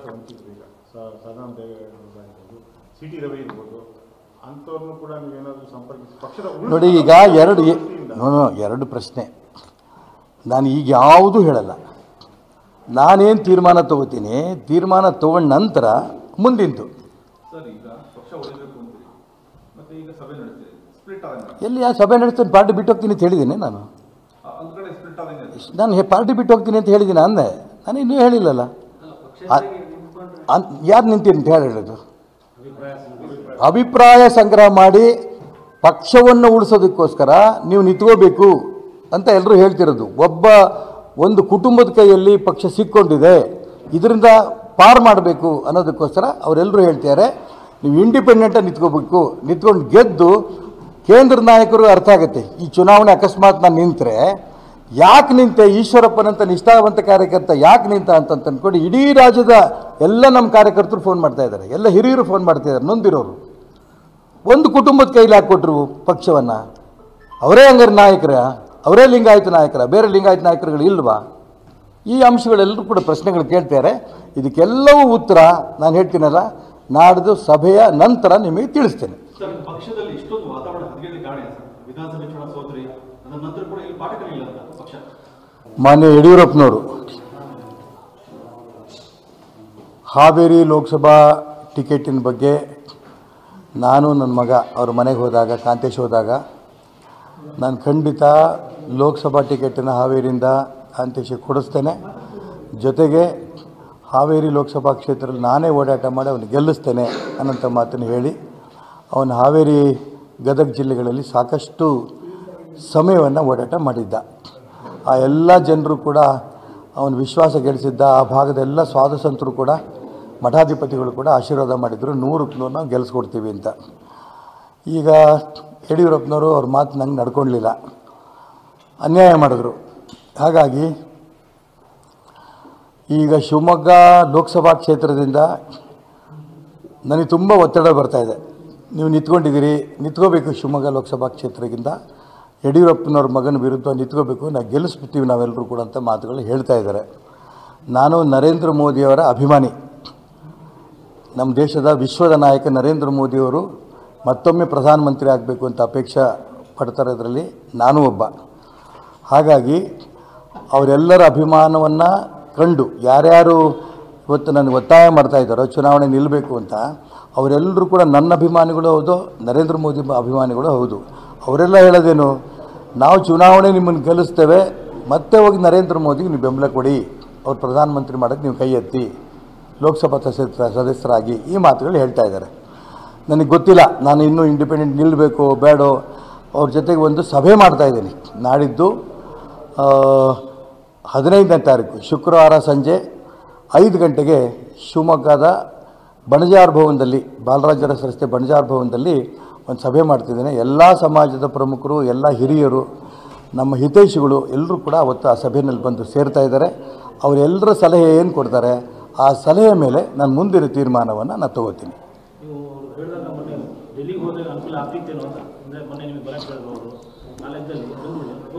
ಈಗ ಮಗನ ಜೊತೆ ಬರಲಿ ಅಂತ ಯಡಿಯೂರಪ್ಪನವರು ಹಠ ಹಿಡಿದು ಬೊಮ್ಮಾಯಿ ಸೀಟ್ ಸೀಟ್ ಕೇಳ್ತಾ ಇದ್ದಾರೆ. ಯಡಿಯೂರಪ್ಪನವರು ಹಠ ಹಿಡಿದು ಶೋಭಾ ಕರಂದ್ಲಾಜೆಗೆ ಸೀಟ್ ಕೇಳ್ತಾ ಇದ್ದಾರೆ ಅಂತ ಟಿ ವಿಗಳಲ್ಲಿ ಬಂದಿತ್ತು. ಶೋಭಾ ಕರಂದ್ಲಾಜೆ ಡೆಲ್ಲಿಗೇನು ಹೋಗಲಿಲ್ಲ? ಹಾಗಾಗಿ ಅವರು ಹಠ ಹಿಡಿದು ಬೊಮ್ಮಾಯಿಗೂ ಮತ್ತು ಜ, ಶೋಭಾ ಕರಂದ್ಲಾಜೆ ಟಿಕೆಟ್ ಕೊಡ್ತಿರ್ಬೇಕಾದ್ರೆ ಅವ್ರು ಹಠ ಹಿಡಿದ್ರು ನನ್ನ ಮಗ ಕಾಂತೇಶ್ ಯಾಕೆ ಟಿಕೆಟ್ ಕೊಡಿಸ್ಲಿಲ್ಲ? ಅವ್ರಿಗೆ ಯಾಕೆ ಆಸಕ್ತಿ ಬರಲಿಲ್ಲ? ನನಗಂತೂ ಗೊತ್ತಿಲ್ಲ. ನಾನು ನಲವತ್ತು ವರ್ಷ ಈ ಪಕ್ಷದಲ್ಲಿ ನಿಷ್ಠೆಯಿಂದ ಕೆಲಸ ಮಾಡ್ಕೊಂಡು ಬಂದಿದ್ದೇನೆ. ಆ ನಿಷ್ಠೆನ ನಮ್ಮ ಇಡೀ ರಾಜ್ಯ ಜನ, ಕ್ಷೇತ್ರ ಜನ ಗುರುತಿಸಿದ್ದಾರೆ. ನನಗೆ ಕಳೆದ ವಿಧಾನಸಭಾ ಚುನಾವಣಾ ಸಂದರ್ಭದಲ್ಲಿ ನೀವು ಚುನಾವಣೆ ರಾಜಕಾರಣದಿಂದ ಹೊರಗಿರಬೇಕು, ಚುನಾವಣೆ ನಿಲ್ಲಬಾರ್ದು ಅಂತ ಕೇಂದ್ರ ನಾಯಕರಿಗೂ ಕೊಟ್ಟಂಥ ಅಪೇಕ್ಷೆ ತಕ್ಕಂತೆ ಪಕ್ಷದ ನಿಷ್ಠಾವಂತನಾಗಿ ನಾನು ಚುನಾವಣೆ ಸ್ಪರ್ಧೆ ಮಾಡಲಿಲ್ಲ. ಮತ್ತು ಈ ಕ್ಷೇತ್ರದ ಶಿವಮೊಗ್ಗ ಕ್ಷೇತ್ರದಿಂದ ಒಬ್ಬ ಸಾಮಾನ್ಯ ಕಾರ್ಯಕರ್ತನ ಎಂ ಎಲ್ ಎ ಗೆಲ್ಲಿಸ್ಕೊಂಡ್ವಿ ಇದನ್ನು ಒಪ್ಪಿ ಸಂತೋಷದಿಂದ ಮಾನ್ಯ ಪ್ರಧಾನಮಂತ್ರಿ ನರೇಂದ್ರ ಮೋದಿಯವರು ಕೂಡ ನನಗೆ ಮಾತಾಡಿ ಒಳ್ಳೆ ಕೆಲಸ ಮಾಡಿದ್ಯಪ್ಪ, ನೀ ಡಿಸಿಪ್ಲಿನ್ ಸೋಲ್ಜರ್ ಅಂತ ಮಾತು ಹೇಳಿದರು. ಅನೇಕ ಹಿರಿಯರು ಕೂಡ ನಮ್ಮ ಮನೆಗೆ ಬಂದು ಹೇಳಿಬಿಟ್ಟು ಹೋಗಿದ್ದರು ನಿಮಗೆ ಮುಂದೆ ಭವಿಷ್ಯ ಇದೆ, ನಿನಗೂ ಭವಿಷ್ಯ ಇದೆ ಮತ್ತು ಕಾಂತೇಶಿಗೂ ಭವಿಷ್ಯ ಇದೆ ಅಂತ ಮಾತುಗಳು ಹೇಳಿಬಿಟ್ಟು ಹೋಗಿದ್ದರು ಈಗ ಹಠ ಹಿಡಿದು ಯಡಿಯೂರಪ್ಪನವ್ರು ಕರ್ನಾಟಕ ರಾಜ್ಯದಲ್ಲಿರೋಂಥ ಅನೇಕ ವ್ಯಕ್ತಿಗಳಿಗೆ ಅನ್ಯಾಯ ಆಗಿದೆ. ಪ್ರತಾಪ್ ಸಿಂಹ ಅವ್ರಿಗೆ ಅನ್ಯಾಯ ಆಗಿದೆ. ಭಾಳ ಪಾಪ್ಯುಲರ್ ಲೀಡರ್ ಮೈಸೂರಿನಲ್ಲಿ. ಮನೆ ಸಿ ಟಿ ರವಿ ಅವ್ರಿಗೆ ಅನ್ಯಾಯ ಆಗಿದೆ. ಅದೇ ರೀತಿ ಸದಾನಂದ ಗೌಡ್ರಿಗೆ ಅನ್ಯಾಯ ಆಗಿದೆ. ಇಲ್ಲಿ ಯಾರ್ಯಾರಿಗೆ ಅನ್ಯಾಯ ಆಗಿದೆ ನೋಡೋಣ. ಹಾಂ ನಳಿನ್ ಕುಮಾರ್ ಕಟೀಲ್ಗೆ. ಹಾಗಾಗಿ ನಾನು ಇಷ್ಟು ಮಾತ್ರ ಹೇಳಬಲ್ಲೆ. ನಮ್ಮ ಪಕ್ಷದ ಹಿತೈಷಿಗಳು, ನಮ್ಮ ಪಕ್ಷದ ಕಾರ್ಯಕರ್ತರು, ನನ್ನ ಅಭಿಮಾನಿಗಳು, ನರೇಂದ್ರ ಮೋದಿಯವರ ಅಭಿಮಾನಿಗಳು, ಅವರೆಲ್ಲರೂ ಬಂದು ಏನು ಹೇಳ್ತಾರೆ ಕೇಳಿಕೊಂಡು ಅವರ ಅಭಿಮಾನದ ತಕ್ಕಂತೆ ನಾನು ಮುಂದಿನ ತೀರ್ಮಾನ ತಗೊಳ್ಳಲಿದ್ದೇನೆ ಪಕ್ಷದ ವಿರುದ್ಧವಾಗಿ ನಾನು ಏನು ಯೋಚನೆಯನ್ನು ಕೂಡ ಮಾಡೋದಿಲ್ಲ ಪಕ್ಷ ನನ್ನ ತಾಯಿ ಇದ್ದಂಗೆ ಅಂತಾನೆ ಹೇಳ್ತಾ ಇದ್ದೀನಿ. ಪ್ರತಿ ಪ್ರಶ್ನೆದಲ್ಲೂ ಹೇಳ್ತೀನಿ ಈಗ ಯಾಕೆ ಪಕ್ಷದ ವಿರುದ್ಧವಾಗಿ ಯೋಚನೆ ಮಾಡ್ತೀನಿ ಎಲ್ಲಿ ಯೋಚನೆ ಮಾಡಿದ್ದೀನಿ? ಸಭೆ ನಡೆಸೋದು ನಾನು ಪರ್ಯಾಯವಾಗಿ ಏನು ಮಾಡಬೇಕು ಅಂತಲ್ಲ ಅನೇಕ ಪಕ್ಷದ ಹಿರಿಯರೇ ಹೇಳ್ತಾ ಇದ್ದಾರೆ ಪಕ್ಷದ ನಿಷ್ಠಾವಂತ ಕಾರ್ಯಕರ್ತರನ್ನಂಥ ರವಿ ಅಂತ ಪ್ರತಾಪ್ ಸಿಂಹ ನಳಿನ್ ಕುಮಾರ್ ಇಂಥ ನಿಮ್ಮನ್ನು ಎಲ್ಲರೂ ಕೂಡ ಪಕ್ಕಕ್ಕೆ ಸರಿಸ್ತಿದ್ದಾರೆ ಅಂದರೆ ತಾಯಿಯ ಕುತ್ತಿಗೆನೇ ಹಿಚ್ಚುಕ್ತಾ ಇದ್ದಾರೆ ಅವರು. ತಮ್ಮ ವೈಯಕ್ತಿಕ ಸಾಧನೆಗಾಗಿ. ಹಾಗಾಗಿ ನೀವೇನು ಸ್ಟ್ಯಾಂಡ್ ತಗೋಬೇಕು ಅನ್ನಂಥ ಅಭಿಮಾನವನ್ನು ತಾಯಿನೇ ಅವ್ರ ಕೈಲಿ ಹಿಚುಕ್ತಾ ಇದ್ದಾರೆ ಅನ್ನೋಂಥ ಪ್ರಶ್ನೆ ಬಂದಿದೆ. ಅನೇಕ ಅಭಿಮಾನಿಗಳು ನನಗೆ ಫೋನ್ ಮಾಡ್ತಾ ಇದ್ದಾರೆ. ಇಂಡಿಪೆಂಡೆಂಟ್ ನಿಂತ್ಕೋಬೇಕು, ತಾಯಿನ ಉಳಿಸ್ಬೇಕು. ಭಾರತೀಯ ಜನತಾ ಪಾರ್ಟಿ ನಮ್ಮ ತಾಯಿ ನಮ್ಮ ತಾಯಿನ ಉಳಿಸ್ಬೇಕು ಅನ್ನೋಂಥ ಅಭಿಮಾನದಲ್ಲಿ ಎಲ್ಲರೂ ಮಾ ಫೋನ್ ಮಾಡ್ತಾ ಇರೋಂಥ ಸಂದರ್ಭದಲ್ಲಿ ನಾನು ಇನ್ನೂ ಕೂಡ ಯಾವ ತೀರ್ಮಾನವನ್ನು ತಗೊಂಡಿಲ್ಲ. ನಾಡ್ದೆ ಅವ್ರ ಜೊತೆ ಕೂತ್ಕೊಂಡು ಚರ್ಚೆ ಮಾಡಿ ತೀರ್ಮಾನ ತಗೋತೀನಿ.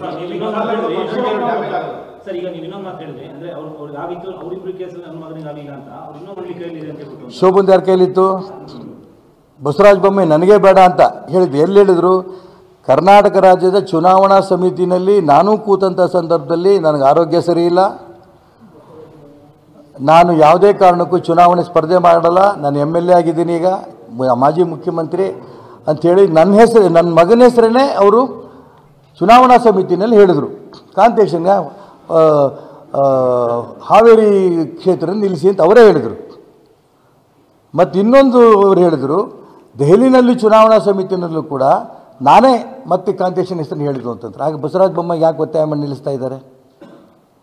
ನಾನು ಯಾತಕ್ಕೆ ಇದನ್ನು ಹೇಳ್ತಾ ಇದ್ದೀನಿ ಅಂತಂದರೆ, ಇದು ಪಕ್ಷದ ನಿಷ್ಠಾವಂತ ಕಾರ್ಯಕರ್ತರುಗಳು, ರವಿನೋ ನಳಿನ್ ಕುಮಾರ್ ಕಟೀಲು ಪ್ರತಾಪ್ ಸಿಂಹನು ನಾನು ನಾವೆಲ್ಲರೂ ಕೂಡ ಯತ್ನಾಳ್ಗಂತೂ ಹಿಂದುತ್ವದ ಪರವಾಗಿ ಯಾರ್ಯಾರು ಮಾತಾಡ್ತಿದ್ದಾರೆ ಅಂಥವ್ರನ್ನೆಲ್ಲರೂ ಕೂಡ ಒಂದು ರೀತಿಯ ತೊಂದರೆ ಕೊಟ್ಟು ಸಂಘ ನಿಷ್ಠೆಯಿಂದರಂಥ ಪಕ್ಷದ ಕಾರ್ಯಕರ್ತರಿಗೆ ತೊಂದರೆ ಕೊಟ್ಟು ಪಕ್ಕಕ್ಕೆ ಸರಿಸೋಂಥ ಪ್ರಯತ್ನವನ್ನು ಮನೆ ಯಡಿಯೂರಪ್ಪನವ್ರು ಮಾಡ್ತಾ ಇದ್ದಾರೆ ಅಂತ ಭಾವನೆ ಭಾಳ ಜನಕ್ಕೆ ಬಂದಿದೆ. ನಾನು ಅದಕ್ಕೋಸ್ಕರ ಈಗ ಯಾವುದೇ ತೀರ್ಮಾನವನ್ನು ಇವತ್ತು ಹೇಳೋದಿಲ್ಲ.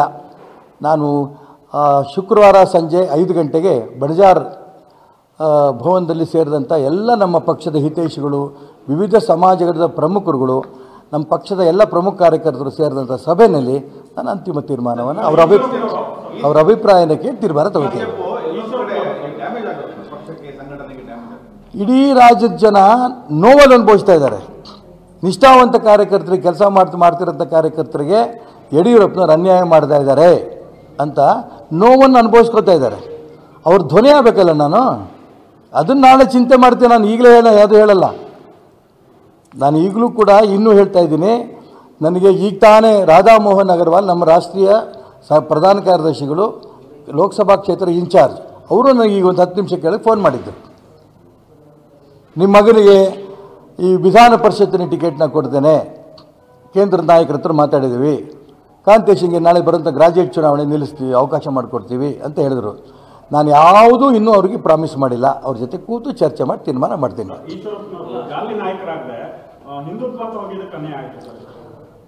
ನಾನು ಅದಕ್ಕೆ ಹೇಳ್ತೀನಲ್ಲ ನಾನು ಜಾತಿ ನಾಯಕ ಎಂದೂ ಆಗಲಿಲ್ಲ. ಅದು ನನಗೆ ಒಂದು ಹೆಮ್ಮೆ. ಹಿಂದುತ್ವದ ವಿಚಾರವನ್ನು ಪ್ರತಿಪಾದನೆ ಮಾಡಿ ಮಾಡಿದ್ದೀನಿ. ಅದು ನನಗೆ ಹೆಮ್ಮೆ. ಆದರೆ ಇದು ನನಗೆ ಅನ್ಯಾಯ ಆಗಿದೆ ಅನ್ನೋದನ್ನು ಇನ್ನೂ ನನಗೆ ಅನಿಸ್ತಾ ಇಲ್ಲ. ಎಲ್ಲರ ಜೊತೆ ಕೂತು ಚರ್ಚೆ ಮಾಡಿ ತೀರ್ಮಾನ ತಗೊಂಡು ಯಡಿಯೂರಪ್ಪನವರಿಗೆ ಯಡಿಯೂರಪ್ಪನವರಿಗೆ ಯಾಕೆ ನಿಮ್ಮ ಬಗ್ಗೆ ಈಗ ಈಗಲೂ ಕೂಡ ನನಗೂ ಆತ್ಮೀಯ ಸ್ನೇಹಿತರು ಒಂದೇ ತಟ್ಟೆಯಲ್ಲಿ ಊಟ ಮಾಡ್ತಿದ್ದವ್ರು ನಾವು. ಅವರ ಕೆಲವು ದೋಷಗಳನ್ನು ನೇರವಾಗಿ ಅವ್ರಿಗೆ ನಾನು ಹೇಳಿದೆ. ಇಂತಿಂಥ ತಪ್ಪುಗಳು ನೀವು ಮಾಡ್ತಾ ಇದ್ದೀರಿ, ಇದು ಒಳ್ಳೆಯದಲ್ಲ ನಮ್ಗೆ ಇನ್ನೊಬ್ಬ ಯಡಿಯೂರಪ್ಪ ಸಿಗೋದಿಲ್ಲ. ಅಂತಂಥ ಸಂದರ್ಭದಲ್ಲಿ ಅವರು ಒಂದು ಮೂರು ನಾಲ್ಕು ಸಾರಿ ನಾನು ಹೇಳಿದಂಥ ಸಂದರ್ಭದಲ್ಲಿ, ಯಾಕಂದರೆ ಯಡಿಯೂರಪ್ಪನವ್ರ ಬಗ್ಗೆ ಆಪಾದನೆ ಬಂದಿದ್ದು ನಮಗೆ ಸಮಾಧಾನ ಆಗ್ತಿರಲಿಲ್ಲ. ನಮಗೆ ನೋವಾಗುತ್ತೆ. ಕೊನೆ ಅವ್ರು ಹೇಳಿದ್ರು, ನನ್ನ ವೈಯಕ್ತಿಕ ವಿಚಾರಗಳಪ್ಪ, ಇದ್ರ ಬಗ್ಗೆ ನೀವು ತಲೆ ಹಾಕಬಾರ್ದು ಅಂತ. ಅಲ್ಲಿಂದ ನಾನು ಸರ್ಕೊಂಡೆ ನಂಬರ್ ಒನ್ ನಂಬರ್ ಟು ಅವ್ರು ಕೆ ಜಿ ಪಿಗೆ ಹೋದರು. ನಾನು ಯಾವುದೇ ಕಾರಣಕ್ಕೂ ಕೆ ಜಿ ಪಿಗೆ ಹೋಗಲಿಲ್ಲ. ಈ ಥರದ ಅನೇಕ ಅಂಶಗಳು ಇರ್ಬೋದು. ನನ್ನ ಮಾತು ಕೇಳ್ತಾ ಇಲ್ಲಲ್ಲ. ನಾನು ಈ ಪಕ್ಷ ಕೊಟ್ಟಂಥ ಸಂಸ್ಕಾರದಿಂದ ಈ ಸಂಘಟನೆಗೆ ನಿಷ್ಠೆಯಾಗಿ ಬಂದೇವಿನ ಯಾವುದೇ ವ್ಯಕ್ತಿ ಪರವಾಗಿ ನಾನು ಹೋಗಲಿಲ್ಲ. ಅದು ಅವರ ಬೇಸರ ಆಗಿರ್ಬೋದು. ನೋಡೋಣ ಏನೇನಾಗುತ್ತೆ ಅಂತ ನಾಳೆ ಹದಿನೈದನೇ ತಾರೀಕು ಸಭೆ ತೀರ್ಮಾನದಲ್ಲಿ ಇದೆಲ್ಲ ನಿಂತಿದೆ. ನೋಡೋಣ ಏನೇನು ಅಂತ ಸರ್ ಒಟ್ಟಾರೆ ಒಟ್ಟಾರೆ ತಾವು ಮೋದಿ ನೂರು ಪ್ರಾಣ ಹೋದರೂ ಕೂಡ ನಾನು ಮೋದಿಯವ್ರು ಬಿಡೋಲ್ಲ ಮೋದಿಯವ್ರ ಪರವಾಗೇ ಇರೋದು. ಅವ್ರು ಅಕಸ್ಮಾತ್ ಎಲ್ಲರೂ ಸೇರಿ ಚುನಾವಣೆ ನಿಲ್ಲಬೇಕು ಅಂತಂದರೂ ಕೂಡ ಚುನಾವಣೆ ನಾನು ಗೆದ್ದು ಮೋದಿ ಪರವಾಗೇ ಹೋಗ್ತೀನಿ ನಾ. ಮೋದಿ ಬಿಟ್ಟು ನಾನು ಎಂದೆಂದೂ ಹೋಗೋಕ್ಕೆ ಸಾಧ್ಯ ಇಲ್ಲ ಸರ್ ಮತ್ತೆ ಎಲ್ಲೋ ಪಕ್ಷ ಯಡಿಯೂರಪ್ಪನ ಹಿಂದೆ ನೀವು ಲಾಸ್ಟ್ ವಿಧಾನಸಭೆ ಚುನಾವಣೆ ಸಂದರ್ಭದಲ್ಲಿ ಕೂಡ ಅಲ್ಲ ಈಗ ನಾನು ಎಷ್ಟು ಹೇಳಬೇಕು ಅಷ್ಟು ಹೇಳಿದ್ದೀನಿ. ಇನ್ನು ಉಳಿದಿದ್ದನ್ನು ನಾಡಿದ್ದು ನಮ್ಮ ಎಲ್ಲ ಪಕ್ಷದ ಕಾರ್ಯಕರ್ತರು ಇವೆಲ್ಲ ಸಮಾಜ ಪ್ರಮುಖರು ಹಿರಿಯರ ಜೊತೆ ಚರ್ಚೆ ಮಾಡಿ ತೀರ್ಮಾನ ಮಾಡಿದ ನಂತರ ಖಂಡಿತ ಉಳಿದೆಲ್ಲ ಅಂಶವನ್ನು ಹೇಳ್ತೀನಿ. ಸಾಕಿಷ್ಟು. ಸಾಕಣ ಮತ್ತೆ ಮತ್ತೆ ಯಾಕೆ ಮತ್ತೆ ಸಾಕೋದು ಮತ್ತೆ ನಾನು ಯಾರನ್ನೂ ಭೇಟಿ ಮಾಡಲ್ಲ. ಅವರು ನಮ್ಮ ರಾಧಾಮೋಹನ್ ಅಗರ್ವಾಲ್ ಬನ್ನಿ ಬೆಂಗಳೂರಿಗೆ ನಾನು ಬೆಂಗಳೂರಿಗೆ ಇವತ್ತು ರಾತ್ರಿ ಹೋಗ್ತಾ ಇದ್ದೀನಿ. ಬೇರೆ ಕೆಲಸಗಳಿದೆ. ಬನ್ನಿ ಮಾತಾಡೋಣ ಅಂತ ಹೇಳಿದ್ರು. ಯಾಕೆ ಮಾತಾಡಬೇಕು? ಬಂದು ಏನು ಲಾಭ? ಈಗ ಅನೌನ್ಸ್ ಮಾಡಾಯ್ತು ನೀವು. ನನಗೆ ಆರು ತಿಂಗಳು ವರ್ಷದ ಕೆಳಗೇ ಅವ್ನು ಓಡಾಟ ಮಾಡಬೇಕು ಅಂತ ಹೇಳಿದಾಗ ಅನೇಕ ಹಿರಿಯರ ಹತ್ರ ಮಾತಾಡಿದ್ದೆ. ಓಡಾಡಲಿ ಅಂತ ಹೇಳಿದರು. ಯಡಿಯೂರಪ್ಪನವ್ರ ಹತ್ರ ಹೋಗಿ ಮಾತಾಡಿದಾಗ ನಾನು ನನಗೆ ಹೇಳಿದೆ ಮತ್ತೆ ಮತ್ತೆ ರಿಪೀಟ್ ಮಾಡ್ತಾ ಇದ್ದೀನಿ. ನಿನ್ನ ಮಗನ ಟಿಕೆಟೂ ಕೊಡಿಸ್ತೀನಿ. ನಾನು ಹಾವೇರಿ ಕ್ಷೇತ್ರದಲ್ಲಿ ಓಡಾಟ ಮಾಡಿ ಗೆಲ್ಲಿಸ್ತೀನಿ ಅಂತ ಹೇಳಿ ಇವತ್ತು ಮೋಸ ಮಾಡಿದ್ದಾರೆ. ಯಾಕೆ ನನಗೆ ಗೊತ್ತಿಲ್ಲ? ನಾನು ಅದಕ್ಕೋಸ್ಕರ ಹೇಳ್ತೀನಿ ನಾನು. ಇದನ್ನು ಏನು ಮಾಡಬೇಕು, ಬಿಡಬೇಕು ಅನ್ನೋದ್ರ ಬಗ್ಗೆ, ಯಾಕೆಂದರೆ ಪಕ್ಷವೂ ಉಳಿಬೇಕು. ಇದರಲ್ಲೇನು ಅನುಮಾನ ಇಲ್ಲ. ಇಡೀ ರಾಜ್ಯದ ಕಾರ್ಯಕರ್ತರ ನೋವು ಇದೆಯಲ್ಲ ಇದು ನೋವಿಗೆ ಧ್ವನಿನೂ ಆಗಬೇಕು. ಅದಕ್ಕೋಸ್ಕರ ಏನು ಮಾಡಬೇಕು ಅಂತ ವೈಯಕ್ತಿಕವಾಗಿ ನಾನು ಯೋಚನೆ ಮಾಡ್ತೀನಿ. ಎಲ್ಲ ಹಿರಿಯರ ಜೊತೆ ಕೂತು ಚರ್ಚೆನೂ ಮಾಡ್ತೀನಿ. ಎಲ್ಲ ಸಮಾಜದವರು ಕೂಡ ಭಾಳ ಒತ್ತಡ ಇದೆ ಭಾಳ ಒತ್ತಡ ಇದೆ. ನೀವು ಚೂಡ ದಯವಿಟ್ಟು ಇಂಡಿಪೆಂಡೆಂಟ್ ನಿಂತ್ಕೊಳ್ಳಿ. ನಿಮ್ಮ ಜೊತೆ ನಾವಿದ್ದೇವೆ. ನೂರಕ್ಕೆ ನೂರು ಗೆಲ್ಲಿಸ್ತೇವೆ. ಇದನ್ನು ಹೇಳ್ತಾ ಇದ್ದಾರೆ. ಈಗ ನಾಡಿದ್ದು ತೀರ್ಮಾನ ಶಿವಮೊಗ್ಗಕ್ಕೆ ಮಾತ್ರ ಹಾವೇರಿ ಎರಡೂ ಸೇರಿಸಿ ಮಾಡ್ತೇವೆ ಸರ್? ಎರಡು ಕಡೆನೂ ಇಲ್ಲ ಮಾಡ್ತೀವಿ ಗೊತ್ತಿಲ್ಲರಿ ನಾನು ಅವ್ರ ಜೊತೆ ಕೂದ ಕೂ ಕಾ- ನಾಳೆ ಕರೀತಾ ಇರೋದು ಶಿವಮೊಗ್ಗ ಲೋಕಸಭಾ ಕ್ಷೇತ್ರದ ಬಗ್ಗೆ ಏನು ಮಾಡಬೇಕು ಅನ್ನೋದ್ರ ಬಗ್ಗೆ ನಾವು ಚರ್ಚೆ ಮಾಡ್ತಾ ಇದ್ದೀವಿ. ಹಾವೇರಿ ಜನನು ಕೂಡ ಕಾಂತೇಶ್ ಅವರು ಹಾವೇರಿಯಿಂದನೂ ಸ್ಪರ್ಧೆ ಮಾಡಬೇಕು ಹಾವೇರಿ ಕ್ಷೇತ್ರದಿಂದನೂ ಕಾಂತೇಶ ಸ್ಪರ್ಧೆ ಮಾಡಬೇಕು ಅಂತ ಬಸವರಾಜ ಬೊಮ್ಮಾಯಿ ಅವರ ಘೋಷಣೆ ಆಗ್ತಿದ್ದಂಗೆ ಮತ್ತು ಸಾಕಷ್ಟು ಫೋನ್ಗಳು ಬರ್ತಾ ಇದ್ದಾವೆ. ಭಾಳ ಒತ್ತಡ ಮಾಡ್ತಾರೆ. ಕಾಂತೇಶನ್ ಹಾವೇರಿ ನಿಲ್ಲಿಸಬೇಕು ಅಂತ. ನಾನು ಅದ್ರ ಬಗ್ಗೆ ಇನ್ನೂ ಚಿಂತೆ ಮಾಡೋಕ್ಕೋಗಿಲ್ಲ ಸರ್ ಈಗ ಯಾರು ಟಿಕೆಟಿಗೆ ಅವಕಾಶ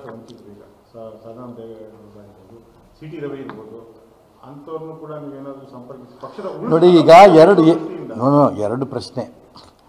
ನಾನು ಈಗ ಯಾವುದೂ ಹೇಳಲ್ಲ.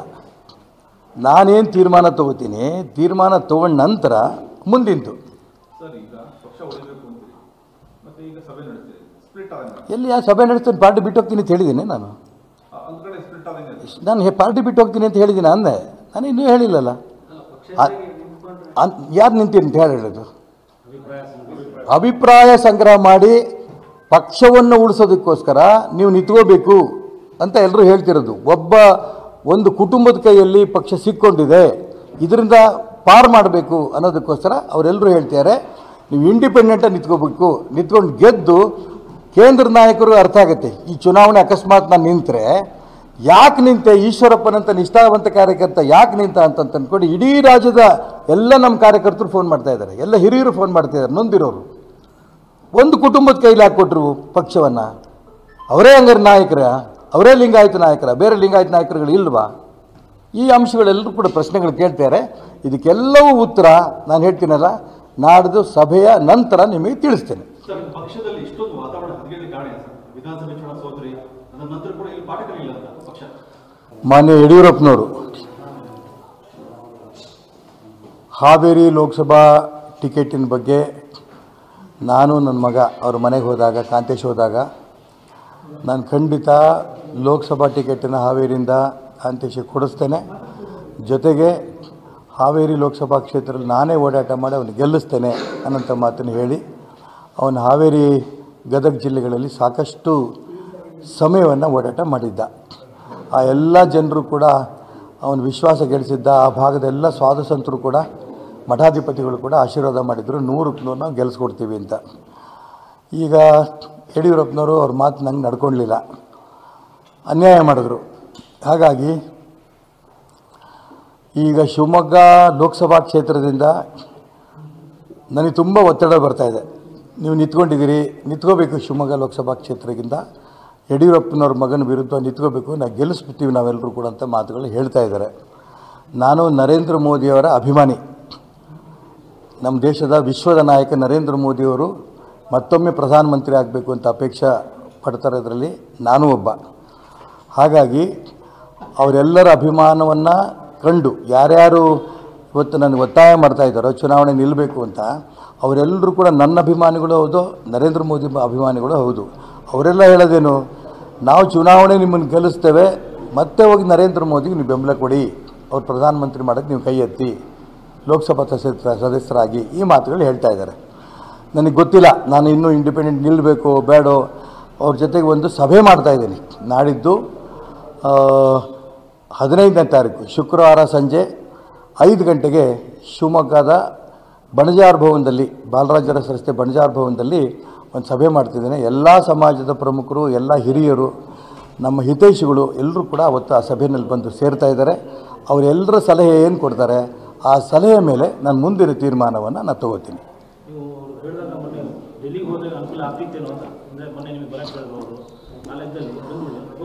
ಈಗ ಮಗನ ಜೊತೆ ಬರಲಿ ಅಂತ ಯಡಿಯೂರಪ್ಪನವರು ಹಠ ಹಿಡಿದು ಬೊಮ್ಮಾಯಿ ಸೀಟ್ ಸೀಟ್ ಕೇಳ್ತಾ ಇದ್ದಾರೆ. ಯಡಿಯೂರಪ್ಪನವರು ಹಠ ಹಿಡಿದು ಶೋಭಾ ಕರಂದ್ಲಾಜೆಗೆ ಸೀಟ್ ಕೇಳ್ತಾ ಇದ್ದಾರೆ ಅಂತ ಟಿ ವಿಗಳಲ್ಲಿ ಬಂದಿತ್ತು. ಶೋಭಾ ಕರಂದ್ಲಾಜೆ ದೆಲ್ಲಿಗೇನು ಹೋಗಲಿಲ್ಲ? ಹಾಗಾಗಿ ಅವರು ಹಠ ಹಿಡಿದು ಬೊಮ್ಮಾಯಿಗೂ ಮತ್ತು ಜ, ಶೋಭಾ ಕರಂದ್ಲಾಜೆ ಟಿಕೆಟ್ ಕೊಡ್ತಿರ್ಬೇಕಾದ್ರೆ ಅವ್ರು ಹಠ ಹಿಡಿದ್ರು ನನ್ನ ಮಗ ಕಾಂತೇಶ್ ಯಾಕೆ ಟಿಕೆಟ್ ಕೊಡಿಸ್ಲಿಲ್ಲ. ಅವ್ರಿಗೆ ಯಾಕೆ ಆಸಕ್ತಿ ಬರಲಿಲ್ಲ? ನನಗಂತೂ ಗೊತ್ತಿಲ್ಲ. ನಾನು ನಲವತ್ತು ವರ್ಷ ಈ ಪಕ್ಷದಲ್ಲಿ ನಿಷ್ಠೆಯಿಂದ ಕೆಲಸ ಮಾಡ್ಕೊಂಡು ಬಂದಿದ್ದೇನೆ. ಆ ನಿಷ್ಠೆನ ನಮ್ಮ ಇಡೀ ರಾಜ್ಯ ಜನ, ಕ್ಷೇತ್ರ ಜನ ಗುರುತಿಸಿದ್ದಾರೆ. ನನಗೆ ಕಳೆದ ವಿಧಾನಸಭಾ ಚುನಾವಣಾ ಸಂದರ್ಭದಲ್ಲಿ ನೀವು ಚುನಾವಣೆ ರಾಜಕಾರಣದಿಂದ ಹೊರಗಿರಬೇಕು, ಚುನಾವಣೆ ನಿಲ್ಲಬಾರ್ದು ಅಂತ ಕೇಂದ್ರ ನಾಯಕರಿಗೂ ಕೊಟ್ಟಂಥ ಅಪೇಕ್ಷೆ ತಕ್ಕಂತೆ ಪಕ್ಷದ ನಿಷ್ಠಾವಂತನಾಗಿ ನಾನು ಚುನಾವಣೆ ಸ್ಪರ್ಧೆ ಮಾಡಲಿಲ್ಲ. ಮತ್ತು ಈ ಕ್ಷೇತ್ರದ ಶಿವಮೊಗ್ಗ ಕ್ಷೇತ್ರದಿಂದ ಒಬ್ಬ ಸಾಮಾನ್ಯ ಕಾರ್ಯಕರ್ತನ ಎಂ ಎಲ್ ಎ ಗೆಲ್ಲಿಸ್ಕೊಂಡ್ವಿ ಇದನ್ನು ಒಪ್ಪಿ ಸಂತೋಷದಿಂದ ಮಾನ್ಯ ಪ್ರಧಾನಮಂತ್ರಿ ನರೇಂದ್ರ ಮೋದಿಯವರು ಕೂಡ ನನಗೆ ಮಾತಾಡಿ ಒಳ್ಳೆ ಕೆಲಸ ಮಾಡಿದ್ಯಪ್ಪ, ನೀ ಡಿಸಿಪ್ಲಿನ್ ಸೋಲ್ಜರ್ ಅಂತ ಮಾತು ಹೇಳಿದರು. ಅನೇಕ ಹಿರಿಯರು ಕೂಡ ನಮ್ಮ ಮನೆಗೆ ಬಂದು ಹೇಳಿಬಿಟ್ಟು ಹೋಗಿದ್ದರು ನಿಮಗೆ ಮುಂದೆ ಭವಿಷ್ಯ ಇದೆ, ನಿನಗೂ ಭವಿಷ್ಯ ಇದೆ ಮತ್ತು ಕಾಂತೇಶಿಗೂ ಭವಿಷ್ಯ ಇದೆ ಅಂತ ಮಾತುಗಳು ಹೇಳಿಬಿಟ್ಟು ಹೋಗಿದ್ದರು ಈಗ ಹಠ ಹಿಡಿದು ಯಡಿಯೂರಪ್ಪನವ್ರು ಕರ್ನಾಟಕ ರಾಜ್ಯದಲ್ಲಿರೋಂಥ ಅನೇಕ ವ್ಯಕ್ತಿಗಳಿಗೆ ಅನ್ಯಾಯ ಆಗಿದೆ. ಪ್ರತಾಪ್ ಸಿಂಹ ಅವ್ರಿಗೆ ಅನ್ಯಾಯ ಆಗಿದೆ. ಭಾಳ ಪಾಪ್ಯುಲರ್ ಲೀಡರ್ ಮೈಸೂರಿನಲ್ಲಿ. ಮನೆ ಸಿ ಟಿ ರವಿ ಅವ್ರಿಗೆ ಅನ್ಯಾಯ ಆಗಿದೆ. ಅದೇ ರೀತಿ ಸದಾನಂದ ಗೌಡ್ರಿಗೆ ಅನ್ಯಾಯ ಆಗಿದೆ. ಇಲ್ಲಿ ಯಾರ್ಯಾರಿಗೆ ಅನ್ಯಾಯ ಆಗಿದೆ ನೋಡೋಣ.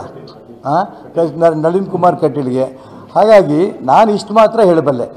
ನಮ್ಮ ಪಕ್ಷದ ಹಿತೈಷಿಗಳು, ನಮ್ಮ ಪಕ್ಷದ ಕಾರ್ಯಕರ್ತರು, ನನ್ನ ಅಭಿಮಾನಿಗಳು, ನರೇಂದ್ರ ಮೋದಿಯವರ ಅಭಿಮಾನಿಗಳು, ಅವರೆಲ್ಲರೂ ಬಂದು ಏನು ಹೇಳ್ತಾರೆ ಕೇಳಿಕೊಂಡು ಅವರ ಅಭಿಮಾನದ ತಕ್ಕಂತೆ ನಾನು ಮುಂದಿನ ತೀರ್ಮಾನ ತಗೊಳ್ಳಲಿದ್ದೇನೆ ಪಕ್ಷದ ವಿರುದ್ಧವಾಗಿ ನಾನು ಏನು ಯೋಚನೆಯನ್ನು ಕೂಡ ಮಾಡೋದಿಲ್ಲ ಪಕ್ಷ ನನ್ನ ತಾಯಿ ಇದ್ದಂಗೆ ಅಂತಾನೆ ಹೇಳ್ತಾ ಇದ್ದೀನಿ ಪ್ರತಿ ಪ್ರೆಸ್ ಮೀಟಲ್ಲೂ ಹೇಳ್ತೀನಿ ಈಗ ಯಾಕೆ ಪಕ್ಷದ ವಿರುದ್ಧವಾಗಿ ಯೋಚನೆ ಮಾಡ್ತೀನಿ ಎಲ್ಲಿ ಯೋಚನೆ ಮಾಡಿದ್ದೀನಿ? ಸಭೆ ನಡೆಸೋದು ನಾನು ಪರ್ಯಾಯವಾಗಿ ಏನು ಮಾಡಬೇಕು ಅಂತಲ್ಲ, ಅನೇಕ ಪಕ್ಷದ ಹಿರಿಯರೇ ಹೇಳ್ತಾ ಇದ್ದಾರೆ, ಪಕ್ಷದ ನಿಷ್ಠಾವಂತ ಕಾರ್ಯಕರ್ತರನ್ನಂಥ ರವಿ ಅಂತ ಪ್ರತಾಪ್ ಸಿಂಹ, ನಳಿನ್ ಕುಮಾರ್ ಇಂಥ ನಿಮ್ಮನ್ನು ಎಲ್ಲರೂ ಕೂಡ ಪಕ್ಕಕ್ಕೆ ಸರಿಸ್ತಿದ್ದಾರೆ ಅಂದರೆ, ತಾಯಿಯ ಕುತ್ತಿಗೆನೇ ಹೆಚ್ಚುಕ್ತಾ ಇದ್ದಾರೆ ಅವರು. ತಮ್ಮ ವೈಯಕ್ತಿಕ ಸಾಧನೆಗಾಗಿ, ಹಾಗಾಗಿ ನೀವೇನು ಸ್ಟ್ಯಾಂಡ್ ತಗೋಬೇಕು? ಅನ್ನೋಂಥ ಅಭಿಮಾನವನ್ನು ತಾಯಿನೇ ಅವ್ರ ಕೈಲಿ ಹಿಚುಕ್ತಾ ಇದ್ದಾರೆ ಅನ್ನೋಂಥ ಪ್ರಶ್ನೆ ಬಂದಿದೆ. ಅನೇಕ ಅಭಿಮಾನಿಗಳು ನನಗೆ ಫೋನ್ ಮಾಡ್ತಾ ಇದ್ದಾರೆ. ಇಂಡಿಪೆಂಡೆಂಟ್ ನಿಂತ್ಕೋಬೇಕು, ತಾಯಿನ ಉಳಿಸ್ಬೇಕು. ಭಾರತೀಯ ಜನತಾ ಪಾರ್ಟಿ ನಮ್ಮ ತಾಯಿ ನಮ್ಮ ತಾಯಿನ ಉಳಿಸ್ಬೇಕು ಅನ್ನೋಂಥ ಅಭಿಮಾನದಲ್ಲಿ ಎಲ್ಲರೂ ಮಾ ಫೋನ್ ಮಾಡ್ತಾ ಇರೋಂಥ ಸಂದರ್ಭದಲ್ಲಿ ನಾನು ಇನ್ನೂ ಕೂಡ ಯಾವ ತೀರ್ಮಾನವನ್ನು ತಗೊಂಡಿಲ್ಲ. ನಾಡ್ದೇವ್ರ ಜೊತೆ ಕೂತ್ಕೊಂಡು ಚರ್ಚೆ ಮಾಡಿ ತೀರ್ಮಾನ ತಗೋತೀನಿ. ಸರ್, ಈಗ ನೀವು ಇನ್ನೊಂದು ಮಾತು ಹೇಳಿದ್ರಿ, ಅಂದ್ರೆ ಅವ್ರು ಅವ್ರಿಗೆ ಆಗಿತ್ತು ಅವ್ರಿಬ್ರು ಕೇಸ್ ನನ್ನ ಮಗನಿಗೆ ಆಗಿಲ್ಲ ಅಂತ, ಅವ್ರು ಇನ್ನೂ ಒಂದು ಕೈಲಿದೆ ಅಂತ ಹೇಳ್ಬಿಟ್ಟು ಶೋಭನ್ ಯಾರ ಕೈಲಿತ್ತು? ಬಸವರಾಜ ಬೊಮ್ಮೆ ನನಗೆ ಬೇಡ ಅಂತ ಹೇಳಿದ್ದು ಎಲ್ಲಿ ಹೇಳಿದ್ರು? ಕರ್ನಾಟಕ ರಾಜ್ಯದ ಚುನಾವಣಾ ಸಮಿತಿನಲ್ಲಿ ನಾನು ಕೂತಂಥ ಸಂದರ್ಭದಲ್ಲಿ ನನಗೆ ಆರೋಗ್ಯ ಸರಿ ಇಲ್ಲ. ನಾನು ಯಾವುದೇ ಕಾರಣಕ್ಕೂ ಚುನಾವಣೆ ಸ್ಪರ್ಧೆ ಮಾಡಲ್ಲ. ನಾನು ಎಂ ಎಲ್ ಎ ಆಗಿದ್ದೀನಿ ಈಗ ಮಾಜಿ ಮುಖ್ಯಮಂತ್ರಿ ಅಂಥೇಳಿ ನನ್ನ ಹೆಸರು ನನ್ನ ಮಗನ ಹೆಸರೇ ಅವರು ಚುನಾವಣಾ ಸಮಿತಿನಲ್ಲಿ ಹೇಳಿದರು. ಕಾಂತೇಶನ್ಗೆ ಹಾವೇರಿ ಕ್ಷೇತ್ರ ನಿಲ್ಲಿಸಿ ಅಂತ ಅವರೇ ಹೇಳಿದರು.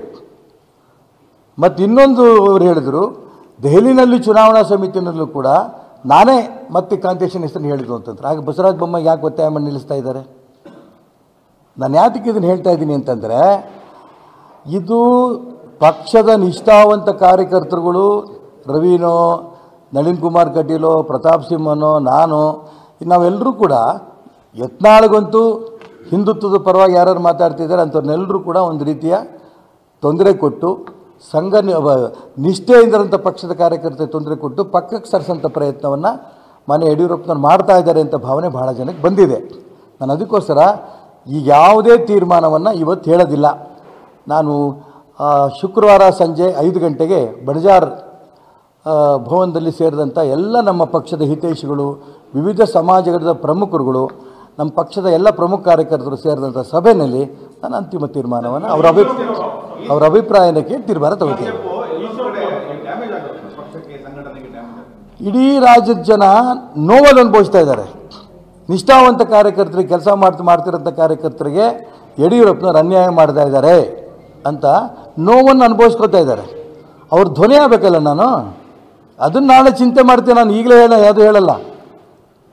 ನಾನು ಈಗಲೂ ಕೂಡ ಇನ್ನೂ ಹೇಳ್ತಾ ಇದ್ದೀನಿ, ನನಗೆ ಈಗ ತಾನೇ ರಾಧಾಮೋಹನ್ ಅಗರ್ವಾಲ್ ನಮ್ಮ ರಾಷ್ಟ್ರೀಯ ಸ ಪ್ರಧಾನ ಕಾರ್ಯದರ್ಶಿಗಳು, ಲೋಕಸಭಾ ಕ್ಷೇತ್ರ ಇನ್ಚಾರ್ಜ್, ಅವರು ನನಗೆ ಈಗ ಒಂದು ಹತ್ತು ನಿಮಿಷ ಕೆಳಗೆ ಫೋನ್ ಮಾಡಿದ್ದರು ನಿಮ್ಮ ಮಗನಿಗೆ ಈ ವಿಧಾನ ಪರಿಷತ್ತಿನ ಟಿಕೆಟ್ನ ಕೊಡ್ತೇನೆ. ಕೇಂದ್ರ ನಾಯಕರ ಹತ್ರ ಮಾತಾಡಿದ್ದೀವಿ. ಕಾಂತೇಶಿಂಗೆ ನಾಳೆ ಬರೋಂಥ ಗ್ರಾಜ್ಯುಯೇಟ್ ಚುನಾವಣೆ ನಿಲ್ಲಿಸ್ತೀವಿ, ಅವಕಾಶ ಮಾಡಿಕೊಡ್ತೀವಿ ಅಂತ ಹೇಳಿದರು. ನಾನು ಯಾವುದೂ ಇನ್ನೂ ಅವ್ರಿಗೆ ಪ್ರಾಮಿಸ್ ಮಾಡಿಲ್ಲ. ಅವ್ರ ಜೊತೆ ಕೂತು ಚರ್ಚೆ ಮಾಡಿ ತೀರ್ಮಾನ ಮಾಡ್ತೀನಿ. ಅನ್ಯಾಯ ಆಯ್ತು ಸರ್. ನಾನು ಅದಕ್ಕೆ ಹೇಳ್ತೀನಲ್ಲ ನಾನು ಜಾತಿ ನಾಯಕ ಎಂದೂ ಆಗಲಿಲ್ಲ. ಅದು ನನಗೆ ಒಂದು ಹೆಮ್ಮೆ. ಹಿಂದುತ್ವದ ವಿಚಾರವನ್ನು ಪ್ರತಿಪಾದನೆ ಮಾಡಿ ಮಾಡಿದ್ದೀನಿ ಅದು ನನಗೆ ಹೆಮ್ಮೆ. ಆದರೆ ಇದು ನನಗೆ ಅನ್ಯಾಯ ಆಗಿದೆ ಅನ್ನೋದನ್ನು ಇನ್ನೂ ನನಗೆ ಅನಿಸ್ತಾ ಇಲ್ಲ. ಎಲ್ಲರ ಜೊತೆ ಕೂತು ಚರ್ಚೆ ಮಾಡಿ ತೀರ್ಮಾನ ತಗೊಂಡು ಯಡಿಯೂರಪ್ಪನವರಿಗೆ ಯಾಕೆ ನಿಮ್ಮ ಬಗ್ಗೆ ಈಗ ಈಗಲೂ ಕೂಡ ಏಕೆ ವೈಯಕ್ತಿಕವಾಗಿ ನನಗೂ ಅವ್ರಿಗೂ ಆತ್ಮೀಯ ಸ್ನೇಹಿತರು ಒಂದೇ ತಟ್ಟೆಯಲ್ಲಿ ಊಟ ಮಾಡ್ತಿದ್ದವ್ರು ನಾವು. ಅವರ ಕೆಲವು ದೋಷಗಳನ್ನು ನೇರವಾಗಿ ಅವ್ರಿಗೆ ನಾನು ಹೇಳಿದೆ. ಇಂತಿಂಥ ತಪ್ಪುಗಳು ನೀವು ಮಾಡ್ತಾ ಇದ್ದೀರಿ, ಇದು ಒಳ್ಳೆಯದಲ್ಲ ನಮ್ಗೆ ಇನ್ನೊಬ್ಬ ಯಡಿಯೂರಪ್ಪ ಸಿಗೋದಿಲ್ಲ. ಅಂತಂಥ ಸಂದರ್ಭದಲ್ಲಿ ಅವರು ಒಂದು ಮೂರು ನಾಲ್ಕು ಸಾರಿ ನಾನು ಹೇಳಿದಂಥ ಸಂದರ್ಭದಲ್ಲಿ, ಯಾಕಂದರೆ ಯಡಿಯೂರಪ್ಪನವ್ರ ಬಗ್ಗೆ ಆಪಾದನೆ ಬಂದಿದ್ದು ನಮಗೆ ಸಮಾಧಾನ ಆಗ್ತಿರಲಿಲ್ಲ. ನಮಗೆ ನೋವಾಗುತ್ತೆ. ಕೊನೆ ಅವ್ರು ಹೇಳಿದ್ರು, ನನ್ನ ವೈಯಕ್ತಿಕ ವಿಚಾರಗಳಪ್ಪ, ಇದ್ರ ಬಗ್ಗೆ ನೀವು ತಲೆ ಹಾಕಬಾರ್ದು ಅಂತ. ಅಲ್ಲಿಂದ ನಾನು ಸರ್ಕೊಂಡೆ ನಂಬರ್ ಒನ್ ನಂಬರ್ ಟು ಅವರು ಕೆ ಜಿ ಪಿಗೆ ಹೋದರು. ನಾನು ಯಾವುದೇ ಕಾರಣಕ್ಕೂ ಕೆ ಜಿ ಪಿಗೆ ಹೋಗಲಿಲ್ಲ. ಈ ಥರದ ಅನೇಕ ಅಂಶಗಳು ಇರ್ಬೋದು. ನನ್ನ ಮಾತು ಕೇಳ್ತಾ ಇಲ್ಲಲ್ಲ. ನಾನು ಈ ಪಕ್ಷ ಕೊಟ್ಟಂಥ ಸಂಸ್ಕಾರದಿಂದ ಈ ಸಂಘಟನೆಗೆ ಆಗಿ ಬಂದೇವಿನ ಯಾವುದೇ ವ್ಯಕ್ತಿ ಪರವಾಗಿ ನಾನು ಹೋಗಲಿಲ್ಲ. ಅದು ಅವರ ಬೇಸರ ಆಗಿರ್ಬೋದು. ನೋಡೋಣ, ಏನೇನಾಗುತ್ತೆ ಅಂತ ನಾಳೆ ಹದಿನೈದನೇ ತಾರೀಕು ಸಭೆ ತೀರ್ಮಾನದಲ್ಲಿ ಇದೆಲ್ಲ ನಿಂತಿದೆ. ನೋಡೋಣ ಏನೇನಂತ. ನೂರು ಪ್ರಾಣ ಹೋದರೂ ಕೂಡ ನಾನು ಮೋದಿಯವ್ರು ಬಿಡೋಲ್ಲ ಮೋದಿಯವ್ರ ಪರವಾಗೇ ಇರೋದು. ಅವ್ರು ಅಕಸ್ಮಾತ್ ಎಲ್ಲರೂ ಸೇರಿ ಚುನಾವಣೆ ನಿಲ್ಲಬೇಕು ಅಂತಂದರೂ ಕೂಡ ಚುನಾವಣೆ ನಾನು ಗೆದ್ದು ಮೋದಿ ಪರವಾಗೇ ಹೋಗ್ತೀನಿ ನಾ. ಮೋದಿ ಬಿಟ್ಟು ನಾನು ಎಂದೆಂದೂ ಹೋಗೋಕ್ಕೆ ಸಾಧ್ಯ ಇಲ್ಲ.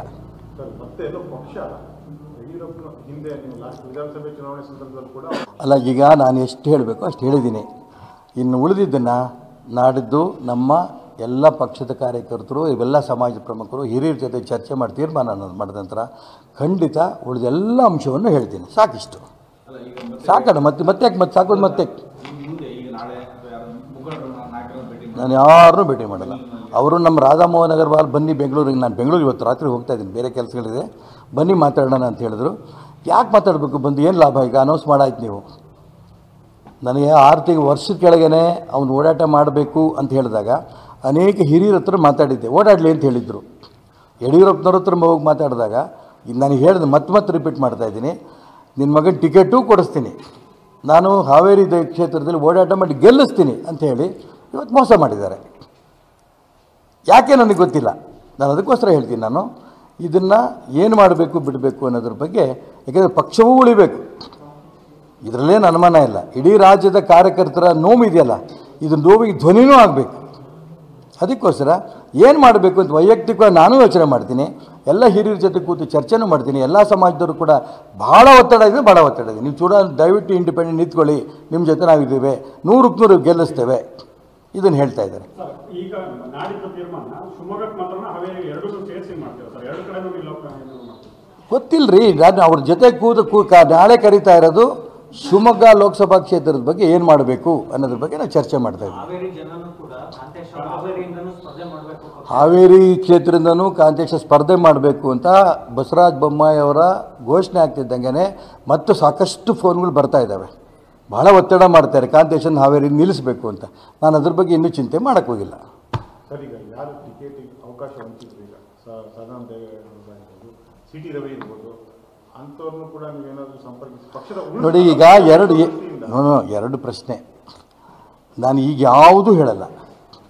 ನಾನೇನು ತೀರ್ಮಾನ ತಗೋತೀನಿ ತೀರ್ಮಾನ ತಗೊಂಡ ನಂತರ ಮುಂದಿಂತು ಸರ್ ಈಗ ಪಕ್ಷ ಉಳಿಬೇಕು ಅಂತೀರಿ ಮತ್ತೆ ಈಗ ಸಭೆ ನಡೆಸ್ತೀರಿ ಸ್ಪ್ಲಿಟ್ ಆದಂಗೆ ಎಲ್ಲಿ ಯಾವ ಸಭೆ ನಡೆಸ್ತೀನಿ ಪಾರ್ಟಿ ಬಿಟ್ಟು ಹೋಗ್ತೀನಿ ಅಂತ ಹೇಳಿದ್ದೀನಿ ನಾನು. ನಾನು ಹೆ- ಪಾರ್ಟಿ ಬಿಟ್ಟು ಹೋಗ್ತೀನಿ ಅಂತ ಹೇಳಿದ್ದೀನಿ ಅಂದೆ. ನಾನು ಇನ್ನೂ ಹೇಳಿಲ್ಲಲ್ಲ. ಯಾರು ನಿಂತೀನಿ ಅಂತ ಹೇಳಿ ಹೇಳೋದು. ಅಭಿಪ್ರಾಯ ಸಂಗ್ರಹ. ಮಾಡಿ ಪಕ್ಷವನ್ನು ಉಳಿಸೋದಕ್ಕೋಸ್ಕರ ನೀವು ನಿಂತ್ಕೋಬೇಕು ಅಂತ ಎಲ್ಲರೂ ಹೇಳ್ತಿರೋದು. ಒಬ್ಬ ಒಂದು ಕುಟುಂಬದ ಕೈಯಲ್ಲಿ ಪಕ್ಷ ಸಿಕ್ಕೊಂಡಿದೆ, ಇದರಿಂದ ಪಾರು ಮಾಡಬೇಕು ಅನ್ನೋದಕ್ಕೋಸ್ಕರ ಅವರೆಲ್ಲರೂ ಹೇಳ್ತಿದ್ದಾರೆ, ನೀವು ಇಂಡಿಪೆಂಡೆಂಟಾಗಿ ನಿಂತ್ಕೋಬೇಕು. ನಿಂತ್ಕೊಂಡು ಗೆದ್ದು ಕೇಂದ್ರ ನಾಯಕರು ಅರ್ಥ ಆಗುತ್ತೆ. ಈ ಚುನಾವಣೆ ಅಕಸ್ಮಾತ್ ನಾನು ನಿಂತರೆ ಯಾಕೆ ನಿಂತೆ? ಈಶ್ವರಪ್ಪನಂತ ನಿಷ್ಠಾವಂತ ಕಾರ್ಯಕರ್ತ ಯಾಕೆ ನಿಂತ ಅಂತ ಅಂದ್ಕೊಂಡು ಇಡೀ ರಾಜ್ಯದ ಎಲ್ಲ ನಮ್ಮ ಕಾರ್ಯಕರ್ತರು ಫೋನ್ ಮಾಡ್ತಾ ಇದ್ದಾರೆ. ಎಲ್ಲ ಹಿರಿಯರು ಫೋನ್ ಮಾಡ್ತಾ ಇದ್ದಾರೆ. ನೊಂದಿರೋರು. ಒಂದು ಕುಟುಂಬದ ಕೈಲಿ ಹಾಕ್ಕೊಟ್ರು ಪಕ್ಷವನ್ನು. ಅವರೇ ಹಂಗಾರೆ ನಾಯಕರ. ಅವರೇ ಲಿಂಗಾಯತ ನಾಯಕರ ಬೇರೆ ಲಿಂಗಾಯತ ನಾಯಕರುಗಳು ಇಲ್ವಾ? ಈ ಅಂಶಗಳೆಲ್ಲರೂ ಕೂಡ ಪ್ರಶ್ನೆಗಳು ಕೇಳ್ತಾರೆ. ಇದಕ್ಕೆಲ್ಲವೂ ಉತ್ತರ ನಾನು ಹೇಳ್ತೀನಲ್ಲ ನಾಡಿದ್ದು ಸಭೆಯ ನಂತರ ನಿಮಗೆ ತಿಳಿಸ್ತೇನೆ.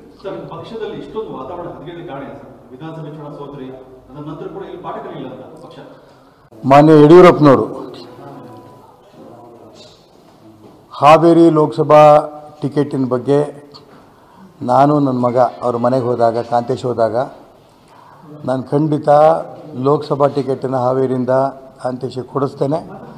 ಜೊತೆಗೆ ಹಾವೇರಿ ಲೋಕಸಭಾ ಕ್ಷೇತ್ರದಲ್ಲಿ ನಾನೇ ಓಡಾಟ ಮಾಡಿ ಅವನು ಗೆಲ್ಲಿಸ್ತೇನೆ ಅನ್ನೋಂಥ ಮಾತನ್ನು ಹೇಳಿ, ಅವನು ಹಾವೇರಿ ಗದಗ ಜಿಲ್ಲೆಗಳಲ್ಲಿ ಸಾಕಷ್ಟು ಸಮಯವನ್ನು ಓಡಾಟ ಮಾಡಿದ್ದ. ಆ ಎಲ್ಲ ಜನರು ಕೂಡ ಅವನು ವಿಶ್ವಾಸ ಗೆಲ್ಲಿಸಿದ್ದ ಆ ಭಾಗದ ಎಲ್ಲ ಸ್ವಾತಂತ್ರ್ಯರು ಕೂಡ, ಮಠಾಧಿಪತಿಗಳು ಕೂಡ ಆಶೀರ್ವಾದ ಮಾಡಿದರು. ನೂರಕ್ಕೆ ನೂರು ನಾವು ಗೆಲ್ಲಿಸ್ಕೊಡ್ತೀವಿ ಅಂತ. ಈಗ ಯಡಿಯೂರಪ್ಪನವರು ಅವ್ರ ಮಾತು ನಂಗೆ ನಡ್ಕೊಳ್ಲಿಲ್ಲ. ಅನ್ಯಾಯ ಮಾಡಿದ್ರು. ಹಾಗಾಗಿ ಈಗ ಶಿವಮೊಗ್ಗ ಲೋಕಸಭಾ ಕ್ಷೇತ್ರದಿಂದ ನನಗೆ ತುಂಬ ಒತ್ತಡ ಬರ್ತಾ ಇದೆ. ನೀವು ನಿಂತ್ಕೊಂಡಿದ್ದೀರಿ, ನಿಂತ್ಕೋಬೇಕು ಶಿವಮೊಗ್ಗ ಲೋಕಸಭಾ ಕ್ಷೇತ್ರಕ್ಕಿಂತ ಯಡಿಯೂರಪ್ಪನವ್ರ ಮಗನ ವಿರುದ್ಧ ನಿಂತ್ಕೋಬೇಕು ನಾವು ಗೆಲ್ಲಿಸ್ಬಿಡ್ತೀವಿ ನಾವೆಲ್ಲರೂ ಕೂಡ ಅಂತ ಮಾತುಗಳು ಹೇಳ್ತಾ ಇದ್ದಾರೆ. ನಾನು ನರೇಂದ್ರ ಮೋದಿಯವರ ಅಭಿಮಾನಿ. ನಮ್ಮ ದೇಶದ ವಿಶ್ವದ ನಾಯಕ ನರೇಂದ್ರ ಮೋದಿಯವರು ಮತ್ತೊಮ್ಮೆ ಪ್ರಧಾನಮಂತ್ರಿ ಆಗಬೇಕು ಅಂತ ಅಪೇಕ್ಷೆ ಪಡ್ತಾರೆ ಅದರಲ್ಲಿ ನಾನು ಒಬ್ಬ. ಹಾಗಾಗಿ ಅವರೆಲ್ಲರ ಅಭಿಮಾನವನ್ನು ಕಂಡು ಯಾರ್ಯಾರು ಇವತ್ತು ನನಗೆ ಒತ್ತಾಯ ಮಾಡ್ತಾ ಇದ್ದಾರೋ, ಚುನಾವಣೆ ನಿಲ್ಲಬೇಕು ಅಂತ, ಅವರೆಲ್ಲರೂ ಕೂಡ ನನ್ನ ಅಭಿಮಾನಿಗಳು ಹೌದು, ನರೇಂದ್ರ ಮೋದಿ ಅಭಿಮಾನಿಗಳು ಹೌದು. ಅವರೆಲ್ಲ ಹೇಳೋದೇನು, ನಾವು ಚುನಾವಣೆ ನಿಮ್ಮನ್ನು ಗೆಲ್ಲಿಸ್ತೇವೆ, ಮತ್ತೆ ಹೋಗಿ ನರೇಂದ್ರ ಮೋದಿಗೆ ನೀವು ಬೆಂಬಲ ಕೊಡಿ, ಅವ್ರು ಪ್ರಧಾನಮಂತ್ರಿ ಮಾಡೋಕ್ಕೆ ನೀವು ಕೈ ಎತ್ತಿ, ಲೋಕಸಭಾ ಸದಸ್ಯ ಸದಸ್ಯರಾಗಿ ಈ ಮಾತುಗಳು ಹೇಳ್ತಾ ಇದ್ದಾರೆ. ನನಗೆ ಗೊತ್ತಿಲ್ಲ. ನಾನು ಇನ್ನೂ ಇಂಡಿಪೆಂಡೆಂಟ್ ನಿಲ್ಲಬೇಕು ಬೇಡೋ, ಅವ್ರ ಜೊತೆಗೆ ಒಂದು ಸಭೆ ಮಾಡ್ತಾ ಇದ್ದೀನಿ. ನಾಡಿದ್ದು ಹದಿನೈದನೇ ತಾರೀಕು, ಶುಕ್ರವಾರ ಸಂಜೆ ಐದು ಗಂಟೆಗೆ ಶಿವಮೊಗ್ಗದ ಬಣಜಾರ್ ಭವನದಲ್ಲಿ, ಬಾಲರಾಜರ ಸಂಸ್ಥೆ ಬಣಜಾರ್ ಭವನದಲ್ಲಿ ಒಂದು ಸಭೆ ಮಾಡ್ತಿದ್ದೇನೆ. ಎಲ್ಲ ಸಮಾಜದ ಪ್ರಮುಖರು, ಎಲ್ಲ ಹಿರಿಯರು, ನಮ್ಮ ಹಿತೈಷಿಗಳು ಎಲ್ಲರೂ ಕೂಡ ಅವತ್ತು ಆ ಸಭೆಯಲ್ಲಿ ಬಂದು ಸೇರ್ತಾ ಇದ್ದಾರೆ. ಅವರೆಲ್ಲರ ಸಲಹೆ ಏನು ಕೊಡ್ತಾರೆ, ಆ ಸಲಹೆ ಮೇಲೆ ನಾನು ಮುಂದಿನ ತೀರ್ಮಾನವನ್ನು ನಾನು ತಗೋತೀನಿ ನೀವು ಹೇಳಿದಾಗ ಮೊನ್ನೆ ಡೆಲ್ಲಿಗೆ ಹೋದಾಗ ಅನುಕೂಲ ಆಗ್ತಿತ್ತೇನೋ ಅಂತ. ಅಂದರೆ ಮೊನ್ನೆ ನಿಮಗೆ ಬರಕ್ಕೆ ಈಗ ಯಡಿಯೂರಪ್ಪನವರು ಹಠ ಹಿಡಿದು ಬೊಮ್ಮಾಯಿ ಸೀಟ್ ಸೀಟ್ ಕೇಳ್ತಾ ಇದ್ದಾರೆ. ಯಡಿಯೂರಪ್ಪನವರು ಹಠ ಹಿಡಿದು ಶೋಭಾ ಕರಂದ್ಲಾಜೆಗೆ ಸೀಟ್ ಕೇಳ್ತಾ ಇದ್ದಾರೆ ಅಂತ ಟಿ ವಿಗಳಲ್ಲಿ ಬಂದಿತ್ತು. ಶೋಭಾ ಕರಂದ್ಲಾಜೆ ಡೆಲ್ಲಿಗೇನು ಹೋಗಲಿಲ್ಲ? ಹಾಗಾಗಿ ಅವರು ಹಠ ಹಿಡಿದು ಬೊಮ್ಮಾಯಿಗೂ ಮತ್ತು ಜ ಶೋಭಾ ಕರಂದ್ಲಾಜೆ ಟಿಕೆಟ್ ಕೊಡ್ತಿರ್ಬೇಕಾದ್ರೆ, ಅವ್ರು ಹಠ ಹಿಡಿದ್ರು ನನ್ನ ಮಗ ಕಾಂತೇಶ್ ಯಾಕೆ ಟಿಕೆಟ್ ಕೊಡಿಸ್ಲಿಲ್ಲ? ಅವ್ರಿಗ್ಯಾಕೆ ಆಸಕ್ತಿ ಬರಲಿಲ್ಲ? ನನಗಂತೂ ಗೊತ್ತಿಲ್ಲ. ನಾನು ನಲವತ್ತು ವರ್ಷ ಈ ಪಕ್ಷದಲ್ಲಿ ನಿಷ್ಠೆಯಿಂದ ಕೆಲಸ ಮಾಡ್ಕೊಂಡು ಬಂದಿದ್ದೇನೆ. ಆ ನಿಷ್ಠೆನ ನಮ್ಮ ಇಡೀ ರಾಜ್ಯ ಜನ, ಕ್ಷೇತ್ರ ಜನ ಗುರುತಿಸಿದ್ದಾರೆ. ನನಗೆ ಕಳೆದ ವಿಧಾನಸಭಾ ಚುನಾವಣಾ ಸಂದರ್ಭದಲ್ಲಿ ನೀವು ಚುನಾವಣೆ ರಾಜಕಾರಣದಿಂದ ಹೊರಗಿರಬೇಕು, ಚುನಾವಣೆ ನಿಲ್ಲಬಾರ್ದು ಅಂತ ಕೇಂದ್ರ ನಾಯಕರಿಗೂ ಕೊಟ್ಟಂಥ ಅಪೇಕ್ಷೆ ತಕ್ಕಂತೆ ಪಕ್ಷದ ನಿಷ್ಠಾವಂತನಾಗಿ ನಾನು ಚುನಾವಣೆ ಸ್ಪರ್ಧೆ ಮಾಡಲಿಲ್ಲ. ಮತ್ತು ಈ ಕ್ಷೇತ್ರದ ಶಿವಮೊಗ್ಗ ಕ್ಷೇತ್ರದಿಂದ ಒಬ್ಬ ಸಾಮಾನ್ಯ ಕಾರ್ಯಕರ್ತನ ಎಂ ಎಲ್ ಎ ಗೆಲ್ಲಿಸ್ಕೊಂಡ್ವಿ ಇದನ್ನು ಒಪ್ಪಿ ಸಂತೋಷದಿಂದ ಮಾನ್ಯ ಪ್ರಧಾನಮಂತ್ರಿ ನರೇಂದ್ರ ಮೋದಿಯವರು ಕೂಡ ನನಗೆ ಮಾತಾಡಿ, ಒಳ್ಳೆ ಕೆಲಸ ಮಾಡಿದ್ಯಪ್ಪ, ನೀ ಡಿಸಿಪ್ಲಿನ್ ಸೋಲ್ಜರ್ ಅಂತ ಮಾತು ಹೇಳಿದರು. ಅನೇಕ ಹಿರಿಯರು ಕೂಡ ನಮ್ಮ ಮನೆಗೆ ಬಂದು ಹೇಳಿಬಿಟ್ಟು ಹೋಗಿದ್ದರು ನಿಮಗೆ ಮುಂದೆ ಭವಿಷ್ಯ ಇದೆ, ನಿನಗೂ ಭವಿಷ್ಯ ಇದೆ ಮತ್ತು ಕಾಂತೇಶಿಗೂ ಭವಿಷ್ಯ ಇದೆ ಅಂತ ಮಾತುಗಳು ಹೇಳಿಬಿಟ್ಟು ಹೋಗಿದ್ದರು ಈಗ ಹಠ ಹಿಡಿದು ಯಡಿಯೂರಪ್ಪನವರು ಕರ್ನಾಟಕ ರಾಜ್ಯದಲ್ಲಿರೋಂಥ ಅನೇಕ ವ್ಯಕ್ತಿಗಳಿಗೆ ಅನ್ಯಾಯ ಆಗಿದೆ. ಪ್ರತಾಪ್ ಸಿಂಹ ಅವ್ರಿಗೆ ಅನ್ಯಾಯ ಆಗಿದೆ. ಭಾಳ ಪಾಪ್ಯುಲರ್ ಲೀಡರ್ ಮೈಸೂರಿನಲ್ಲಿ. ಮನೆ ಸಿ ಟಿ ರವಿ ಅವ್ರಿಗೆ ಅನ್ಯಾಯ ಆಗಿದೆ. ಅದೇ ರೀತಿ ಸದಾನಂದ ಗೌಡ್ರಿಗೆ ಅನ್ಯಾಯ ಆಗಿದೆ. ಇನ್ನು ಯಾರ್ಯಾರಿಗೆ ಅನ್ಯಾಯ ಆಗಿದೆ ನೋಡೋಣ.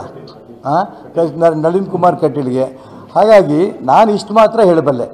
ನಮ್ಮ ಪಕ್ಷದ ಹಿತೈಷಿಗಳು, ನಮ್ಮ ಪಕ್ಷದ ಕಾರ್ಯಕರ್ತರು, ನನ್ನ ಅಭಿಮಾನಿಗಳು, ನರೇಂದ್ರ ಮೋದಿಯವರ ಅಭಿಮಾನಿಗಳು ಅವರೆಲ್ಲರೂ ಬಂದು ಏನು ಹೇಳ್ತಾರೆ ಕೇಳಿಕೊಂಡು ಅವರ ಅಭಿಮಾನದ ತಕ್ಕಂತೆ ನಾನು ಮುಂದಿನ ತೀರ್ಮಾನ ತಗೊಳಲಿದ್ದೇನೆ.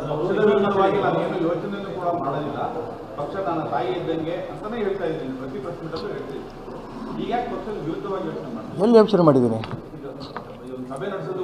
ಸಭೆ ನಡೆಸೋದು ನಾನು ಪರ್ಯಾಯವಾಗಿ ಏನು ಮಾಡಬೇಕು ಅಂತಲ್ಲ ಅನೇಕ ಪಕ್ಷದ ಹಿರಿಯರೇ ಹೇಳ್ತಾ ಇದ್ದಾರೆ ಪಕ್ಷದ ನಿಷ್ಠಾವಂತ ಕಾರ್ಯಕರ್ತರನ್ನಂಥ ರವಿ ಅಂತ ಪ್ರತಾಪ್ ಸಿಂಹ, ನಳಿನ್ ಕುಮಾರ್ ಇಂಥ ನಿಮ್ಮನ್ನು ಎಲ್ಲರೂ ಕೂಡ ಪಕ್ಕಕ್ಕೆ ಸರಿಸ್ತಿದ್ದಾರೆ ಅಂದರೆ ತಾಯಿಯ ಕುತ್ತಿಗೆನೇ ಹೆಚ್ಚುಕ್ತಾ ಇದ್ದಾರೆ ಅವರು.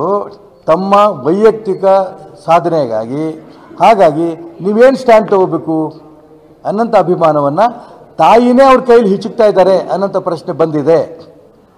ಅನೇಕ ಅಭಿಮಾನಿಗಳು ನನಗೆ ಫೋನ್ ಮಾಡ್ತಾ ಇದ್ದಾರೆ. ಇಂಡಿಪೆಂಡೆಂಟ್ ನಿಂತ್ಕೋಬೇಕು, ತಾಯಿನ ಉಳಿಸ್ಬೇಕು.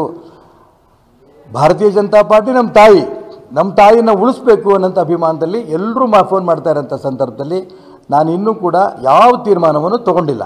ನಾಡ್ದೇವ್ರ ಜೊತೆ ಕೂತ್ಕೊಂಡು ಚರ್ಚೆ ಮಾಡಿ ತೀರ್ಮಾನ ತಗೋತೀನಿ.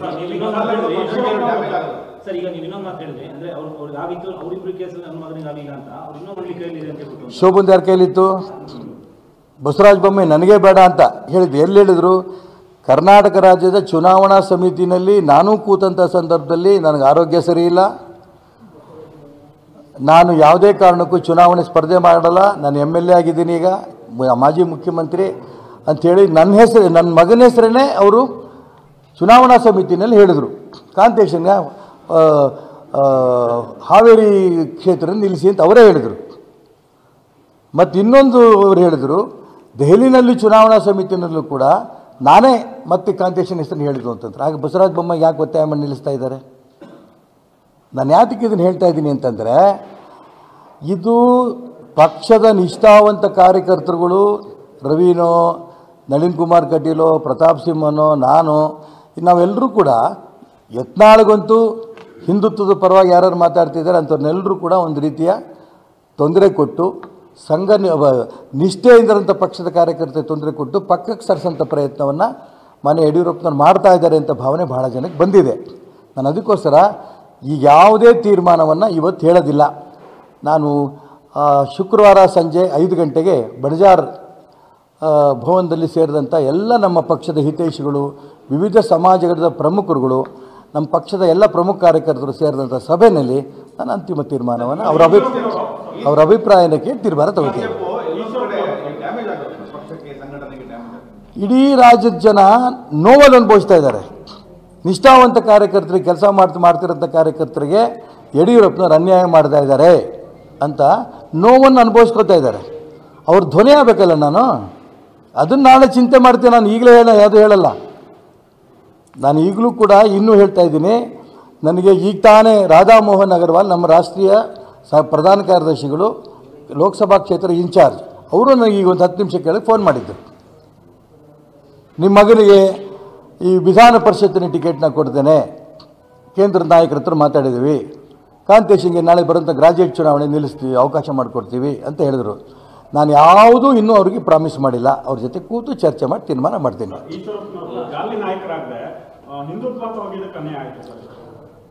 ನಾನು ಅದಕ್ಕೆ ಹೇಳ್ತೀನಲ್ಲ ನಾನು ಜಾತಿ ನಾಯಕ ಎಂದೂ ಆಗಲಿಲ್ಲ. ಅದು ನನಗೆ ಒಂದು ಹೆಮ್ಮೆ. ಹಿಂದುತ್ವದ ವಿಚಾರವನ್ನು ಪ್ರತಿಪಾದನೆ ಮಾಡಿ ಮಾಡಿದ್ದೀನಿ ಅದು ನನಗೆ ಹೆಮ್ಮೆ. ಆದರೆ ಇದು ನನಗೆ ಅನ್ಯಾಯ ಆಗಿದೆ ಅನ್ನೋದನ್ನು ನೀನು ನನಗೆ ಅನಿಸ್ತಾ ಇಲ್ಲ. ಎಲ್ಲರ ಜೊತೆ ಕೂತು ಚರ್ಚೆ ಮಾಡಿ ತೀರ್ಮಾನ ತಗೊಂಡು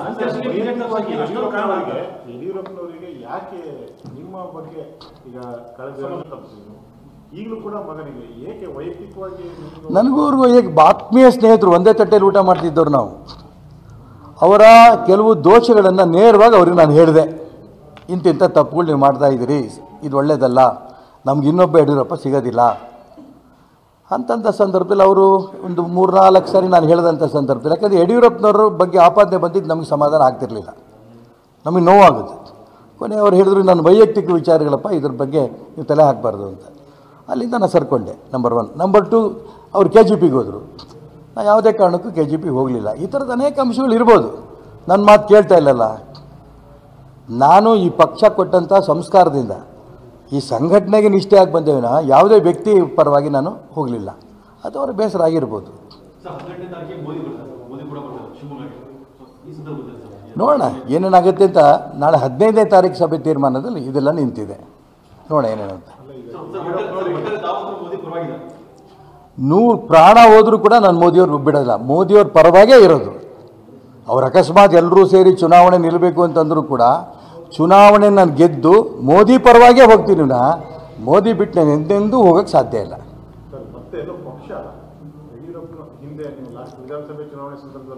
ಅಲ್ಲ ಈಗ ನಾನು ಎಷ್ಟು ಹೇಳಬೇಕು ಅಷ್ಟು ಹೇಳಿದ್ದೀನಿ.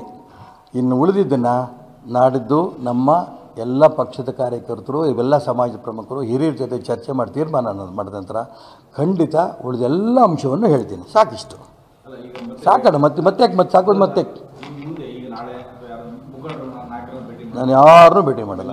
ಅವರು ನಮ್ಮ ರಾಧಾಮೋಹನ್ ಅಗರ್ವಾಲ್ ಬನ್ನಿ ಬೆಂಗಳೂರಿಗೆ, ನಾನು ಬೆಂಗಳೂರಿಗೆ ಇವತ್ತು ರಾತ್ರಿ ಹೋಗ್ತಾ ಇದ್ದೀನಿ. ಬೇರೆ ಕೆಲಸಗಳಿದೆ. ಬನ್ನಿ ಮಾತಾಡೋಣ ಅಂತ ಹೇಳಿದ್ರು.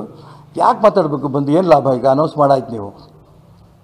ನನಗೆ ಆರು ತಿಂಗಳು ವರ್ಷದ ಕೆಳಗೇ ಅವನು ಓಡಾಟ ಮಾಡಬೇಕು ಅಂತ ಹೇಳಿದಾಗ ಅನೇಕ ಹಿರಿಯರ ಹತ್ರ ಮಾತಾಡಿದ್ದೆ. ಓಡಾಡಲಿ ಅಂತ ಹೇಳಿದರು. ಯಡಿಯೂರಪ್ಪನವ್ರ ಹತ್ರ ಹೋಗಿ ಮಾತಾಡಿದಾಗ ನಾನು ಹೇಳಿದೆ ಮತ್ತೆ ಮತ್ತೆ ರಿಪೀಟ್ ಮಾಡ್ತಾ ಇದ್ದೀನಿ. ನಿನ್ನ ಮಗನ ಟಿಕೆಟೂ ಕೊಡಿಸ್ತೀನಿ. ನಾನು ಹಾವೇರಿ ಕ್ಷೇತ್ರದಲ್ಲಿ ಓಡಾಟ ಮಾಡಿ ಗೆಲ್ಲಿಸ್ತೀನಿ ಅಂತ ಹೇಳಿ ಇವತ್ತು ಮೋಸ ಮಾಡಿದ್ದಾರೆ. ಯಾಕೆ ನನಗೆ ಗೊತ್ತಿಲ್ಲ? ನಾನು ಅದಕ್ಕೋಸ್ಕರ ಹೇಳ್ತೀನಿ ನಾನು, ಇದನ್ನು ಏನು ಮಾಡಬೇಕು ಬಿಡಬೇಕು ಅನ್ನೋದ್ರ ಬಗ್ಗೆ, ಯಾಕೆಂದರೆ ಪಕ್ಷವೂ ಉಳಿಬೇಕು. ಇದರಲ್ಲೇನು ಅನುಮಾನ ಇಲ್ಲ. ಇಡೀ ರಾಜ್ಯದ ಕಾರ್ಯಕರ್ತರ ನೋವು ಇದೆಯಲ್ಲ ಇದು ನೋವಿಗೆ ಧ್ವನಿನೂ ಆಗಬೇಕು. ಅದಕ್ಕೋಸ್ಕರ ಏನು ಮಾಡಬೇಕು ಅಂತ ವೈಯಕ್ತಿಕವಾಗಿ ನಾನು ಯೋಚನೆ ಮಾಡ್ತೀನಿ.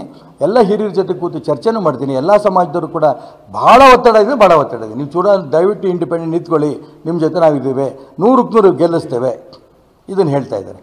ಈಗ ನಾಡಿದ್ದು ತೀರ್ಮಾನ ಶಿವಮೊಗ್ಗಕ್ಕೆ ಮಾತ್ರ ಹಾವೇರಿ ಎರಡೂ ಸೇರಿಸಿ ಮಾಡ್ತೇವೆ ಸರ್? ಎರಡು ಕಡೆನೂ ನಿಲ್ಲೋಕೆ ಇದು ಮಾಡ್ತೀವಿ ಗೊತ್ತಿಲ್ಲರಿ ನಾನು ಅವ್ರ ಜೊತೆ ಕೂದ ಕೂ ನಾಳೆ ಕರೀತಾ ಇರೋದು ಶಿವಮೊಗ್ಗ ಲೋಕಸಭಾ ಕ್ಷೇತ್ರದ ಬಗ್ಗೆ ಏನು ಮಾಡಬೇಕು ಅನ್ನೋದ್ರ ಬಗ್ಗೆ ನಾವು ಚರ್ಚೆ ಮಾಡ್ತಾ ಇದ್ದೀವಿ. ಹಾವೇರಿ ಜನನು ಕೂಡ ಕಾಂತೇಶ್ ಅವರು ಹಾವೇರಿಯಿಂದನೂ ಸ್ಪರ್ಧೆ ಮಾಡಬೇಕು ಹಾವೇರಿ ಕ್ಷೇತ್ರದಿಂದನೂ ಕಾಂತೇಶ ಸ್ಪರ್ಧೆ ಮಾಡಬೇಕು ಅಂತ ಬಸವರಾಜ ಬೊಮ್ಮಾಯಿ ಅವರ ಘೋಷಣೆ ಆಗ್ತಿದ್ದಂಗೆ ಮತ್ತು ಸಾಕಷ್ಟು ಫೋನ್ಗಳು ಬರ್ತಾ ಇದ್ದಾವೆ. ಭಾಳ ಒತ್ತಡ ಮಾಡ್ತಾರೆ. ಕಾಂತೇಶನ್ ಹಾವೇರಿ ನಿಲ್ಲಿಸಬೇಕು ಅಂತ. ನಾನು ಅದ್ರ ಬಗ್ಗೆ ಇನ್ನೂ ಚಿಂತೆ ಮಾಡೋಕ್ಕೆ ಹೋಗಿಲ್ಲ. ಅವಕಾಶ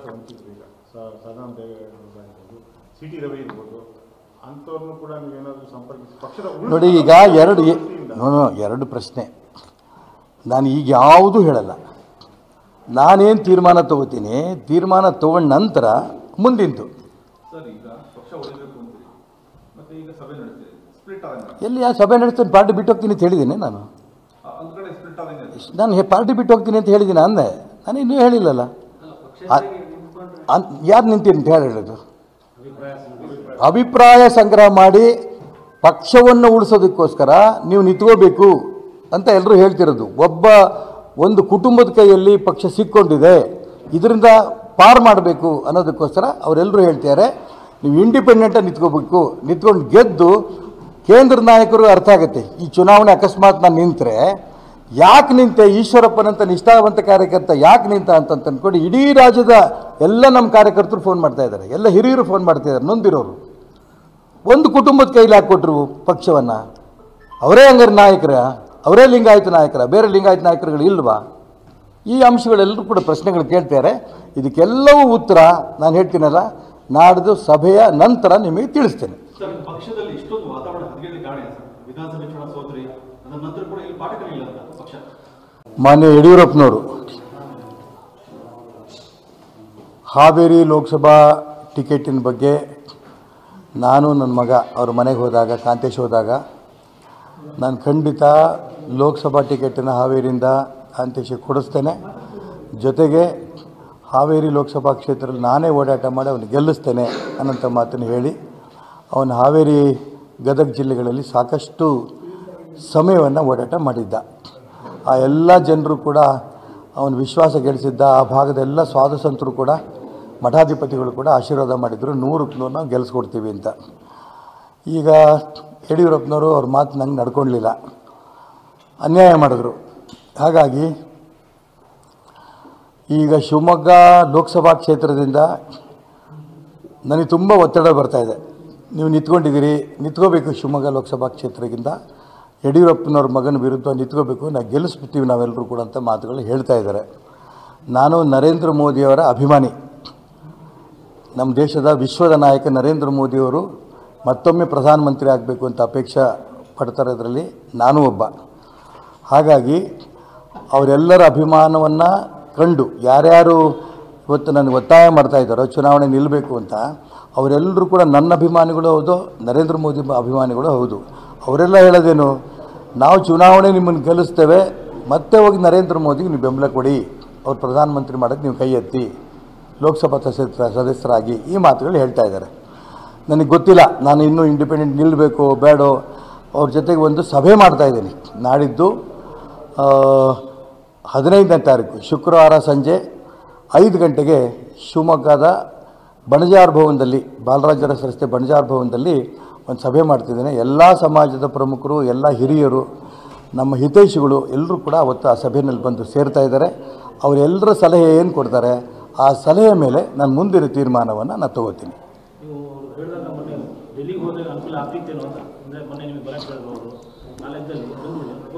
ಈಗ ಮಗನ ಜೊತೆ ಬರಲಿ ಅಂತ ಯಡಿಯೂರಪ್ಪನವರು ಹಠ ಹಿಡಿದು ಬೊಮ್ಮಾಯಿ ಸೀಟ್ ಸೀಟ್ ಕೇಳ್ತಾ ಇದ್ದಾರೆ. ಯಡಿಯೂರಪ್ಪನವರು ಹಠ ಹಿಡಿದು ಶೋಭಾ ಕರಂದ್ಲಾಜೆಗೆ ಸೀಟ್ ಕೇಳ್ತಾ ಇದ್ದಾರೆ ಅಂತ ಟಿ ವಿಗಳಲ್ಲಿ ಬಂದಿತ್ತು. ಶೋಭಾ ಕರಂದ್ಲಾಜೆ ಡೆಲ್ಲಿಗೇನು ಹೋಗಲಿಲ್ಲ? ಹಾಗಾಗಿ ಅವರು ಹಠ ಹಿಡಿದು ಬೊಮ್ಮಾಯಿಗೂ ಮತ್ತು ಜ, ಶೋಭಾ ಕರಂದ್ಲಾಜೆ ಟಿಕೆಟ್ ಕೊಡ್ತಿರ್ಬೇಕಾದ್ರೆ ಅವ್ರು ಹಠ ಹಿಡಿದು ನನ್ನ ಮಗ ಕಾಂತೇಶ್ ಯಾಕೆ ಟಿಕೆಟ್ ಕೊಡಿಸ್ಲಿಲ್ಲ? ಅವ್ರಿಗೆ ಯಾಕೆ ಆಸಕ್ತಿ ಬರಲಿಲ್ಲ? ನನಗಂತೂ ಗೊತ್ತಿಲ್ಲ. ನಾನು ನಲವತ್ತು ವರ್ಷ ಈ ಪಕ್ಷದಲ್ಲಿ ನಿಷ್ಠೆಯಿಂದ ಕೆಲಸ ಮಾಡ್ಕೊಂಡು ಬಂದಿದ್ದೇನೆ. ಆ ನಿಷ್ಠೆನ ನಮ್ಮ ಇಡೀ ರಾಜ್ಯ ಜನ, ಕ್ಷೇತ್ರ ಜನ ಗುರುತಿಸಿದ್ದಾರೆ. ನನಗೆ ಕಳೆದ ವಿಧಾನಸಭಾ ಚುನಾವಣಾ ಸಂದರ್ಭದಲ್ಲಿ ನೀವು ಚುನಾವಣೆ ರಾಜಕಾರಣದಿಂದ ಹೊರಗಿರಬೇಕು, ಚುನಾವಣೆ ನಿಲ್ಲಬಾರ್ದು ಅಂತ ಕೇಂದ್ರ ನಾಯಕರಿಗೆ ಕೊಟ್ಟಂಥ ಅಪೇಕ್ಷೆಗೆ ತಕ್ಕಂತೆ ಪಕ್ಷದ ನಿಷ್ಠಾವಂತನಾಗಿ ನಾನು ಚುನಾವಣೆ ಸ್ಪರ್ಧೆ ಮಾಡಲಿಲ್ಲ. ಮತ್ತು ಈ ಕ್ಷೇತ್ರದ ಶಿವಮೊಗ್ಗ ಕ್ಷೇತ್ರದಿಂದ ಒಬ್ಬ ಸಾಮಾನ್ಯ ಕಾರ್ಯಕರ್ತನ ಎಂ ಎಲ್ ಎ ಗೆಲ್ಲಿಸ್ಕೊಂಡ್ವಿ ಇದನ್ನು ಒಪ್ಪಿ ಸಂತೋಷದಿಂದ ಮಾನ್ಯ ಪ್ರಧಾನಮಂತ್ರಿ ನರೇಂದ್ರ ಮೋದಿಯವರು ಕೂಡ ನನಗೆ ಮಾತಾಡಿ, ಒಳ್ಳೆ ಕೆಲಸ ಮಾಡಿದ್ಯಪ್ಪ, ನೀ ಡಿಸಿಪ್ಲಿನ್ ಸೋಲ್ಜರ್ ಅಂತ ಮಾತು ಹೇಳಿದರು. ಅನೇಕ ಹಿರಿಯರು ಕೂಡ ನಮ್ಮ ಮನೆಗೆ ಬಂದು ಹೇಳಿಬಿಟ್ಟು ಹೋಗಿದ್ದರು ನಿಮಗೆ ಮುಂದೆ ಭವಿಷ್ಯ ಇದೆ, ನಿನಗೂ ಭವಿಷ್ಯ ಇದೆ ಮತ್ತು ಕಾಂತೇಶಿಗೂ ಭವಿಷ್ಯ ಇದೆ ಅಂತ ಮಾತುಗಳು ಹೇಳಿಬಿಟ್ಟು ಹೋಗಿದ್ದರು ಈಗ ಹಠ ಹಿಡಿದು ಯಡಿಯೂರಪ್ಪನವರು ಕರ್ನಾಟಕ ರಾಜ್ಯದಲ್ಲಿರೋಂಥ ಅನೇಕ ವ್ಯಕ್ತಿಗಳಿಗೆ ಅನ್ಯಾಯ ಆಗಿದೆ. ಪ್ರತಾಪ್ ಸಿಂಹ ಅವ್ರಿಗೆ ಅನ್ಯಾಯ ಆಗಿದೆ. ಭಾಳ ಪಾಪ್ಯುಲರ್ ಲೀಡರ್ ಮೈಸೂರಿನಲ್ಲಿ.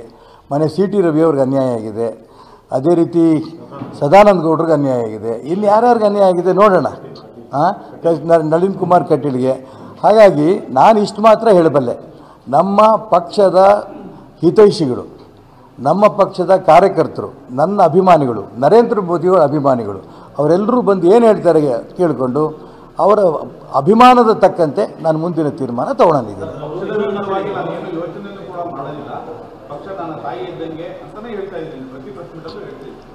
ಈಗ ಪಕ್ಷದ ವಿರುದ್ಧವಾಗಿ ಯೋಚನೆ ಎಲ್ಲಿ ಯೋಚನೆ ಮಾಡಿದ್ದೀನಿ? ಸಭೆ ನಡೆಸೋದು ಕೂಡ ಸಭೆ ನಡೆಸೋದು ನಾನು ಪರ್ಯಾಯವಾಗಿ ಏನು ಮಾಡಬೇಕು ಅಂತಲ್ಲ ಅನೇಕ ಪಕ್ಷದ ಹಿರಿಯರೇ ಹೇಳ್ತಾ ಇದ್ದಾರೆ. ಪಕ್ಷದ ನಿಷ್ಠಾವಂತ ಕಾರ್ಯಕರ್ತರನ್ನಂಥ ರವಿ ಅಂತ ಪ್ರತಾಪ್ ಸಿಂಹ ನಳಿನ್ ಕುಮಾರ್ ಇಂಥ ನಿಮ್ಮನ್ನು ಎಲ್ಲರೂ ಕೂಡ ಪಕ್ಕಕ್ಕೆ ಸರಿಸ್ತಿದ್ದಾರೆ ಅಂದರೆ ತಾಯಿಯ ಕುತ್ತಿಗೆನೇ ಹೆಚ್ಚುಕ್ತಾ ಇದ್ದಾರೆ ಅವರು. ತಮ್ಮ ವೈಯಕ್ತಿಕ ಸಾಧನೆಗಾಗಿ. ಹಾಗಾಗಿ ನೀವೇನು ಸ್ಟ್ಯಾಂಡ್ ತಗೋಬೇಕು ಅನ್ನಂಥ ಅಭಿಮಾನವನ್ನು ತಾಯಿನೇ ಅವ್ರ ಕೈಲಿ ಹಿಚುಕ್ತಾ ಇದ್ದಾರೆ ಅನ್ನೋಂಥ ಪ್ರಶ್ನೆ ಬಂದಿದೆ. ಅನೇಕ ಅಭಿಮಾನಿಗಳು ನನಗೆ ಫೋನ್ ಮಾಡ್ತಾ ಇದ್ದಾರೆ. ಇಂಡಿಪೆಂಡೆಂಟ್ ನಿಂತ್ಕೋಬೇಕು, ತಾಯಿನ ಉಳಿಸ್ಬೇಕು. ಭಾರತೀಯ ಜನತಾ ಪಾರ್ಟಿ ನಮ್ಮ ತಾಯಿ ನಮ್ಮ ತಾಯಿನ ಉಳಿಸ್ಬೇಕು ಅನ್ನೋಂಥ ಅಭಿಮಾನದಲ್ಲಿ ಎಲ್ಲರೂ ಮಾ ಫೋನ್ ಮಾಡ್ತಾ ಇರೋಂಥ ಸಂದರ್ಭದಲ್ಲಿ ನಾನು ಇನ್ನೂ ಕೂಡ ಯಾವ ತೀರ್ಮಾನವನ್ನು ತಗೊಂಡಿಲ್ಲ. ನಾಡ್ದೇವ್ರ ಜೊತೆ ಕೂತ್ಕೊಂಡು ಚರ್ಚೆ ಮಾಡಿ ತೀರ್ಮಾನ ತಗೋತೀನಿ. ಇನ್ನೊಂದು. ಸರ್, ಈಗ ನೀವು ಇನ್ನೊಂದು ಮಾತು ಹೇಳಿದ್ರಿ, ಅಂದ್ರೆ ಅವ್ರು ಅವ್ರಿಗೆ ಆಗಿತ್ತು, ಅವ್ರಿಬ್ರು ಕೇಸ್ ನನ್ನ ಮಗನಿಗೆ ಆಗಿಲ್ಲ ಅಂತ. ಅವ್ರು ಇನ್ನೊಬ್ಬರಿಗೆ ಕೈಲಿದೆ ಅಂತ ಹೇಳ್ಬಿಟ್ಟು ಶೋಭನ್ ಯಾರ ಕೈಲಿತ್ತು? ಬಸವರಾಜ ಬೊಮ್ಮೆ ನನಗೆ ಬೇಡ ಅಂತ ಹೇಳಿದ್ದು. ಎಲ್ಲಿ ಹೇಳಿದರು? ಕರ್ನಾಟಕ ರಾಜ್ಯದ ಚುನಾವಣಾ ಸಮಿತಿನಲ್ಲಿ ನಾನೂ ಕೂತಂಥ ಸಂದರ್ಭದಲ್ಲಿ ನನಗೆ ಆರೋಗ್ಯ ಸರಿ ಇಲ್ಲ. ನಾನು ಯಾವುದೇ ಕಾರಣಕ್ಕೂ ಚುನಾವಣೆ ಸ್ಪರ್ಧೆ ಮಾಡಲ್ಲ. ನಾನು ಎಂ ಎಲ್ ಎ ಆಗಿದ್ದೀನಿ ಈಗ ಮಾಜಿ ಮುಖ್ಯಮಂತ್ರಿ ಅಂಥೇಳಿ ನನ್ನ ಹೆಸರು ನನ್ನ ಮಗನ ಹೆಸರೇ ಅವರು ಚುನಾವಣಾ ಸಮಿತಿನಲ್ಲಿ ಹೇಳಿದರು. ಕಾಂತೇಶನ್ಗೆ ಹಾವೇರಿ ಕ್ಷೇತ್ರ ನಿಲ್ಲಿಸಿ ಅಂತ ಅವರೇ ಹೇಳಿದರು. ಮತ್ತು ಇನ್ನೊಂದು ಅವರು ಹೇಳಿದರು, ದೆಹಲಿನಲ್ಲಿ ಚುನಾವಣಾ ಸಮಿತಿಯಲ್ಲೂ ಕೂಡ ನಾನೇ ಮತ್ತೆ ಕಾಂತೇಶನ್ ಹೆಸರನ್ನು ಹೇಳಿದ್ರು ಅಂತಂದ್ರೆ. ಹಾಗೆ ಬಸವರಾಜ ಬೊಮ್ಮಾಯಿ ಯಾಕೆ ಒತ್ತಾಯ ಮಾಡಿ ನಿಲ್ಲಿಸ್ತಾ ಇದ್ದಾರೆ? ನಾನು ಯಾತಕ್ಕೆ ಇದನ್ನು ಹೇಳ್ತಾ ಇದ್ದೀನಿ ಅಂತಂದರೆ, ಇದು ಪಕ್ಷದ ನಿಷ್ಠಾವಂತ ಕಾರ್ಯಕರ್ತರುಗಳು, ರವೀನೋ, ನಳಿನ್ ಕುಮಾರ್ ಕಟೀಲೋ, ಪ್ರತಾಪ್ ಸಿಂಹನೋ, ನಾನು, ನಾವೆಲ್ಲರೂ ಕೂಡ ಯತ್ನಾಳ್ಗಂತೂ ಹಿಂದುತ್ವದ ಪರವಾಗಿ ಯಾರು ಮಾತಾಡ್ತಿದ್ದಾರೆ ಅಂಥವ್ರನ್ನೆಲ್ಲರೂ ಕೂಡ ಒಂದು ರೀತಿಯ ತೊಂದರೆ ಕೊಟ್ಟು ಸಂಘ ನಿಷ್ಠೆಯಿಂದಿರೋಂಥ ಪಕ್ಷದ ಕಾರ್ಯಕರ್ತರಿಗೆ ತೊಂದರೆ ಕೊಟ್ಟು ಪಕ್ಕಕ್ಕೆ ಸರಿಸೋಂಥ ಪ್ರಯತ್ನವನ್ನು ಮನೆ ಯಡಿಯೂರಪ್ಪನವ್ರು ಮಾಡ್ತಾ ಇದ್ದಾರೆ ಅಂತ ಭಾವನೆ ಭಾಳ ಜನಕ್ಕೆ ಬಂದಿದೆ. ನಾನು ಅದಕ್ಕೋಸ್ಕರ ಈಗ ಯಾವುದೇ ತೀರ್ಮಾನವನ್ನು ಇವತ್ತು ಹೇಳೋದಿಲ್ಲ. ನಾನು ಶುಕ್ರವಾರ ಸಂಜೆ ಐದು ಗಂಟೆಗೆ ಬಣಜಾರ್ ಭವನದಲ್ಲಿ ಸೇರಿದಂಥ ಎಲ್ಲ ನಮ್ಮ ಪಕ್ಷದ ಹಿತೈಷಿಗಳು, ವಿವಿಧ ಸಮಾಜಗಳ ಪ್ರಮುಖರುಗಳು ನಮ್ಮ ಪಕ್ಷದ ಎಲ್ಲ ಪ್ರಮುಖ ಕಾರ್ಯಕರ್ತರು ಸೇರಿದಂಥ ಸಭೆಯಲ್ಲಿ ನಾನು ಅಂತಿಮ ತೀರ್ಮಾನವನ್ನು ಅವರ ಅಭಿ ಅವರ ಅಭಿಪ್ರಾಯನ ಕೇಳಿ ತೀರ್ಮಾನ ಆಗುತ್ತೆ ಇಡೀ ರಾಜ್ಯದ ಜನ ನೋವನ್ನು ಅನುಭವಿಸ್ತಾ ಇದ್ದಾರೆ. ನಿಷ್ಠಾವಂತ ಕಾರ್ಯಕರ್ತರಿಗೆ ಕೆಲಸ ಮಾಡ್ತಾ ಮಾಡ್ತಿರೋಂಥ ಕಾರ್ಯಕರ್ತರಿಗೆ ಯಡಿಯೂರಪ್ಪನವ್ರು ಅನ್ಯಾಯ ಮಾಡ್ತಾ ಇದ್ದಾರೆ ಅಂತ ನೋವನ್ನು ಅನುಭವಿಸ್ಕೊತಾ ಇದ್ದಾರೆ. ಅವ್ರ ಧ್ವನಿ ಆಗಬೇಕಲ್ಲ ನಾನು? ಅದನ್ನು ನಾಳೆ ಚಿಂತೆ ಮಾಡ್ತೀನಿ ನಾನು, ಈಗಲೇ ಹೇಳ ಯಾವುದು ಹೇಳಲ್ಲ. ನಾನು ಈಗಲೂ ಕೂಡ ಇನ್ನೂ ಹೇಳ್ತಾ ಇದ್ದೀನಿ, ನನಗೆ ಈಗ ತಾನೇ ರಾಧಾ ಮೋಹನ್ ಅಗರ್ವಾಲ್ ನಮ್ಮ ರಾಷ್ಟ್ರೀಯ ಸ ಪ್ರಧಾನ ಕಾರ್ಯದರ್ಶಿಗಳು, ಲೋಕಸಭಾ ಕ್ಷೇತ್ರ ಇನ್ಚಾರ್ಜ್, ಅವರು ನನಗೆ ಈಗ ಒಂದು ಹತ್ತು ನಿಮಿಷ ಕೆಳಗೆ ಫೋನ್ ಮಾಡಿದ್ದರು ನಿಮ್ಮ ಮಗನಿಗೆ ಈ ವಿಧಾನ ಪರಿಷತ್ತಿನ ಟಿಕೆಟ್ನ ಕೊಡ್ತೇನೆ. ಕೇಂದ್ರ ನಾಯಕರ ಹತ್ರ ಮಾತಾಡಿದ್ದೀವಿ. ಕಾಂತೇಶಿಂಗೆ ನಾಳೆ ಬರೋಂಥ ಗ್ರಾಜ್ಯುಯೇಟ್ ಚುನಾವಣೆ ನಿಲ್ಲಿಸ್ತೀವಿ, ಅವಕಾಶ ಮಾಡಿಕೊಡ್ತೀವಿ ಅಂತ ಹೇಳಿದರು. ನಾನು ಯಾವುದೂ ಇನ್ನೂ ಅವರಿಗೆ ಪ್ರಾಮಿಸ್ ಮಾಡಿಲ್ಲ. ಅವ್ರ ಜೊತೆ ಕೂತು ಚರ್ಚೆ ಮಾಡಿ ತೀರ್ಮಾನ ಮಾಡ್ತೀನಿ.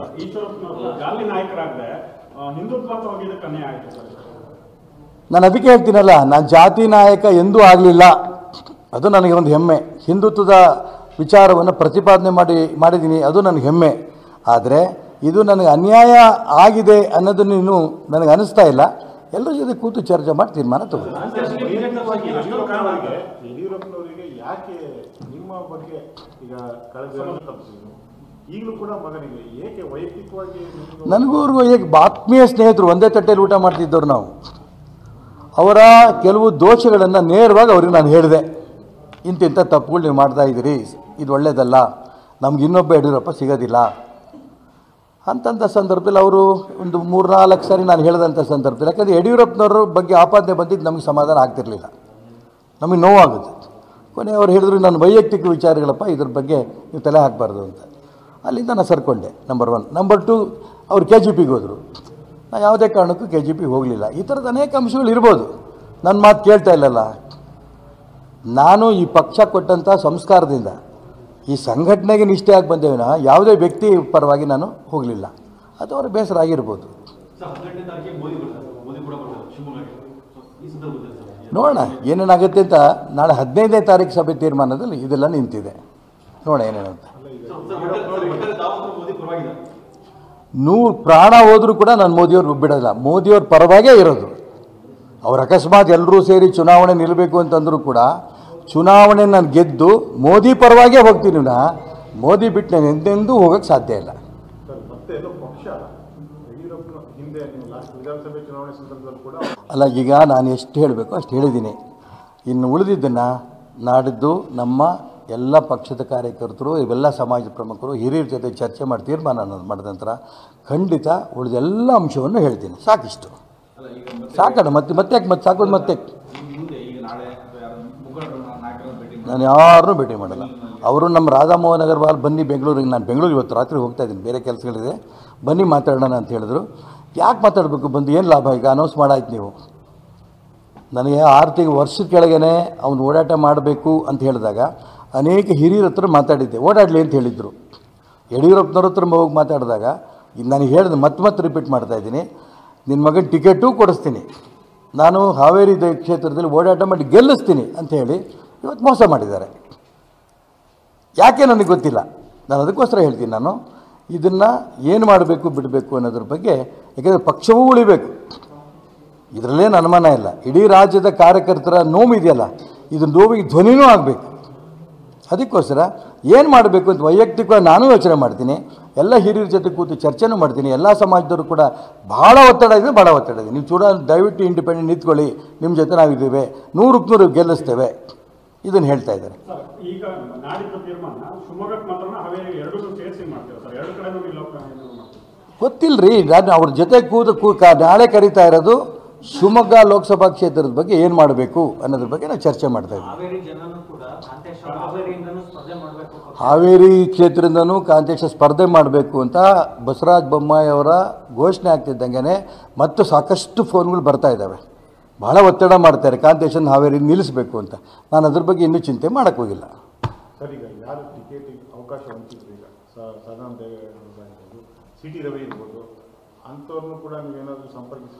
ನೋಡಿ ಈಗ ಎರಡು ಎ- ನೋ, ನೋ, ಎರಡು ಪ್ರಶ್ನೆ. ನಾನು ಈಗ ಯಾವುದೂ ಹೇಳಲ್ಲ. ನಾನೇನು ತೀರ್ಮಾನ ತಗೋತೀನಿ ತೀರ್ಮಾನ ತಗೊಂಡ ನಂತರ ಮುಂದಿಂತು ಸರ್ ಈಗ ಪಕ್ಷ ಉಳಿಬೇಕು ಅಂತೀರಿ ಮತ್ತೆ ಈಗ ಸಭೆ ನಡೆಸ್ತೀರಿ ಸ್ಪ್ಲಿಟ್ ಆದಂಗೆ ಎಲ್ಲಿ ಆ ಸಭೆ ನಡೆಸ್ತೀನಿ ಪಾರ್ಟಿ ಬಿಟ್ಟು ಹೋಗ್ತೀನಿ ಅಂತ ಹೇಳಿದ್ದೀನಿ ನಾನು. ನಾನು ಹೆ- ಪಾರ್ಟಿ ಬಿಟ್ಟು ಹೋಗ್ತೀನಿ ಅಂತ ಹೇಳಿದ್ದೀನಿ ಅಂದೆ. ನಾನು ಇನ್ನೂ ಹೇಳಿಲ್ಲಲ್ಲ. ಯಾರು ನಿಂತೀನಿ ಅಂತ ಹೇಳಿ ಹೇಳೋದು? ಅಭಿಪ್ರಾಯ ಸಂಗ್ರಹ ಮಾಡಿ. ಪಕ್ಷವನ್ನು ಉಳಿಸೋದಕ್ಕೋಸ್ಕರ ನೀವು ನಿಂತ್ಕೋಬೇಕು ಅಂತ ಎಲ್ಲರೂ ಹೇಳ್ತಿರೋದು. ಒಬ್ಬ ಒಂದು ಕುಟುಂಬದ ಕೈಯಲ್ಲಿ ಪಕ್ಷ ಸಿಕ್ಕೊಂಡಿದೆ ಇದರಿಂದ ಪಾರ್ ಮಾಡಬೇಕು ಅನ್ನೋದಕ್ಕೋಸ್ಕರ ಅವರೆಲ್ಲರೂ ಹೇಳ್ತಾರೆ ನೀವು ಇಂಡಿಪೆಂಡೆಂಟಾಗಿ ನಿಂತ್ಕೋಬೇಕು. ನಿಂತ್ಕೊಂಡು ಗೆದ್ದು ಕೇಂದ್ರ ನಾಯಕರು ಅರ್ಥ ಆಗುತ್ತೆ. ಈ ಚುನಾವಣೆ ಅಕಸ್ಮಾತ್ ನಾನು ನಿಂತರೆ, ಯಾಕೆ ನಿಂತೆ ಈಶ್ವರಪ್ಪನಂತ ನಿಷ್ಠಾವಂತ ಕಾರ್ಯಕರ್ತ ಯಾಕೆ ನಿಂತ ಅಂತ ಅಂದ್ಕೊಂಡು ಇಡೀ ರಾಜ್ಯದ ಎಲ್ಲ ನಮ್ಮ ಕಾರ್ಯಕರ್ತರು ಫೋನ್ ಮಾಡ್ತಾ ಇದ್ದಾರೆ. ಎಲ್ಲ ಹಿರಿಯರು ಫೋನ್ ಮಾಡ್ತಾ ಇದ್ದಾರೆ. ನೊಂದಿರೋರು. ಒಂದು ಕುಟುಂಬದ ಕೈಲಿ ಹಾಕ್ಕೊಟ್ರು ಪಕ್ಷವನ್ನು? ಅವರೇ ಹಂಗಾರೆ ನಾಯಕರ? ಅವರೇ ಲಿಂಗಾಯತ ನಾಯಕರ? ಬೇರೆ ಲಿಂಗಾಯತ ನಾಯಕರುಗಳು ಇಲ್ವಾ? ಈ ಅಂಶಗಳೆಲ್ಲರೂ ಕೂಡ ಪ್ರಶ್ನೆಗಳು ಕೇಳ್ತಾರೆ ಇದಕ್ಕೆಲ್ಲವೂ ಉತ್ತರ ನಾನು ಹೇಳ್ತೀನಲ್ಲ, ನಾಡ್ದು ಸಭೆಯ ನಂತರ ನಿಮಗೆ ತಿಳಿಸ್ತೇನೆ. ಸರ್, ಪಕ್ಷದಲ್ಲಿ ಇಷ್ಟೊಂದು ವಾತಾವರಣ ಹದಗೆಡಲಿಕ್ಕೆ ಕಾರಣ ಸರ್. ವಿಧಾನಸಭೆ ಚುನಾವಣೆ ಸೋತ್ರಿ, ಅದರ ನಂತರ ಕೂಡ ಇಲ್ಲಿ ಪಾಠ ಕಲಿಯಿಲ್ಲ ಅಂತ ಪಕ್ಷ. ಮಾನ್ಯ ಯಡಿಯೂರಪ್ಪನವರು, ಹಾವೇರಿ ಲೋಕಸಭಾ ಟಿಕೆಟಿನ ಬಗ್ಗೆ ನಾನು ನನ್ನ ಮಗ, ಅವ್ರ ಮನೆಗೆ ಹೋದಾಗ, ಕಾಂತೇಶ್ ಹೋದಾಗ, ನಾನು ಖಂಡಿತ ಲೋಕಸಭಾ ಟಿಕೆಟನ್ನು ಹಾವೇರಿಯಿಂದ ಕಾಂತೇಶಿಗೆ ಕೊಡಿಸ್ತೇನೆ. ಜೊತೆಗೆ ಹಾವೇರಿ ಲೋಕಸಭಾ ಕ್ಷೇತ್ರದಲ್ಲಿ ನಾನೇ ಓಡಾಟ ಮಾಡಿ ಅವನು ಗೆಲ್ಲಿಸ್ತೇನೆ ಅನ್ನೋಂಥ ಮಾತನ್ನು ಹೇಳಿ ಅವನು ಹಾವೇರಿ ಗದಗ ಜಿಲ್ಲೆಗಳಲ್ಲಿ ಸಾಕಷ್ಟು ಸಮಯವನ್ನು ಓಡಾಟ ಮಾಡಿದ್ದ. ಆ ಎಲ್ಲ ಜನರು ಕೂಡ ಅವನು ವಿಶ್ವಾಸ ಗಳಿಸಿದ್ದ, ಆ ಭಾಗದೆಲ್ಲ ಸ್ವಾತಂತ್ರ್ಯರು